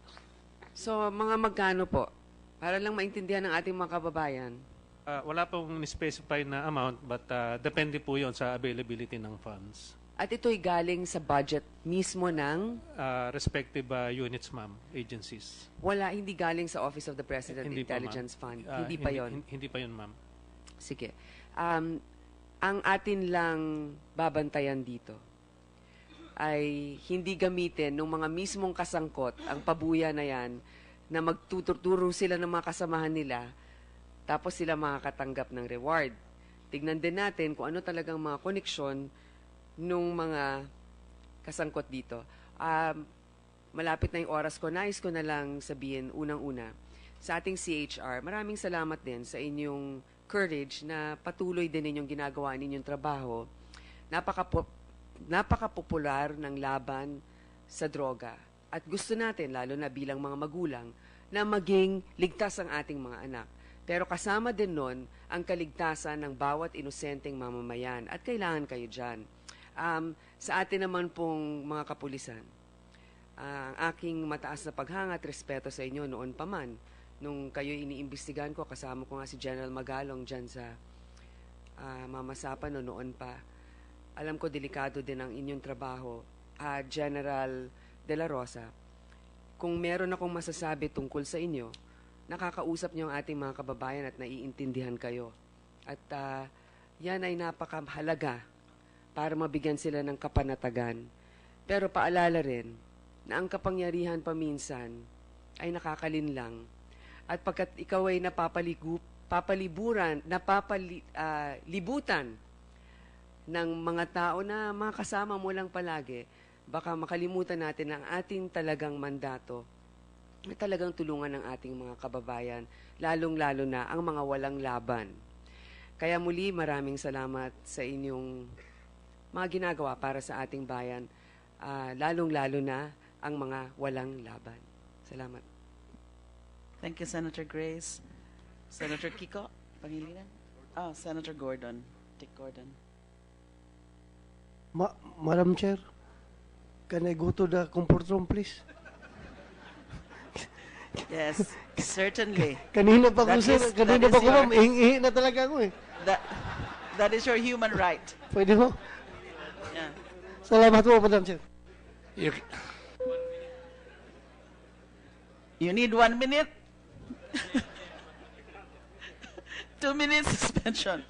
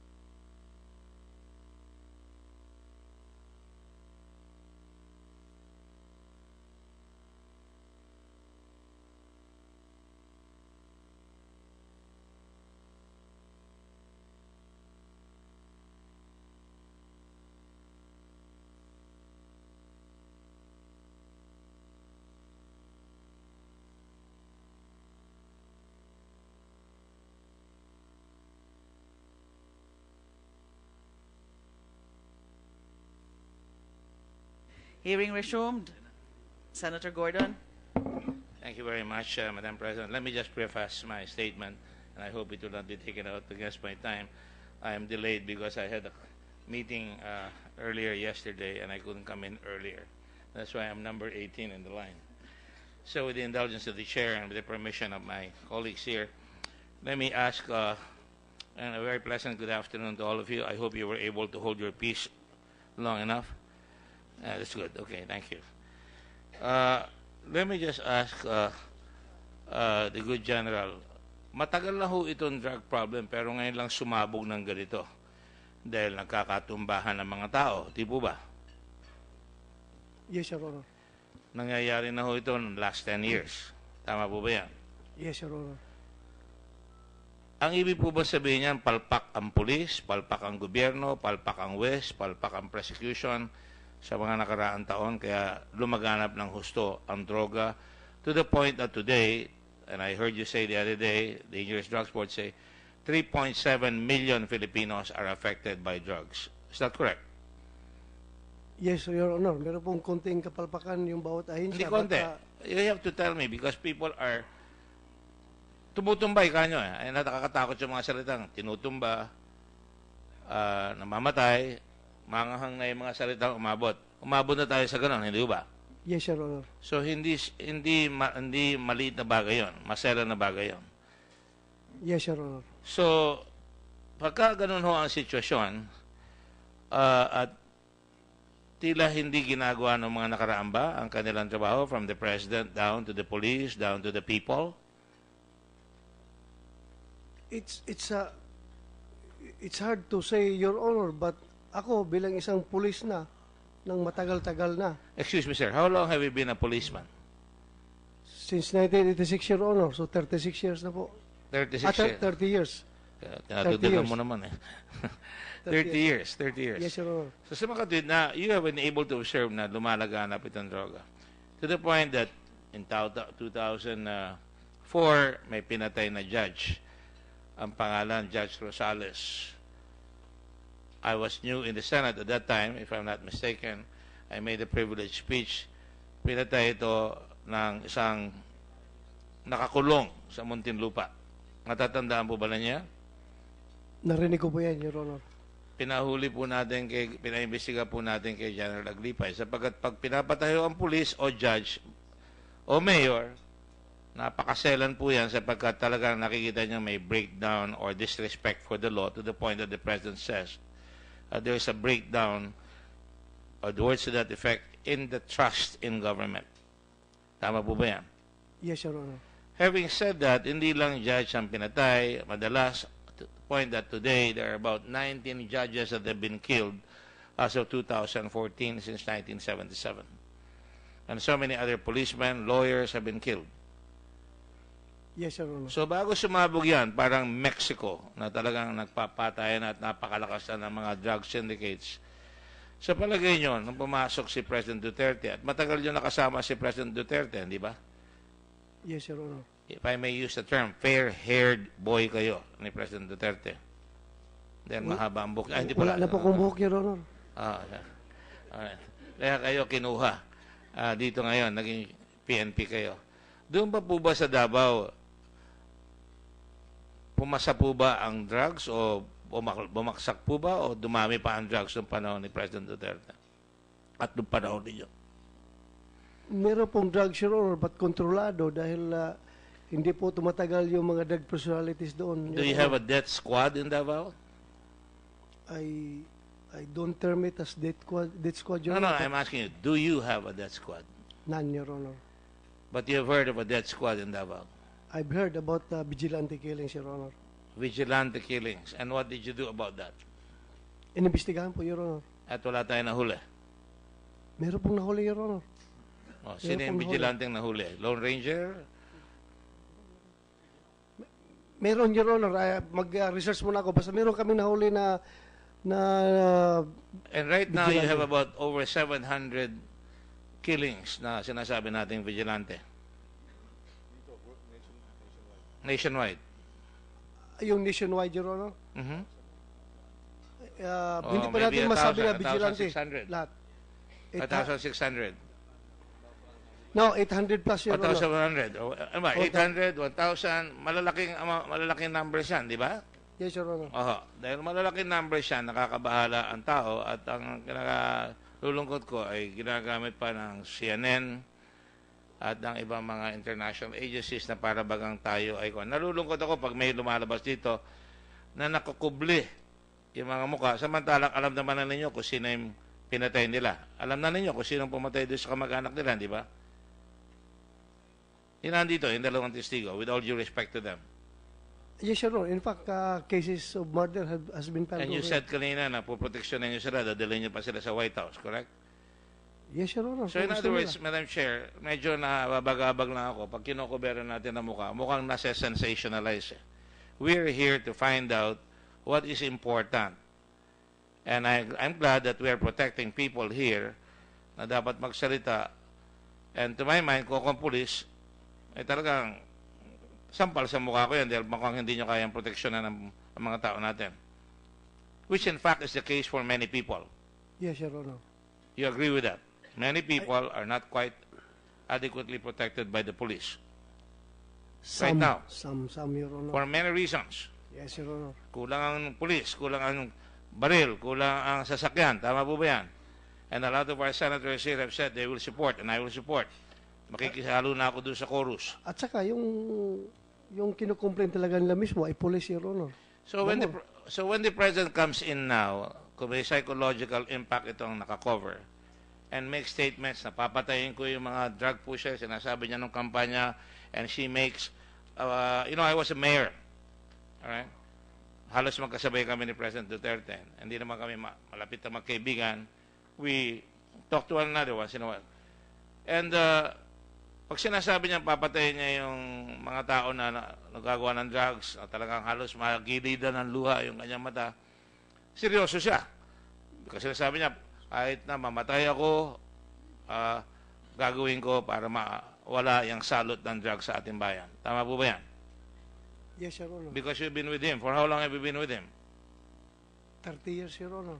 30 years? Bata ka pa? Mayor, ka- ah, kay Mayor Duterte ka na? 86, uh, since 1986, pag-graduate ko ng PMA, Your Honor. You were already in Davao? Nagkakilala na po kami, Your Honor. You were never transferred? You were always in Davao? Almost whole, my whole career, Your Honor, nandun lang ako sa Region 11. So talagang native ka. Kumbaga sabong native ka. Police probinsya, Your Honor. Native ka talaga sa Davao, no? Yes, Your And, Honor. my God, this is a big uh, undertaking for you. Suddenly, you're handling the whole country. All right, having said that, uh, sinabi yung mga judges, may punto ho yan. Uh, gusto ko lang sabihin sa inyo na meron ho ba kayong sustainable program para mawala ang droga dito sa ating bayan? Your Honor, uh, can I ask uh, at the Dangerous Drugs Board po, Your Honor, yung may com- yung may comprehensive uh, anti-drug program, Your Honor. In other words, uh, they also consult you, of course. Yes, Your the Honor. enforcement arm. Yes, Your Honor. So you know that uh, 3.7 million ng taong, uh, natanong ko na sa inyo ito ng araw, ulitin ko lang, no? Sa 3.7 million, 1 million of our children, of our students are affected by drugs. Is that that right? Yan ang sinabi kahapon, nung isang araw. That's a survey, Your Honor. Mm, That's a survey. Sinabi lang sa akin. Yun ang facts. You were there. I asked, ilan ang apektado ng drugs? 3.7 million. Ikanyang ganun. Yes, Your Honor. Products of the survey. All right, 1 million. Okay, survey, whatever it is, 1 million. That's significant. Uh, meron na ba kayong recommendation sa Department of Education na maglagay tayo ng mga guidance counselors or psychiatrists in every province para kung malala at nakikita ng mga bata eh, tinatamaan na ng droga o possibly makuha ng droga. Meron ba recommendation ng if you know, Dangerous Drugs Board o kayo para magawa yan? Ang totoo, wala kayong, wala talagang guidance counselors. Di po ba? Yes, Your Honor. Okay. Pangalawa, you know that under the law, sa PIDEA law, dangerous drugs law, nakalagay doon, uh, and to be precise, uh, nakalagay dito, kanina nabanggit ni Secretary De Lima, ni Senator De Lima na magkakaroon tayo ng tinatawag na uh, yung profits of the crime. Uh, proceeds of crime. Some people call it proceeds, some people call it profits or fruits of the crime. Sa batas natin sa dangerous drugs law, nakalagay doon, upon conviction, you are aware, na sinabi sa amin nung nando kayo, sinabi ng Department of Justice si Richard something, Undersecretary, na up to now, if I may have the law, uh, sinasabi dyan na yung process ng crime, and I will read it, uh, I hope you'll bear with me,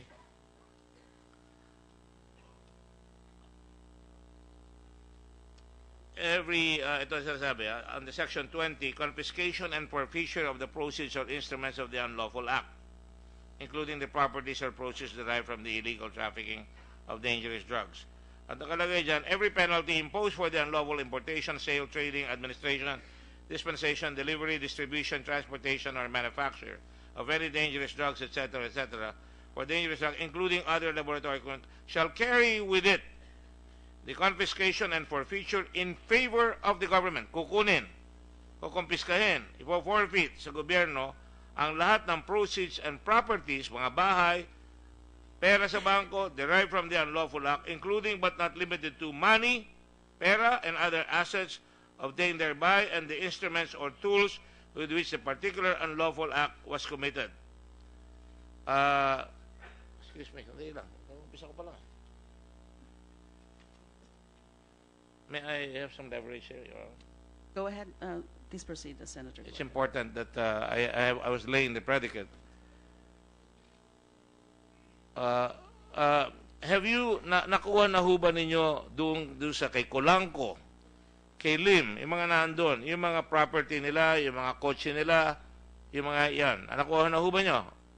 Ang sabi ho, wala pa raw eh. So Your Honor, wala. Kaya ako tinatanong ito, inuulit ko lang para malaman ng buong mundo na talagang nangyayari ito dahil sa napabayaan ng lahat ng nakaraang administrasyon, if you will, na hindi pinapairal yung mga batas. Hindi rin pinapairal yung laboratory na kailangan, kaya 27% lamang ang prosecution na naipafile natin na prosecution ng mga kaso, 27% lang. Hindi ba totoo dahil kulang kayo doon sa mga laboratorio na magsasabi itong drogang yan at kasama doon sa chain of custody na sinasabi na pag nakakuha kayo, andun yung packet ng drugs, kukunan ng litrato, dapat may kasama pang media, dadalhin pa sa husgado, dadalhin sa, ah, susunugin yung pag nakuha na yung sample. Within one week, dapat nagawa yon at pagkatapos pag nasusgahan na, pwede nyo nang kumpiskahin, pwede na nyo lahat gawin. Di ba? So, Yes, Honor. sabi, hindi ho ginagawa yon. Yes, Your Hindi nagawa, kahit kailan.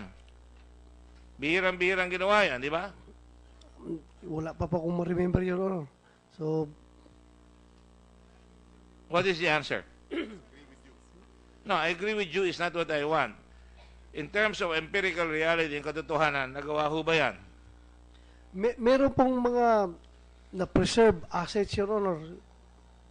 Uh, like real estate, mga sasakyan, pero hindi po ito masyado nararamdaman, Your Honor. So everything grinds to a halt because sa education, hindi natin tinutulungan yung mga bata ng mga guidance counselors, hindi natin binibigyan ng pulis ng baril at saka gamit, kulang sa investigation capability, pagkatapos sa laboratorio, wala tayo, mahirap i-prove, kaya 27% palpak tayo, at pagkatapos, hindi pa natin makuha yung proceeds ng crime. Is that correct? Wala pa tayo nakuha ang bahay. Yes, Your Honor. Wala pa tayo nakuha ang pe- pera. Sa, in fact, sa Amerika, kinukuha pati mga aeroplano ginagaling sa Colombia pagka nahuli yung drug pusher, di ba? Payag ka ba na bago pa mag-convention, pending appeal, uh, pending, uh, while the trial is going on, kung meron tayong evidence na nakuha na, na malaki, pwede ka, payag ba kayo at i-recommend nyo ba sa amin na i-attach sa kaagad yung properties na yan at hindi natin hihintayin makonvict pa, i-attach sa kaagad yung property, hahawakan ng korte, custody ng korte, yung el kotse, yung lahat, aeroplano, lahat, bank account, at ang pwede lang iwanan sa kanila para naman fair tayo. Baka magalit si yung kaibigan ko si Mr. Gaston, e bigyan niya naman ng konting pang-abogado. Payag ba kayo doon? Payag na payag, Your Honor. Payag na payag kayo. Yes, Your Honor. So dapat gawin yon. Finally, alam ninyo, sinabi niyo no isang araw, and I'll ask this, and I'll wrap up, Madam Chairman, and I, person, and I thank you for all this. I have, I have zillions of questions here. I just want to put it in perspective para nalalaban, no? if I may. Let me just ask you. Sabi nyo, inulit nyo naman kayo na, tinanong ko kayo ng isang araw, ano ba ang source? Kailangan patayin mo yung gripo para tumigil. Sinabi mo ngayon, sa North, sinabi mo na isang araw, tinanong ko kayong pilit, pati Dangerous Drugs Board, saan ba galing ang droga? Kung tatanggalin yung pinanggagalingan ng droga, tigil-tigil ang droga rito. Tama po ba yan? Yes, Your Honor. Hindi naman siguro titigil, may magpapalusot pa rin. Yes, Your Honor. Okay, saan po ba galing? Sa China, ika nyo? Sa inyo naman galing uli? Yes, Your Honor. China. Taiwan, Hong Kong. So, kalapit bayan ho natin. Yes, Your Honor. Sumunod na po ba ang kapulisan? If you know, yung mga predecessor ninyo, yung local governments dati, yung ating Justice Department dati, yung DFA natin, sumunod na po ba sa China para sabihin sa kanila, we are telling you that your country, pag pumasok ang Pilipino dyan, nauhuli nyo, sandaan na nakukulong na Pilipino sa China, binibitay ninyo, pagkatapos sa inyo, pinalalabas yung tao rito para pumasok, magtinda ng droga, gumawa ng droga sa China, hanggang sa preso nagagawa. Tama po ba yan? Meron bang gumagawa nun? Alam nyo yung ginawa na yan? Yung pag-inform ng China, Your Honor. Hindi lang inform, robustly inform, aggressively inform China that you are causing a problem to my country, to our country. Wala pa po, Your Honor. Wala pa yan. Nandang Or for that matter, sa kulungan, hawak ng SAF ngayon. Nakita ko yung isang babae kagabi, umaangal, 65 years old, nagdala siya ng pagkain, hindi rin siya nakakapasok dahil nahuli. Eh, dati-dati, nakakapasok lahat dyan. Sa tunayan, nabasa ko lang kagabi, marami na ako nabasa dati, may jacuzzi, may baril, may television, merong gym sa loob ng mga jail na high-profile drug lords. Di po ba? Sa madaling sabi na nakakagalaw sila. I go back now to my first question. Naandun na sa kulungan yung mga drug lords na yan. Di po ba totoo? Pumapatay pa sila ng West? Totoo po, Your Honor. Alam po ba ninyo, and I would like to inform the chair, alam po ba ninyo na hanggang sa justice ng Supreme Court, tinakot ng isang drug pusher, ng isang drug lord, na nakita pa si Jari ng isang araw, kasama doon sa nilipat, ah, ah si Brion, hindi, ah, ayun, ikaw nagsabi niya, na? Ah, tinakot, at nilabas at nilipat siya kasama doon sa NBI. Pero wala pa rin tayong magawa. May pera pa siyang panakot, may pera pa siyang nagagamit para matakot ang mga West. Noon po yun, Your Honor. Hindi, Pero ngayon ngayon, yan? hindi nila kayang gawin yun, Your Honor. Hindi Eh, nila kayang gawin yan. Eh, ba't hindi pa na, ang tawag mo, natutumba? Ah, Hindi ko sinasabi yan, ha? wala ko sinabi, Your Honor. Pero hindi na po nila kayang gawin yan, Your Honor. It's a rhetorical question.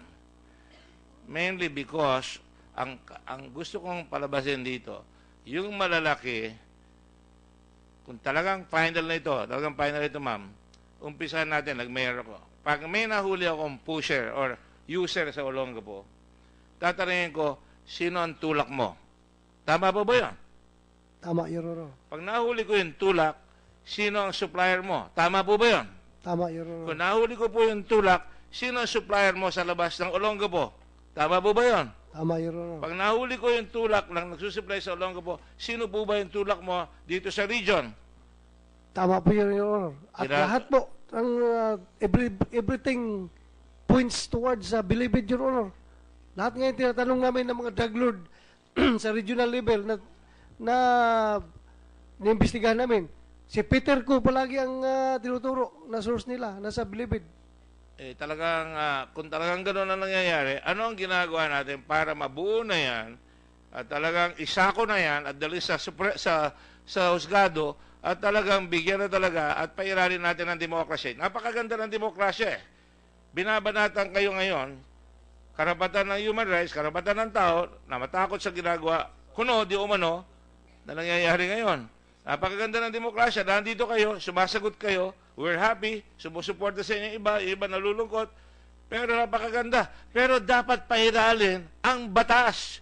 Kailangan si Peter ko madala sa husgado at sabihin nyo, eto ang talagang the cause of all the evil cause in our country. Hindi lang si Peter ko, marami sila. At hanggang sa China, hanggang sa Taiwan, hanggang sa Hong Kong, kailangan itulak natin sabay-sabay ang Senado, ang Kongreso, ang gobyerno, ang DFA, para malaman nila, alam namin at alam ng buong mundo na ang source ng droga dito ay ito. Para hindi tayo tutulig sa inlaman ng United Nations, sapagkat nakikita ko, ang balik ko sa inyo kanina, ngayon lang nangyari ito, sumabog, dahil sinasabi ng Presidente, papatayin natin lahat ng mga drug pusher, pero hindi niya sinasabi, patayin niyo ito.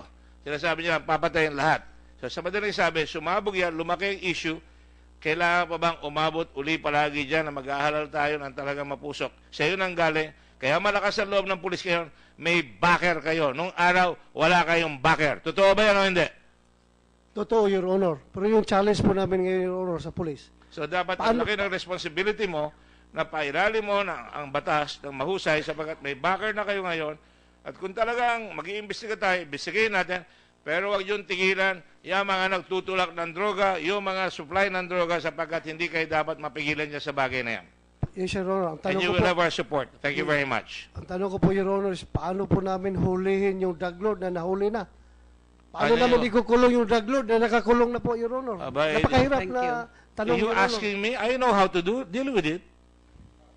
Thank you. You're, you're done, uh, Senator. Cordero. I'm just, express, ako. I'm just expressing my my frustration, Your Honor. Marami- bakit ito mga tao, mga drug lord na nakakulong na, sila pa rin nagko-control sa drug drug uh, You trade know, ng I bang got a bansa. call. I got a call from the wife of the judge that was curd, k- killed and murdered. I'm not even finished yet. Sa totoo lang, how many of these perpetrators, pati yung lawyer noon pinatay. Let me ask you a question. How many perpet- are perpetrated sinasabi natin unexplained killings. Let me ask the Commission on Human Rights, nadagdagan eh, ilan ba ang napatay na na mga riding in tandem dito sa bansa natin? How come I don't hear any noise? That has been going on for the last 10 years. People riding in tandem, shooting people down, and we just keep quiet. That's why we are proclaimed as the murder capital for journalists in this world, in this country, in, this, in the whole world. We don't, we keep quiet, but because we have a noisy president right now, and I don't condone any word that he says, because ayokong gagayahin ng bata, yung papatayin kita. Doon lang siya pumapalpak sa akin. Pero hindi siya palpak. Pag sinabi niya, itong mga pulis na ito, nilabas natin, eto yan. At least may ginagawa. Pero yung wala tayong ginagawa, yung mga pinapatay, lumalabas sa preso, pinapatay ang tao, tapos ibabalik sa preso. Wala tayong ginagawa doon sa mga nakamotorsiklo, binabaril ang tao, wala tayong ginagawa. So the silence is deafening. And we must all work together as a nation. Maraming don't have to salamat answer. po. Thank you very much. Thank you very much, Senator Gordon. Very good points.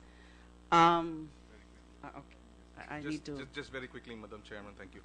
Um, just, just to continue from what uh, Senator uh, Gordon was uh, uh, emphasizing. Sabi po niya, 19 ang mga judges ang uh, pinatay. Yung uh, media po, uh, 54 ata o 58 media journalists since 1986 ang napatay. Ang uh, naresolba ata dun sa mga 54, 55 na yun, tatlo. Um, so yung sa huwes, uh, siguro matagal din ang paglilitis. Kayo bilang pulis, siyempre kayo ang nagpa-file ng kaso. Kayo ba ay natutuwa na o kontento dun sa mabagal na paglilitis sa ating mga hukom? Hindi po, Your Honor. Dahil ah, palagay ko yun ang pinakapunot dulo rito eh. Kay extrajudicial judicial killing yan, kay drugs yan, kay murder yan, kay assassination of media, kay uh, killing of judges, lahat ho ito nauuwi sa napaparusahan ba? And with your permission, and the killing of President Aquino. Oh. We have no closure. We have no closure. That is the problem here. Senator Aquino. Senator Aquino. Senator So, Aquino. so napaparusahan ba? Sorry, sorry. At tama ba, nakokonvict at tama ba ang parusa? Palagay ko ang pinakasagot sa ating lahat dito eh, mas marami ang hindi pinaparusahan, karampot, minority lamang siguro sa sampo, wala pa ako ng datos dito, siguro dalawa lang sa sampo na dapat parusahan ang napaparusahan. Kaya ang atin dito, eh, ang nagiging ugali ng ating mga kababayan, lalo na yung mga nag-iisip ng kalokohan, eh total, hindi naman na napaparusahan eh. Pwede namang ilusot yan eh. So yun po ang ah, gusto ko lang ah, idagdag. Kayo mismo, kayo humaharap dito sa mga mga ah, mga puser, dito mga sindikato, kayo nalalagasan. Pag-file po ninyo ng kaso, siguro mahina na ang sampung taon bago po makonvict yung pinailan nyo ng kaso. Kung makonvict pa. Baka nga absuelto dahil dat, ba, base sa datos ng PIDEA, sa bawat sampu na pinafile na kaso, walo dismissed. So, Totoo po yan, Your Honor. So in other words, uh, kayo ay nababatikos, kayo ay, ay uh, nagkakaroon na lang talaga ng ganitong klaseng mga kritisismo, pero mas malawak at mas malalim yung problema. Hindi lang droga ang pinag-uusapan, murder, assassination, etc. Lahat po. So in the end, uh, Madam Chairman, I think uh, this is really a call to the President, the, the, the legislative branch, the uh, judiciary.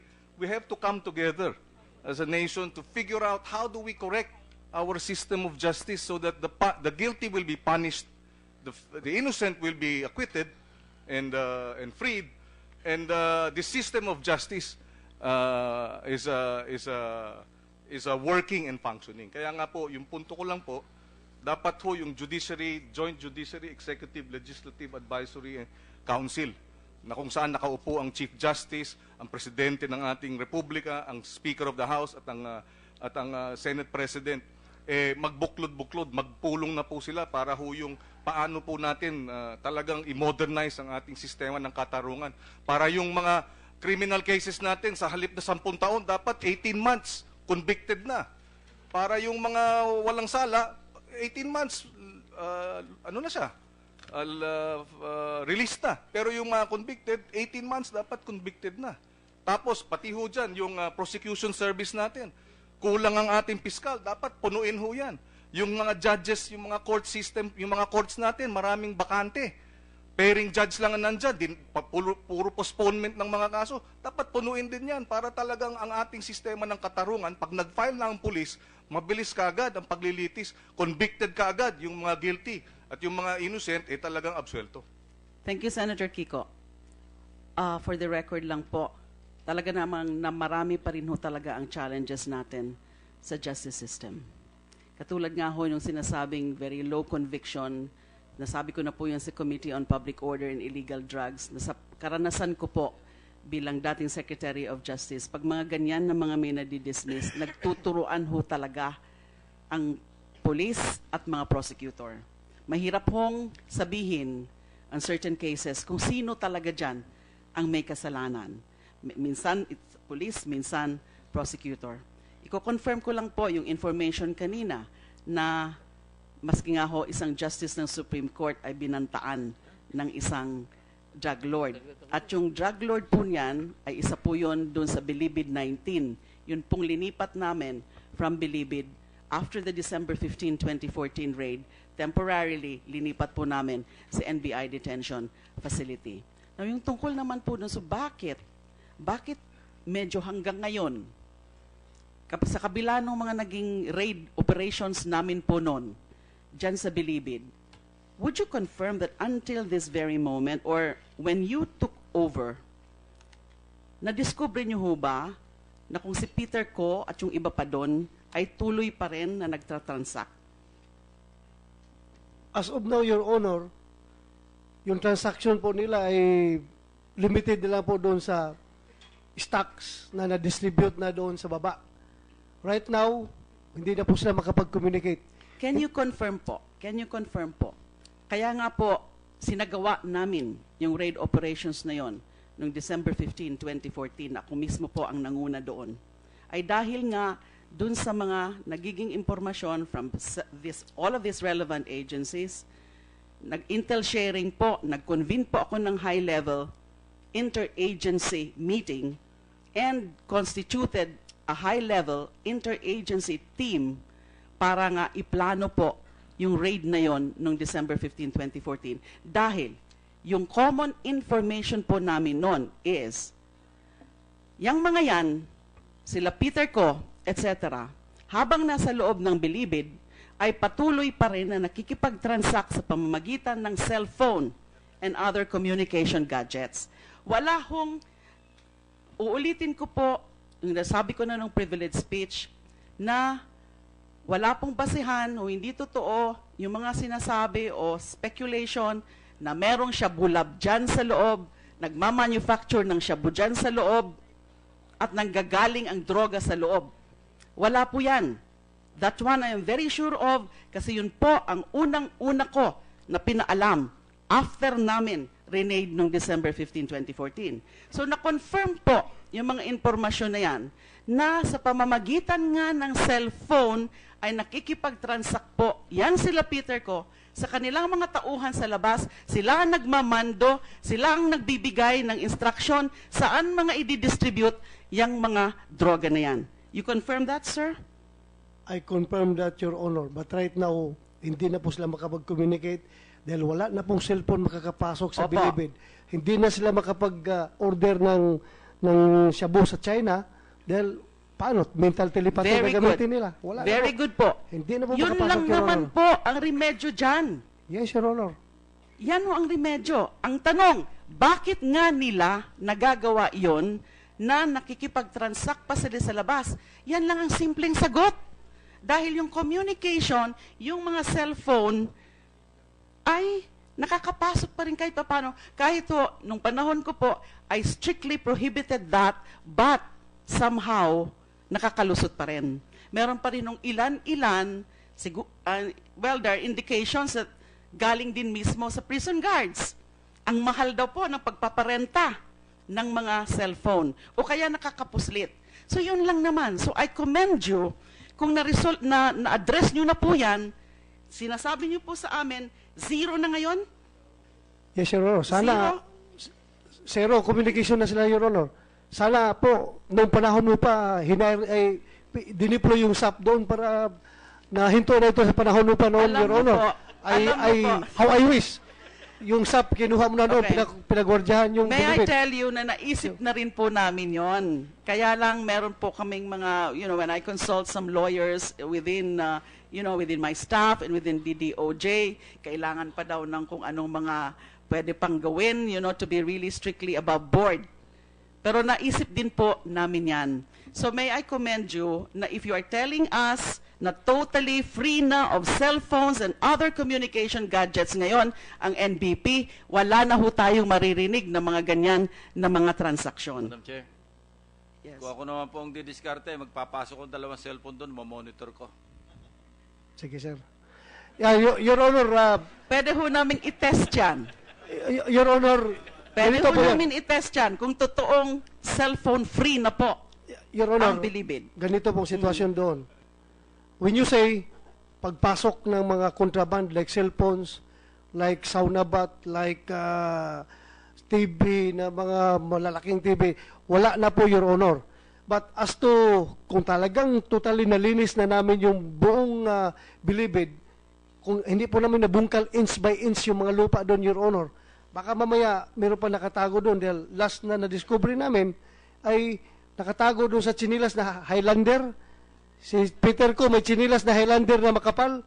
Doon niya kinat yung rubber, sinaksak yung cellphone, doon I nakuha. can believe that. Ganun ho sila ka-creative. Yes, Your Honor. May, nangyari ho nung, mas nga ho nung nasa NBI na sila eh. May isang insidente na gano'n na nadiskubre na sa pamamagitan ng sa chinelas. Pwede nilang mailagay kung pwedeng yung mga ganong ilagay. Yung ah, hinanap ko rin po yung ah, sinasabing tunnel sarado na po yung tunnel na yan. Pre-war ho yan. Kasi sinasabi rin ho na posibleng nandun sa tunnel, pumapasok, o kaya merong siya bulab. Wala hong ganong tunnel doon. Doon din po sa punto, yung information na sinabi po ni Senator Gordon, na nagpapalabas sila at sila pumapatay. Can you please confirm kung ah, hanggang um, yung situation na yan, na posibleng nagpapalabas ng uh, preso.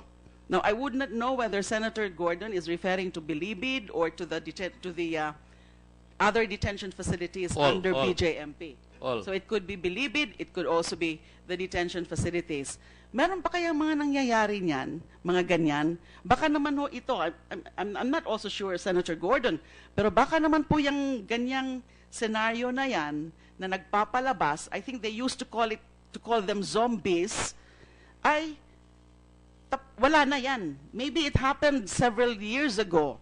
Pero yung ganyan na nagpapalabas, kasi nung ako po sa DOJ, wala naman, wala na ho akong narinig na mga information or reports about the possibility of prison guards sneaking out of a Bilibid, uh, I mean, I'm sorry, of prisoners sneaking out of Bilibid to to do or to commit certain crimes.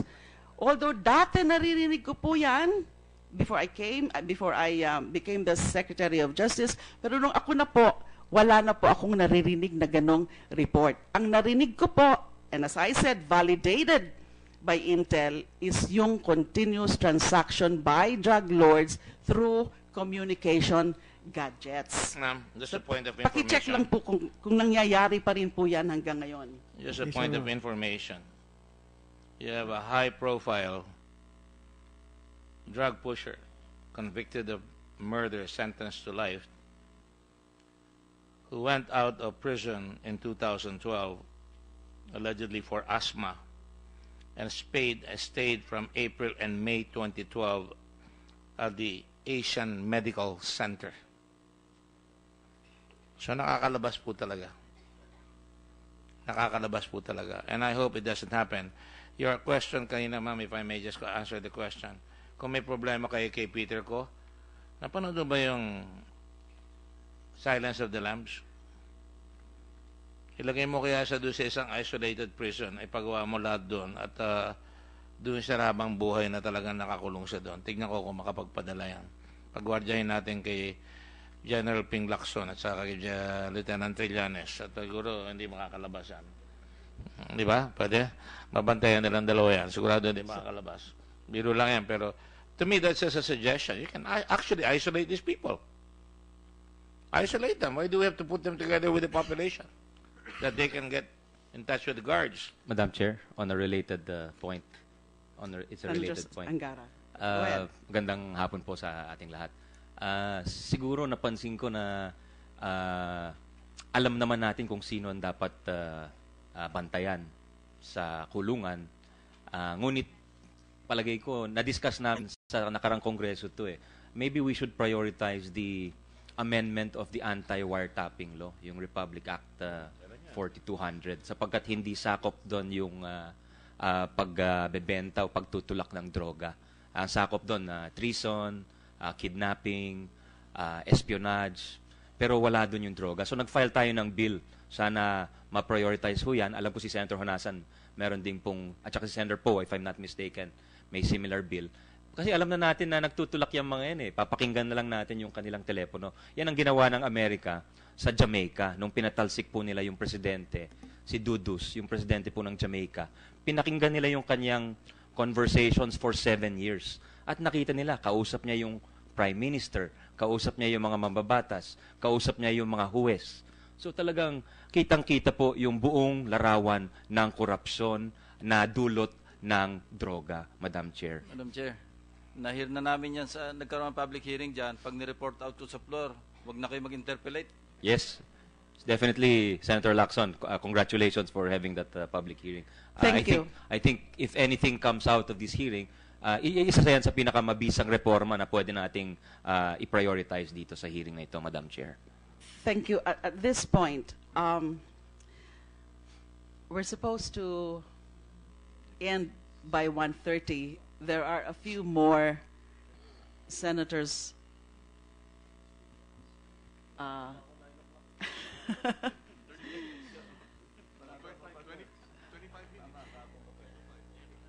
and the chair is supposed to wrap up.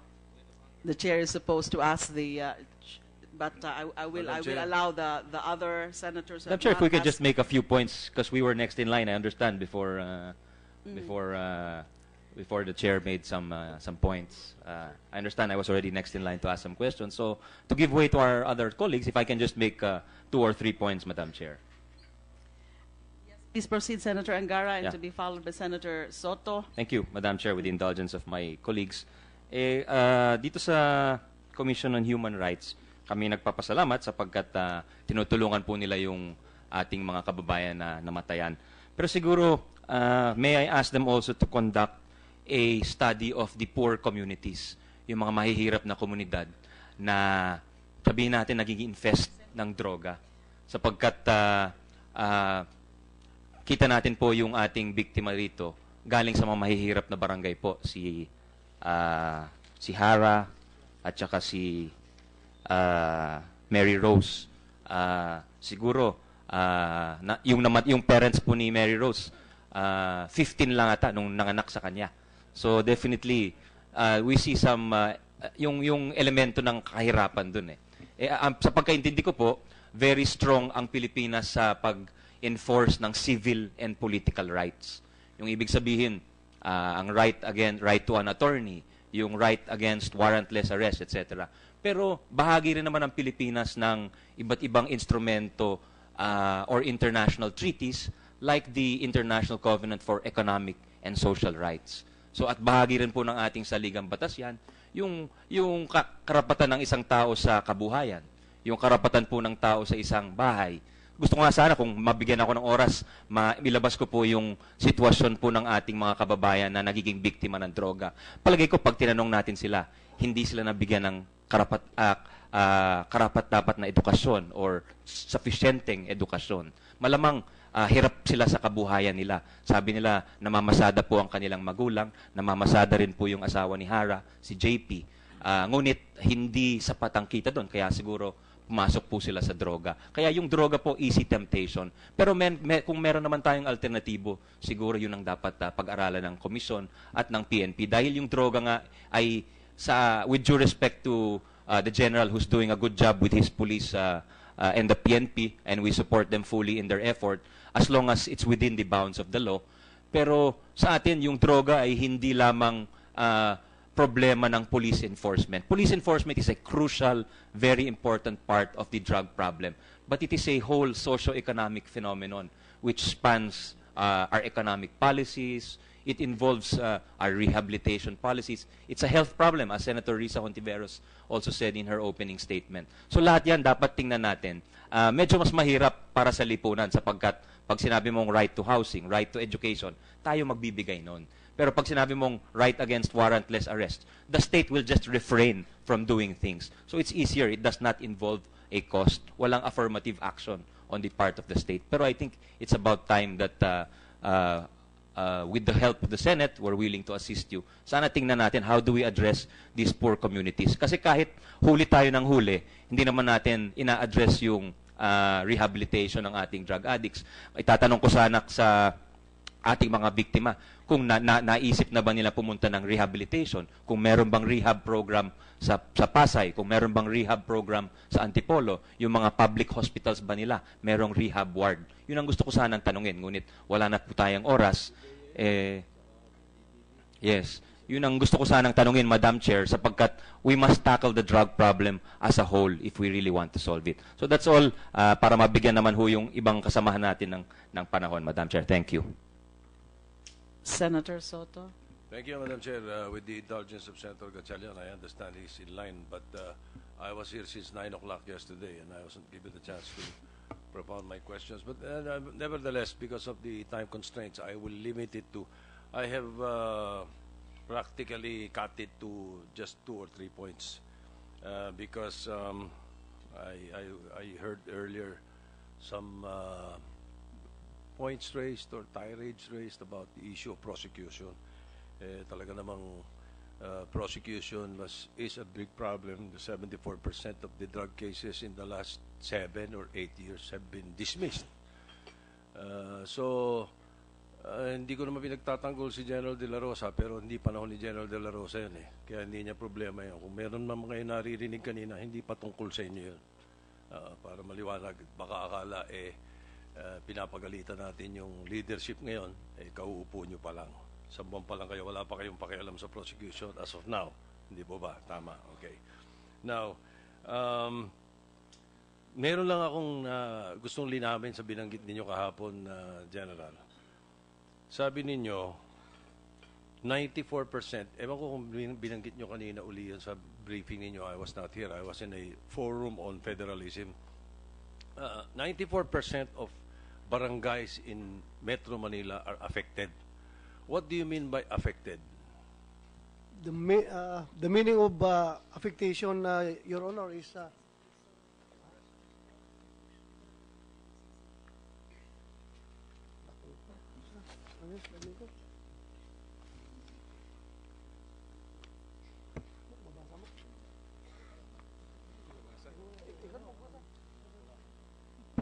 Can I ask Pedia to read the definition of uh, drug drug affectation, Your Honor? Sige, please. Uh, uh, again, also the the point that uh, Senator uh, Angara was mentioning, uh, the the PIDEA should take note of that. It's a PIDEA DDB uh, concern. Actually, it's not the concern of the PNP, especially on prevention and rehabilitation.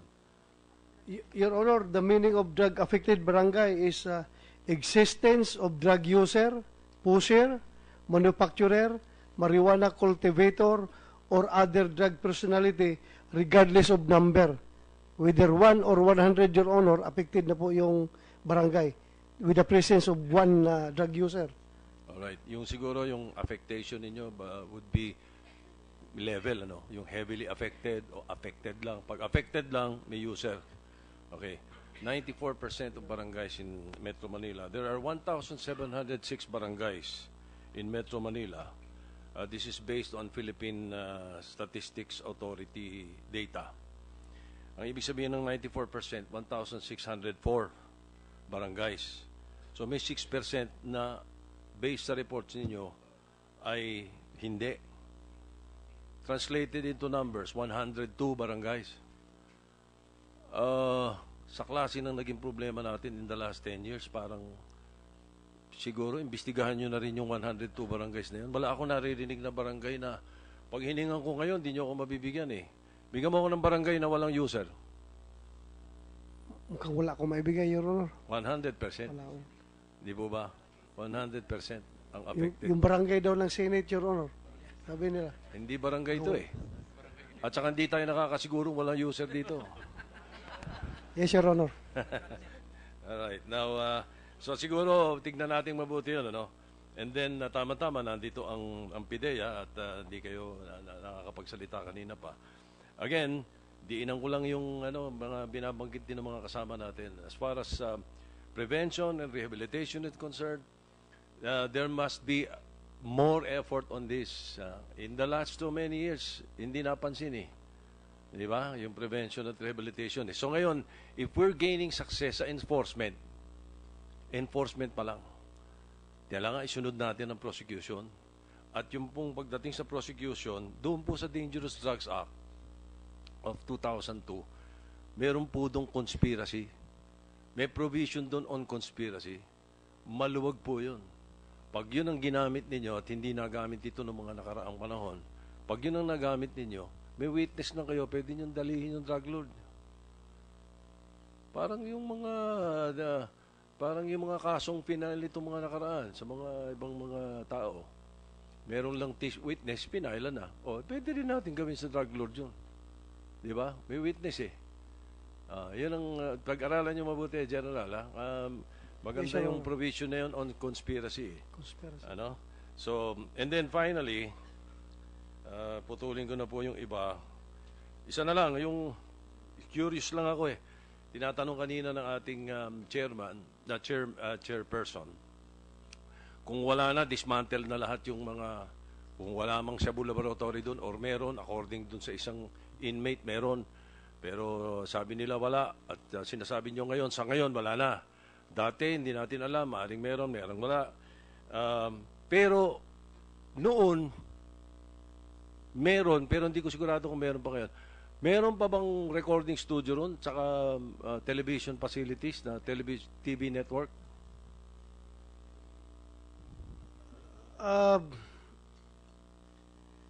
hindi ako makasiguro, Your Honor, pero I think uh, wala na, Your Honor. Yung carcel nila Sebastian, wala na? Wala na yung uh, TV network doon? Si Kasi I Sebastian just- po, Your Honor, nilipat na doon sa Building 14 eh. Kasi I just watched uh, uh, uh, in the internet a, a foreign uh, correspondent. Ini-interview si Sebastian eh. Sinabi niya, di, ano, this is the, uh, sabi niya, this is the only one, uh, perhaps in the world, sabi, parang ganun yung statement niya, na may television network kami dito. Pinakita niya yung facilities. Sabi nga nung, uh, nung, I can give you a clip if you haven't seen that particular clip. Your, Your Honor, ma, noon po yon pero ngayon wala malabo niya, Your Honor. Siguradong wala na ngayon yung mga yon. Tik, tiklop na po lahat ng siga doon, Your Honor. Ay, Wala- magandang wala na balita yan. No.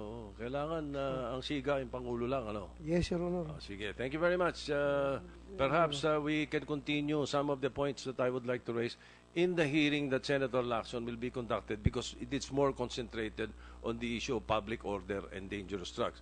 Because right now, I think the committee is uh, really tackling and the center of the focus is the issue of human rights ano, and the AK, ano, AJK. Okay. Thank you. Thank you, Madam Chair. Thank you for reminding us that the real focus here are the cases of uh, extrajudicial killings. But for info, for information lang po, yung mga sinasabing mga recording studios, isa po yan sa mga na-discover namin nung nag-grade kami noong December 15, 2014. Kaya dinismantle na po namin yun. Kaya wala na rin po yun. Okay, so let's try to refocus our discussions here. We're, we're on, we're, we're, we we are looking into the phenomenon of extralegal killings or the exec- or summary executions of drug suspects. Uh, Senator uh, Gatchalian. Maraming salamat, Madam Chair. Uh, Madam Chair, I know that we're running against time. Um, I'll limit this to very few questions lang po. Um, uh, General De La Rosa, every time umuwi po ako sa Valenzuela, naging habit ko na po uh, makipaghalubilo sa aming mga constituents at naging habit ko na rin po na tanungin kung ano po yung nararamdaman nila no sa ating mga barangay, sa ating mga sityo. At uh, dalawa lang naman po ang nakukuha kong sagot. No? Unang-una, sasabihin nila safe na kami, feeling namin safe ho kami. At uh, pangalawa, uh, natatakot kami. No? Yun po yung dalawang um, sagot na nakukuha ko. Ah, sabi ko, tinatanong ko sila, ba't kayo natatakot? Una, sasabihin nila, natatakot kami sa mga salita ni Presidente, kaya marami kaming mga kabataan, o yung kabataan ho sa amin, eh talagang alas 9, alas 10, nagsisiuwian na. Um, natatakot rin ho sila dahil nga sa mga nababasa ho nila. Pero ang mahalaga ho sa akin, yung nararamdaman nila na safe. No? Dahil karamihan sa ating mga kababayan ay namamasahe. Dito lang nga ho sa Senado tuwing alas 7, alas 8 ng gabi, eh, makikita mo yung mga, mga nagtatrabaho dito na namamasahe at umuwi po ng alas 9, alas 10 ng gabi. Ngayon, General De La Rosa, hindi naman ho tayo habang buhay nandito. No? Hindi po ako naniniwala na may forever, lalo na sa posisyon ho natin. Ah, sa isang punto, tayo po ay mawawala rin dito sa posisyon. Ang tanong ko ho, eh, meron na ba ho kayong mga mungkahi o profo- proposals na ipag i-institutionalize po itong mga ginagawa ninyo para po maging mas matagal at mas matatag po yung paglaban natin sa illegal na droga dahil wala pa ako naririnig ng mga proposals no na na pag-alis nyo, pag-alis po ni presidente, pag-alis natin ng lahat, eh itong paglaban sa illegal na droga eh tatayo at titindig ng mag-isa. No, meron na ba ho kayong mga ganun na pag-aaral? Um, Your Honor, siguro after six months, if we can declare ourselves that we win the war, maybe saka na po kami mag, uh, magyayabang na ito i-institutionalize mo natin. Dahil last success story ito, gagawin natin. Po sa ngayon po, we are still in the thick of the fight. Uh, mamaya na po kami, namin isipin niya, Your Honor. Sana Maram- isabay ho natin, no? Meron naman ho tayong mga kasama sa uh, Internal Affairs at sa ibang grupo uh, na isabay ho natin itong pagdokumento nung success at yung failures, no? Dahil hindi naman ho natin masasabi na 100% successful kaya ho tayo nandito, no?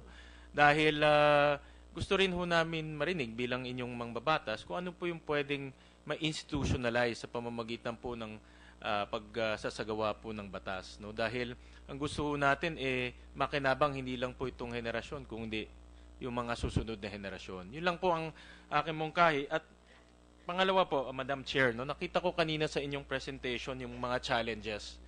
At ang mga challenges do, una, unsupportive local chief executives. Tama po ba?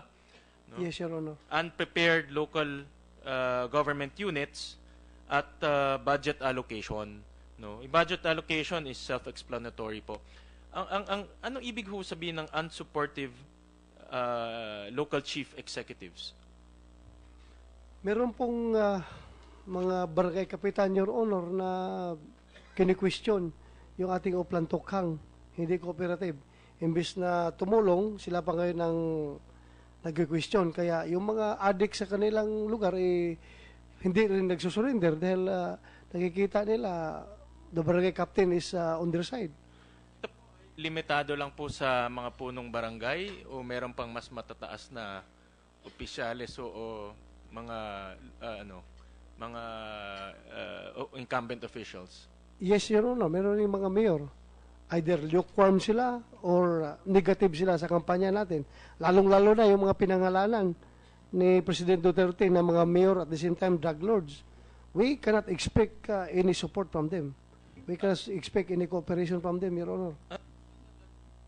tanong ko po ah, General De La Rosa is sino naman pong alkalde o punong barangay na ah, hindi maniniwala o hindi sasama sa paglaban ng illegal na droga dahil lahat naman ho tayo ako po naging mayor rin po ako eh dapat sumuporta po kung meron pong ganitong paglaban sa illegal anong anong motibo ho nila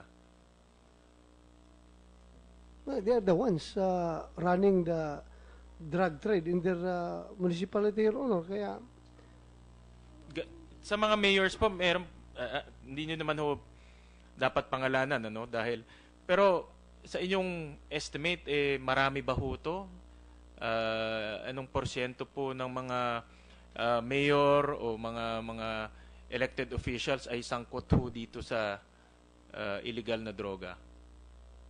Dahil sa ako naman po nababahala dahil uh, itong mga tao to hinalal no para tumulong sugpuin po ang illegal na droga pero uh, ligid po sa kaalaman ng marami na sila rin po ay kasama dito po sa karumal-dumal na aktibidad. So, in your own estimate, ilan ba ho ang kasali dito o ano ba ang kalagayan? As of now, Your Honor, yung, yun muna, yung pinangalanan ni Presidente na mga mayors, yun yung aming ah, tinutukan ngayon. Meron pa bang susunod doon? Meron pa, O yun Your na ho? Meron, meron pa, Your Honor. Meron pa ho. Yes, At anong ginagawa ho natin dito sa mga unsupportive uh, mayors and punong barangay dahil hindi naman ho pwedeng uh, pabayaan nilang po yung mga kababayan natin doon. Ano po yung ginagawa ninyong uh, aktibidad para po uh, mabypass itong unsupportive uh, ano nila? Actually, Your Honor, ah, right now, on the surface, ah, itong mga pinangalanan ay nag-pledge ng full support on the surface. Pero pagdating doon sa lugar nila, I don't know kung anong ginagawa nila kasi nandun pa rin yung drug problem sa lugar nila. Pero ang ginagawa po ngayon, Your Honor, is ah, yung mga local chief executives, saka for, former ah, local chief executives na na involved sa droga, na nag-surrender na po sa CIDG, yung iba po yun, yung mga ah, incumbent pa doon ay pinatanggalan na po ng napulkom ng deputation ah, over the police para hindi nila mahawakan yung police sa kanilang ki- sinasakupan. Itong incumbent ba ho ay may ebidensya? Kasi pinangalanan. So I would assume meron pong uh, konkretong ebidensya laban ho sa kanila. Dahil napangalanan na eh. Yung napangalanan lahat, Your Honor, hindi po yung lahat merong concrete evidence. Ongoing pa yung case build up kasi ang basis po ng ah, papangalan sa kanila ni Presidente ay sa intelligence ah, report lang po. Wala pang ebidensya na pinanghawakan. So wala pa hong kasong pwede isampa uh, o laban sa kanila para matanggal ho sila sa kanilang pwesto dahil nakakabahala ho. Mayor ho sila. Presumably, sangkot ho sila pero nagtatrabaho pa rin sila. Pumapasok ho sa City Hall. Except pa Mayor ng Albuera, Your Honor. Yun ang napaila natin ng kaso. All the rest, ah, wala pa talaga tayong napaila kaso. Anong, meron po bang timetable na tinitignan ho tayo na para po itong mga ito eh maialis muna sa kanilang pwesto habang linilitis po ng ah, habang linilitis ho sila. I, I, I hope that the LJ can ah, answer that question, Your Honor. So sa ngayon wala pa ho. Wala pa po, Your Honor. Wala pa. That's it, uh, Madam Chair. Thank you very much. Thank you, Senator Gatchalian. Senator Trillanes. Ah, maraming salamat, Madam Chair. Uh, just a uh, manifestation. I believe uh, we have extracted enough information from uh, General De La Rosa and uh, we commend uh, the good General for uh, being a, uh, a sport, for being patient, and uh, also I commend him for uh, acting uh, on the complaints yesterday. Uh, immediately nirelieve nyo, General, yung uh, mga na-involved na police at uh, yun yung gusto natin ma- makita na yung internal discipline mechanisms ng PNP ay uh, working. Now, uh, I would like to hear sana, Madam Chair, from at least one of the witnesses, siguro kahit mga 15 minutes lang, kung un- uninterrupted na testimony so that we can uh, hear yes. something new. Uh, yes, thank Chair. you, Senator Trillanes. Actually, we were informed by the Office of the Senate President that uh, our regular plenary session, which is uh, 3 o'clock, has been moved to 4 o'clock. But we need to, uh, to wrap up by, by 3 o'clock. But uh, yes, well, of course, the discussions today have been very, very interesting because of uh, the presentation also of, of, of Director General De La Rosa. Kaya medyo nalihis ng konti dun sa pinaka-focus natin kasi yung focus natin are the killings. So but uh, hindi naman kasi maiiwasan yung mga tanong na yon at yung mga points na yon because these are germane of course because we're talking here about the drug problem. Kaya lang nababahiran nga yung integrity ng programa na yan, yung laban na yan, because of the spate of killings. That is the core issue in our inquiry. And kagaya ho ng sinabi ko kahapon, 11 ho dapat ang witnesses namin at nakakadalawa pa lang ho tayo. So uh, I, I, uh, I share the, the sentiment of Senator Trillanes sa siguro naman mag-present tayo kahit isa lang para ma-refocus naman yung discussion natin ngayon sa killings, sa EJ case. At ah, mahirap po yung mga witnesses natin na nakaharap ngayon na nakabilad sila, naka, naka, although yung point ko kanina, there's no intent, intention at all to sensationalize yung yung pag pag ah, pag ah, ano ho pagtatakip ng mukha nila is just an added security measure and also because mahirap na nga ho mismo ang humarap dito. So kung i-expose pa ho ang itsura nila, di lalo hong makaka-discourage sa kanila. So, we will be presenting one witness today para meron man lang tayong maipresentang witness. But before that, can I ask CHR para ho we have the right perspective dahil rinaise na rin ho yung issue na yan by one of the senators, I think it was Senator Alan, the issue of extrajudicial killings. Pwede ho bang, pwede nyo ho ba kaming, ah, can you tell us exactly, ano ang mga diferensya nitong mga terms na ito? These are of course human rights terms, legal terms, extrajudicial killings, extrajudicial, extra extrajudicial killings, extralegal killings, summary executions, summary killings, rob-outs, vigilante killings. Iba-iba ho ba yan?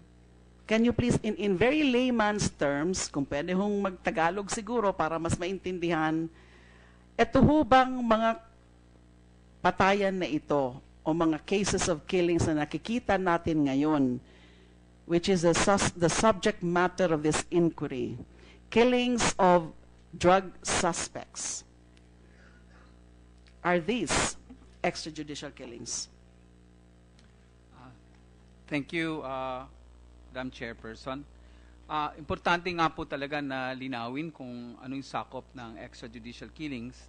At ang sigurong pwede nating ah, paghugutan ah, nito ay yung report ng Special Rapporteur on extrajudicial killings, si Philip Alston, ah, nung siya ay bumisita dito. Ah, may sampung taon nang nakaraan.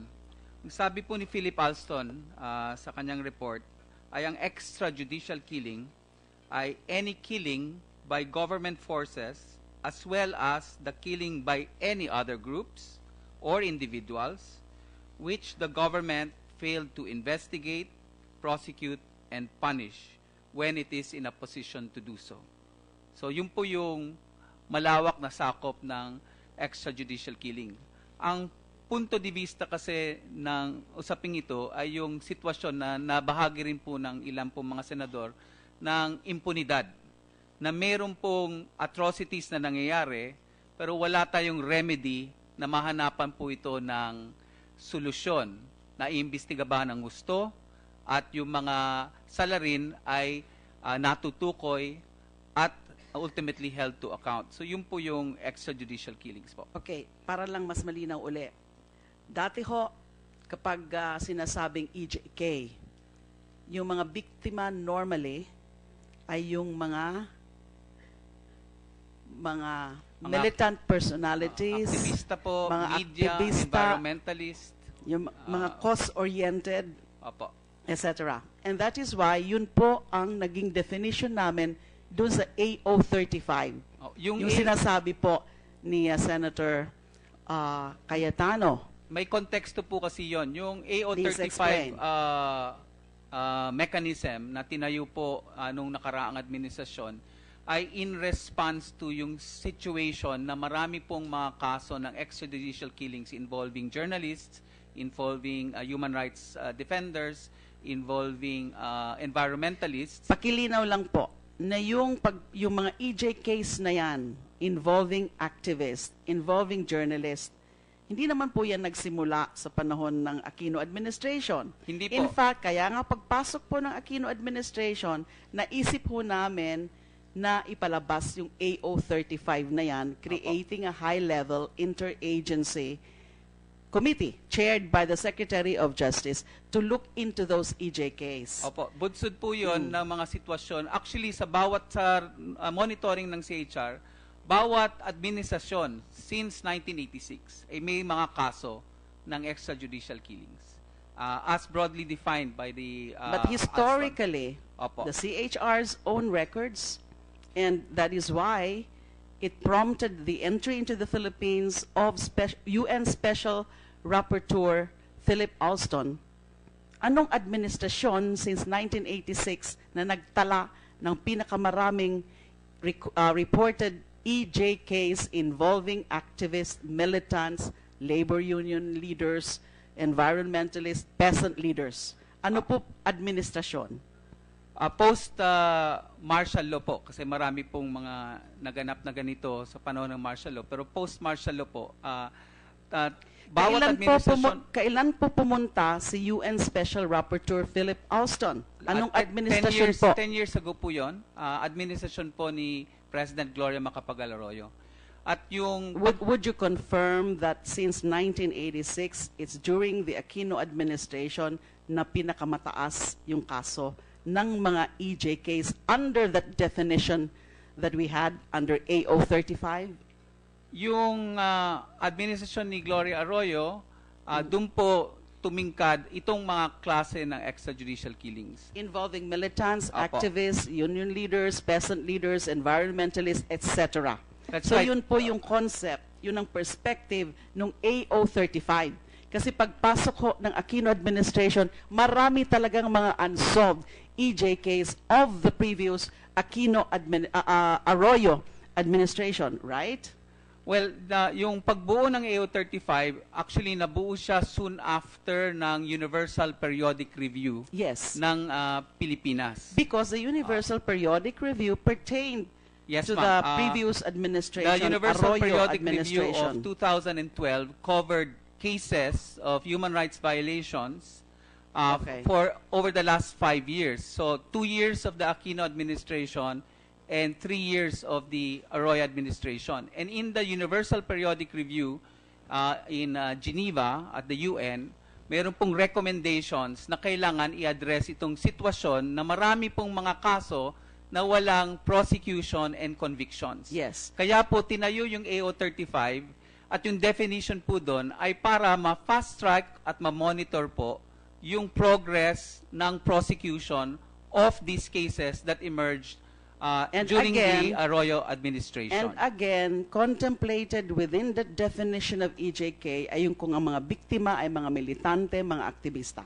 So Wala sa definition ng AO35 yung EJKs involving suspects or the arbitrary killings of suspects. I can tell you, as, as the chairperson of the um, high-level interagency committee created under AO35, talaga hong, nung una, we considered including that in the definition of EJK for purposes of AO35. Pero, ang parang naging consensus is hindi na muna ilagay sa concept ng EJK because we need to focus dun sa mga unresolved cases na mga killings of militants, activists, etc. Now, ngayon naman po, I don't know if you agree with me or not, Chair Gascon. What we are seeing now, the killings that we are seeing now, which have become, which I can say is a phenomenon, is the killing of alleged drug suspects.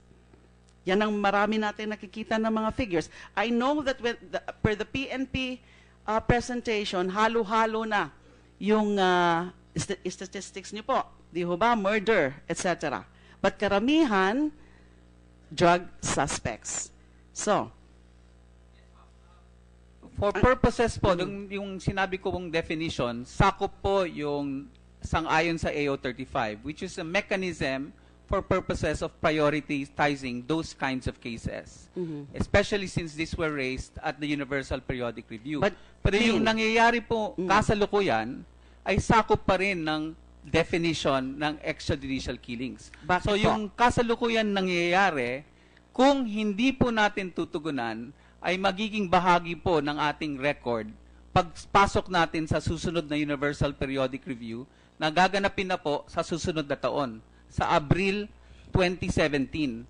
Tatanungin po ito kung bakit hindi po natin na tutugunan yung sitwasyon ng pagdami ng napapatay na hindi po natin nalalaman kung anong punot dulo nito. Kaya importante rin sa yugtong ito na harapin yung kasalukuyang pagsubok. So again, ito ngang mga killings na ito ng mga alleged drug sus- suspects properly fall within the definition or concept of extrajudicial killings. Uh, yes, Sarado it does. po yan. Yes, it does. Uh, Okay. uh, the definition I uh, referred to earlier, as enunciated by Philip Alston 10 years ago when he came here, while, it, while he focused on the attacks on media, uh, human rights defenders, and environmentalists, his definition actually covers the scenario that we are currently facing as well. The key component is that we should show that the state is doing everything it can to prevent this phenomenon from becoming a practice. Meron pong reports na yung current UN Special Rapporteur is intending to invest to, to come over and investigate or probe into this Uh, last week po, dalawa pong special rapporteur addressed this issue directly.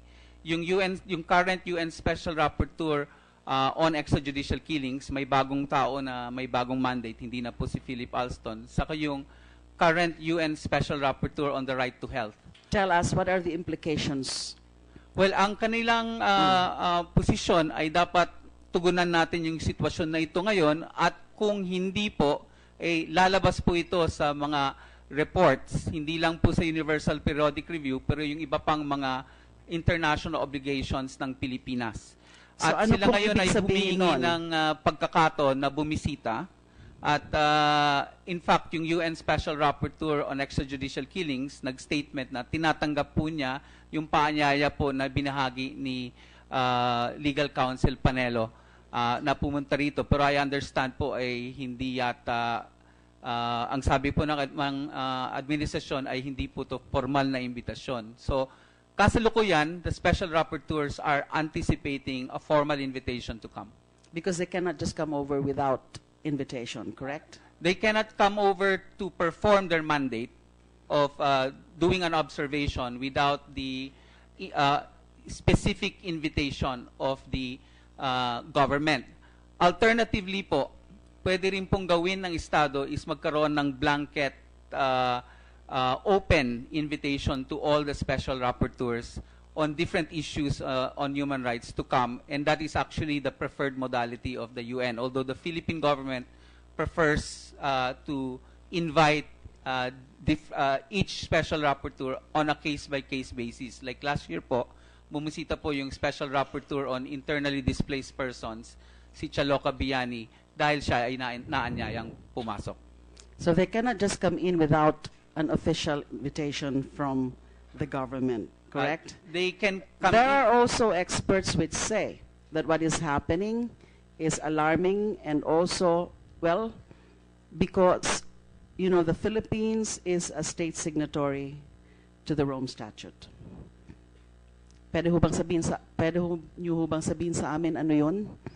Again, in layman's terms, Rome Statute and yung International Criminal Court. Meron ho kasi mga experts na nag na nag-express na ng concern that uh, what is happening now may invite the entry or the assumption of jurisdiction by the International Criminal Court under the Rome Statute. What can you say to that? The Philippines is a party to the Rome Statute from 2011. That was when the Philippine government ratified uh, the uh, treaty that established the International Criminal Court. And we are an active participant in the International Criminal Court. In fact, we have uh, elected two Filipinos to the court. One was a senator of this republic, Miriam Defensor Santiago, and then she resigned. And the new uh, Filipino judge to the International Court ma- is uh, Raul because I'm, Pangalanan. I'm reminded, I'm reminded that we're supposed to wrap up already. Yes, po, I think uh, the Senate President has. Oh, we uh, recognize the presence of the Senate President, so he's reminding us that we're about to, we're, we're supposed to wrap up already. So ang gusto ko lang ho maintindihan, meron ho bang basehan yung mga ganyong pangamba na kapag patuloy-tuloy ito na mga patayan, it becomes unabated, patuloy patuloy pa rin, hindi natin nasusolusyonan, hindi natin na nahihinto itong sunod. Kasi hanggang ngayon, kasi araw-araw nga nadadagdagan yung statistics ni uh, Director General De La Rosa May basehan ba yung ganong pangamba na we might be inviting or we might be courting the intervention of the International Criminal Court? Uh, Your Honor, failure of the government to address this situation currently prevailing of unexplained extrajudicial killings and providing remedies in terms of prosecution of perpetrators could result in the possibility of the ICC exercising jurisdiction over those matters if we fail to do so. But they, we must first satisfy what is referred to as the principle of complementarity. Yung principle of complementarity is a provision in the Rome statutes that requires states to either be unable or unwilling to prosecute these cases, at which point the uh, International Criminal Court could exercise jurisdiction. At ah, katulad din ho ba yan ng ah, UN Special Rapporteurs, yung binanggit mo kanina na they cannot just come in, they cannot just intervene without a formal invitation from the government? Or is that something that is a direct assumption of jurisdiction if they find that there is some basis for it?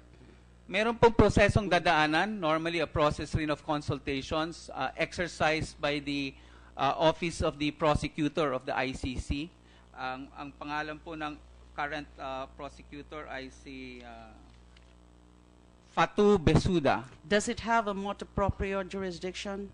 Meron pong kapasidad ang International Criminal So Court hindi to exercise ng isang motu proprio complaint? jurisdiction.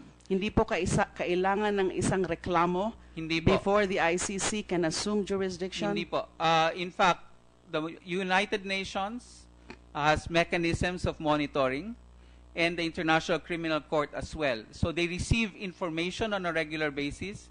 They would normally conduct consultations. They will actually also provide advisory uh, support for us to address these concerns. And if these concerns are not adequately addressed, then it is possible that the prosecutor will make a recommendation for assumption of jurisdiction. Kung sakasakali man na humantong, sana hindi naman po.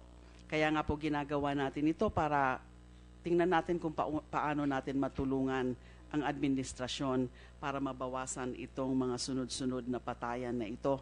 Na kung sakasakali man na pwede nang mag-assume ng jurisdiction yung ICC through its prosecutor, ano ba yung nakikita niyong pwedeng basihan yan or ground for for the assumption of jurisdiction by the ICC. Academic discussion lang po. Given the situation now, na 1,000 plus na po yung mga namamatay, ang alam ko, ang uh, requisites po niyan, widespread and systematic attack on a civilian community. Ilang grounds ang pwede under the ICC? The International Criminal Court is a, a criminal court with limited jurisdiction over only four crimes. And those are? And those four crimes are war crimes, genocide, aggression, and crimes against humanity. Sabi po ng mga experts, posible po under crimes against humanity. In your opinion, pwede ho ba yun? Assuming lang na patuloy pa rin po ito. Kung Dumami pa rin ng dumami. Kung dumami po itong mga nangyayari na extrajudicial killings at ah, hindi po natin ginagawa ang lahat para matugunan ito at magkaroon po ng prosecution and accountability, ah, yung Article 7 ng ah, International Criminal Court provides for the situation of crimes against humanity. At ang condition po nan ay dapat widespread or systematic yung attacks on the civilian population. May mga settled definition na ba ng kung ano ang widespread, kung ano ang systematic? Ah, meron po. Can you tell us, again, in very simple terms? Yung usapin po ng widespread, actually hindi po siya naka, nakatala sa bilang, kundi yung kondisyon na hindi po nabibigyan ng sapat na remedy. So pwede nga maging less than 100 yan, more than 100. Yung walang walang fixed fixed numbers. No, walang fixed number. Mm. Uh, uh, in fact, there have been uh, instances uh, by other international criminal courts that have identified a single act as being sufficient for pur- purposes of uh, crimes against humanity if it is undertaken in relation to a systematic attacks on a civilian population po. And uh, correct me if I'm wrong. Pag ganyan, importante hong ma-establish na it's a state policy or a state-sanctioned policy? Ah, yes po, yun po yung ibig sabihin ng term systematic na ah, yung pursuit of the acts or the attacks constitute ah, a systematic or policy-oriented approach to, ah, in a sense, commit these acts. Marami pong acts ang ah, pwedeng maging alam ko po crimes minsan against mahirap, humanity. alam ko po minsan mahirap mag-establish ng element na yan, systematic. Can you can you cite any any any case which uh, try to uh, uh, uh, eh, uh, show to us exactly what is the meaning of systematic? Kasi kung ganyan ho na araw-araw may patayan, systematic na ho ba yan?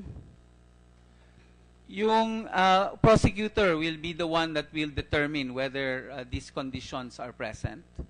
Uh, uh, and what they will look at is the totality of what is happening.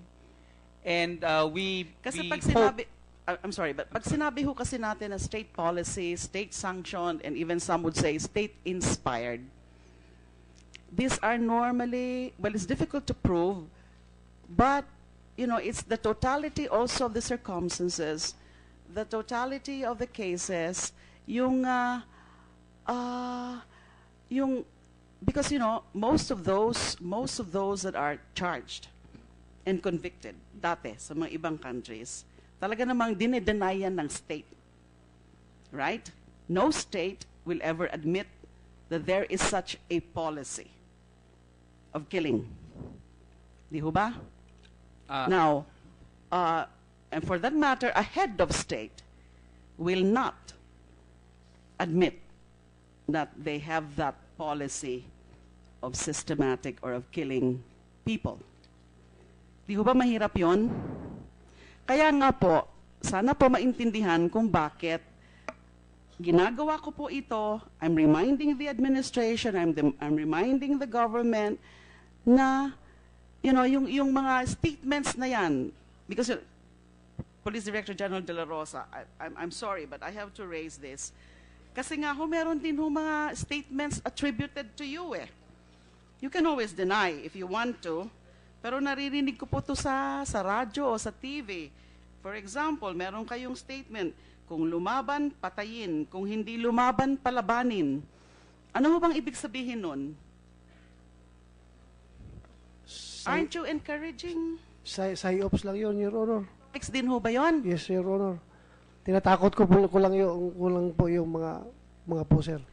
Pwede ho ba nating bawasan yon Kasi Yes, Your Honor. maaring wala kayong intensyon na ganun. That's not exactly what you mean. That you're not really inspiring these killers to do that. Pero malay nyo kung yan ang dating sa kanila. Thank you for reminding me, Your Honor. Bawasan ko na po yun. Babawasan. Bawasan. Kasi, sakat sabi ko nga, yung dinedenay yan ng mga inaakusahan sa ICC, eh baka that should be used as an evidence against you. That's an admission. A public admission. So I'm trying to help. Mag-ingat lang po tayo para hindi na misinterpret. Maaring yan ang nasa utak nyo pero hindi the men, on, the men on the ground might have a different interpretation of your statements. Madam Chair, Yes, go kailangan ahead. rin po rin Last na po yan. Oh, yes po. Kailangan rin po linawin at liban po sa ating membership sa International Criminal Court, ah, pinasa na rin po ng ating Kongreso ang isang national law, yung tinatawag na Republic Act 9851. At ito pong 9851 is essentially a law that criminalizes whatever is under the jurisdiction of the International Criminal Court. So yung crimes against humanity is also a crime under Philippine law. And so ang mangyayari po in the course of the ICC assuming jurisdiction is if it will also look to the implementation of this law. If we fail to implement this law and enforce our own laws as we should, then it also becomes another condition for the ICC to possibly exercise jurisdiction. sa mahaba sa pinyan. Ma- kailangan nung kasi maintindihan talaga ng ating mga kababayan. And wala na talaga ho tayong oras, so mukhang hindi na ho tayo makakapresent kahit isa lang na testigo. Ako nga po, I'm, I was supposed to be the one to, to, to uh, wrap up the questioning. Ang dami ko pa hong tanong dapat kay uh, Director General De La Rosa. But for lack of time, no choice but to declare suspension of uh, the hearings. We will, uh, we will issue the appropriate notice. Uh, we will still decide kung kailan po ang next. Pero marami pa po. Kasi may mga witnesses nga ho natin, karamihan hindi pa na-present. Maraming maraming salamat for your time. And again, I commend you, Director General De La Rosa, dun sa prompt action mo, dun sa kaso kahapon, yung sa Antipolo. Maraming salamat.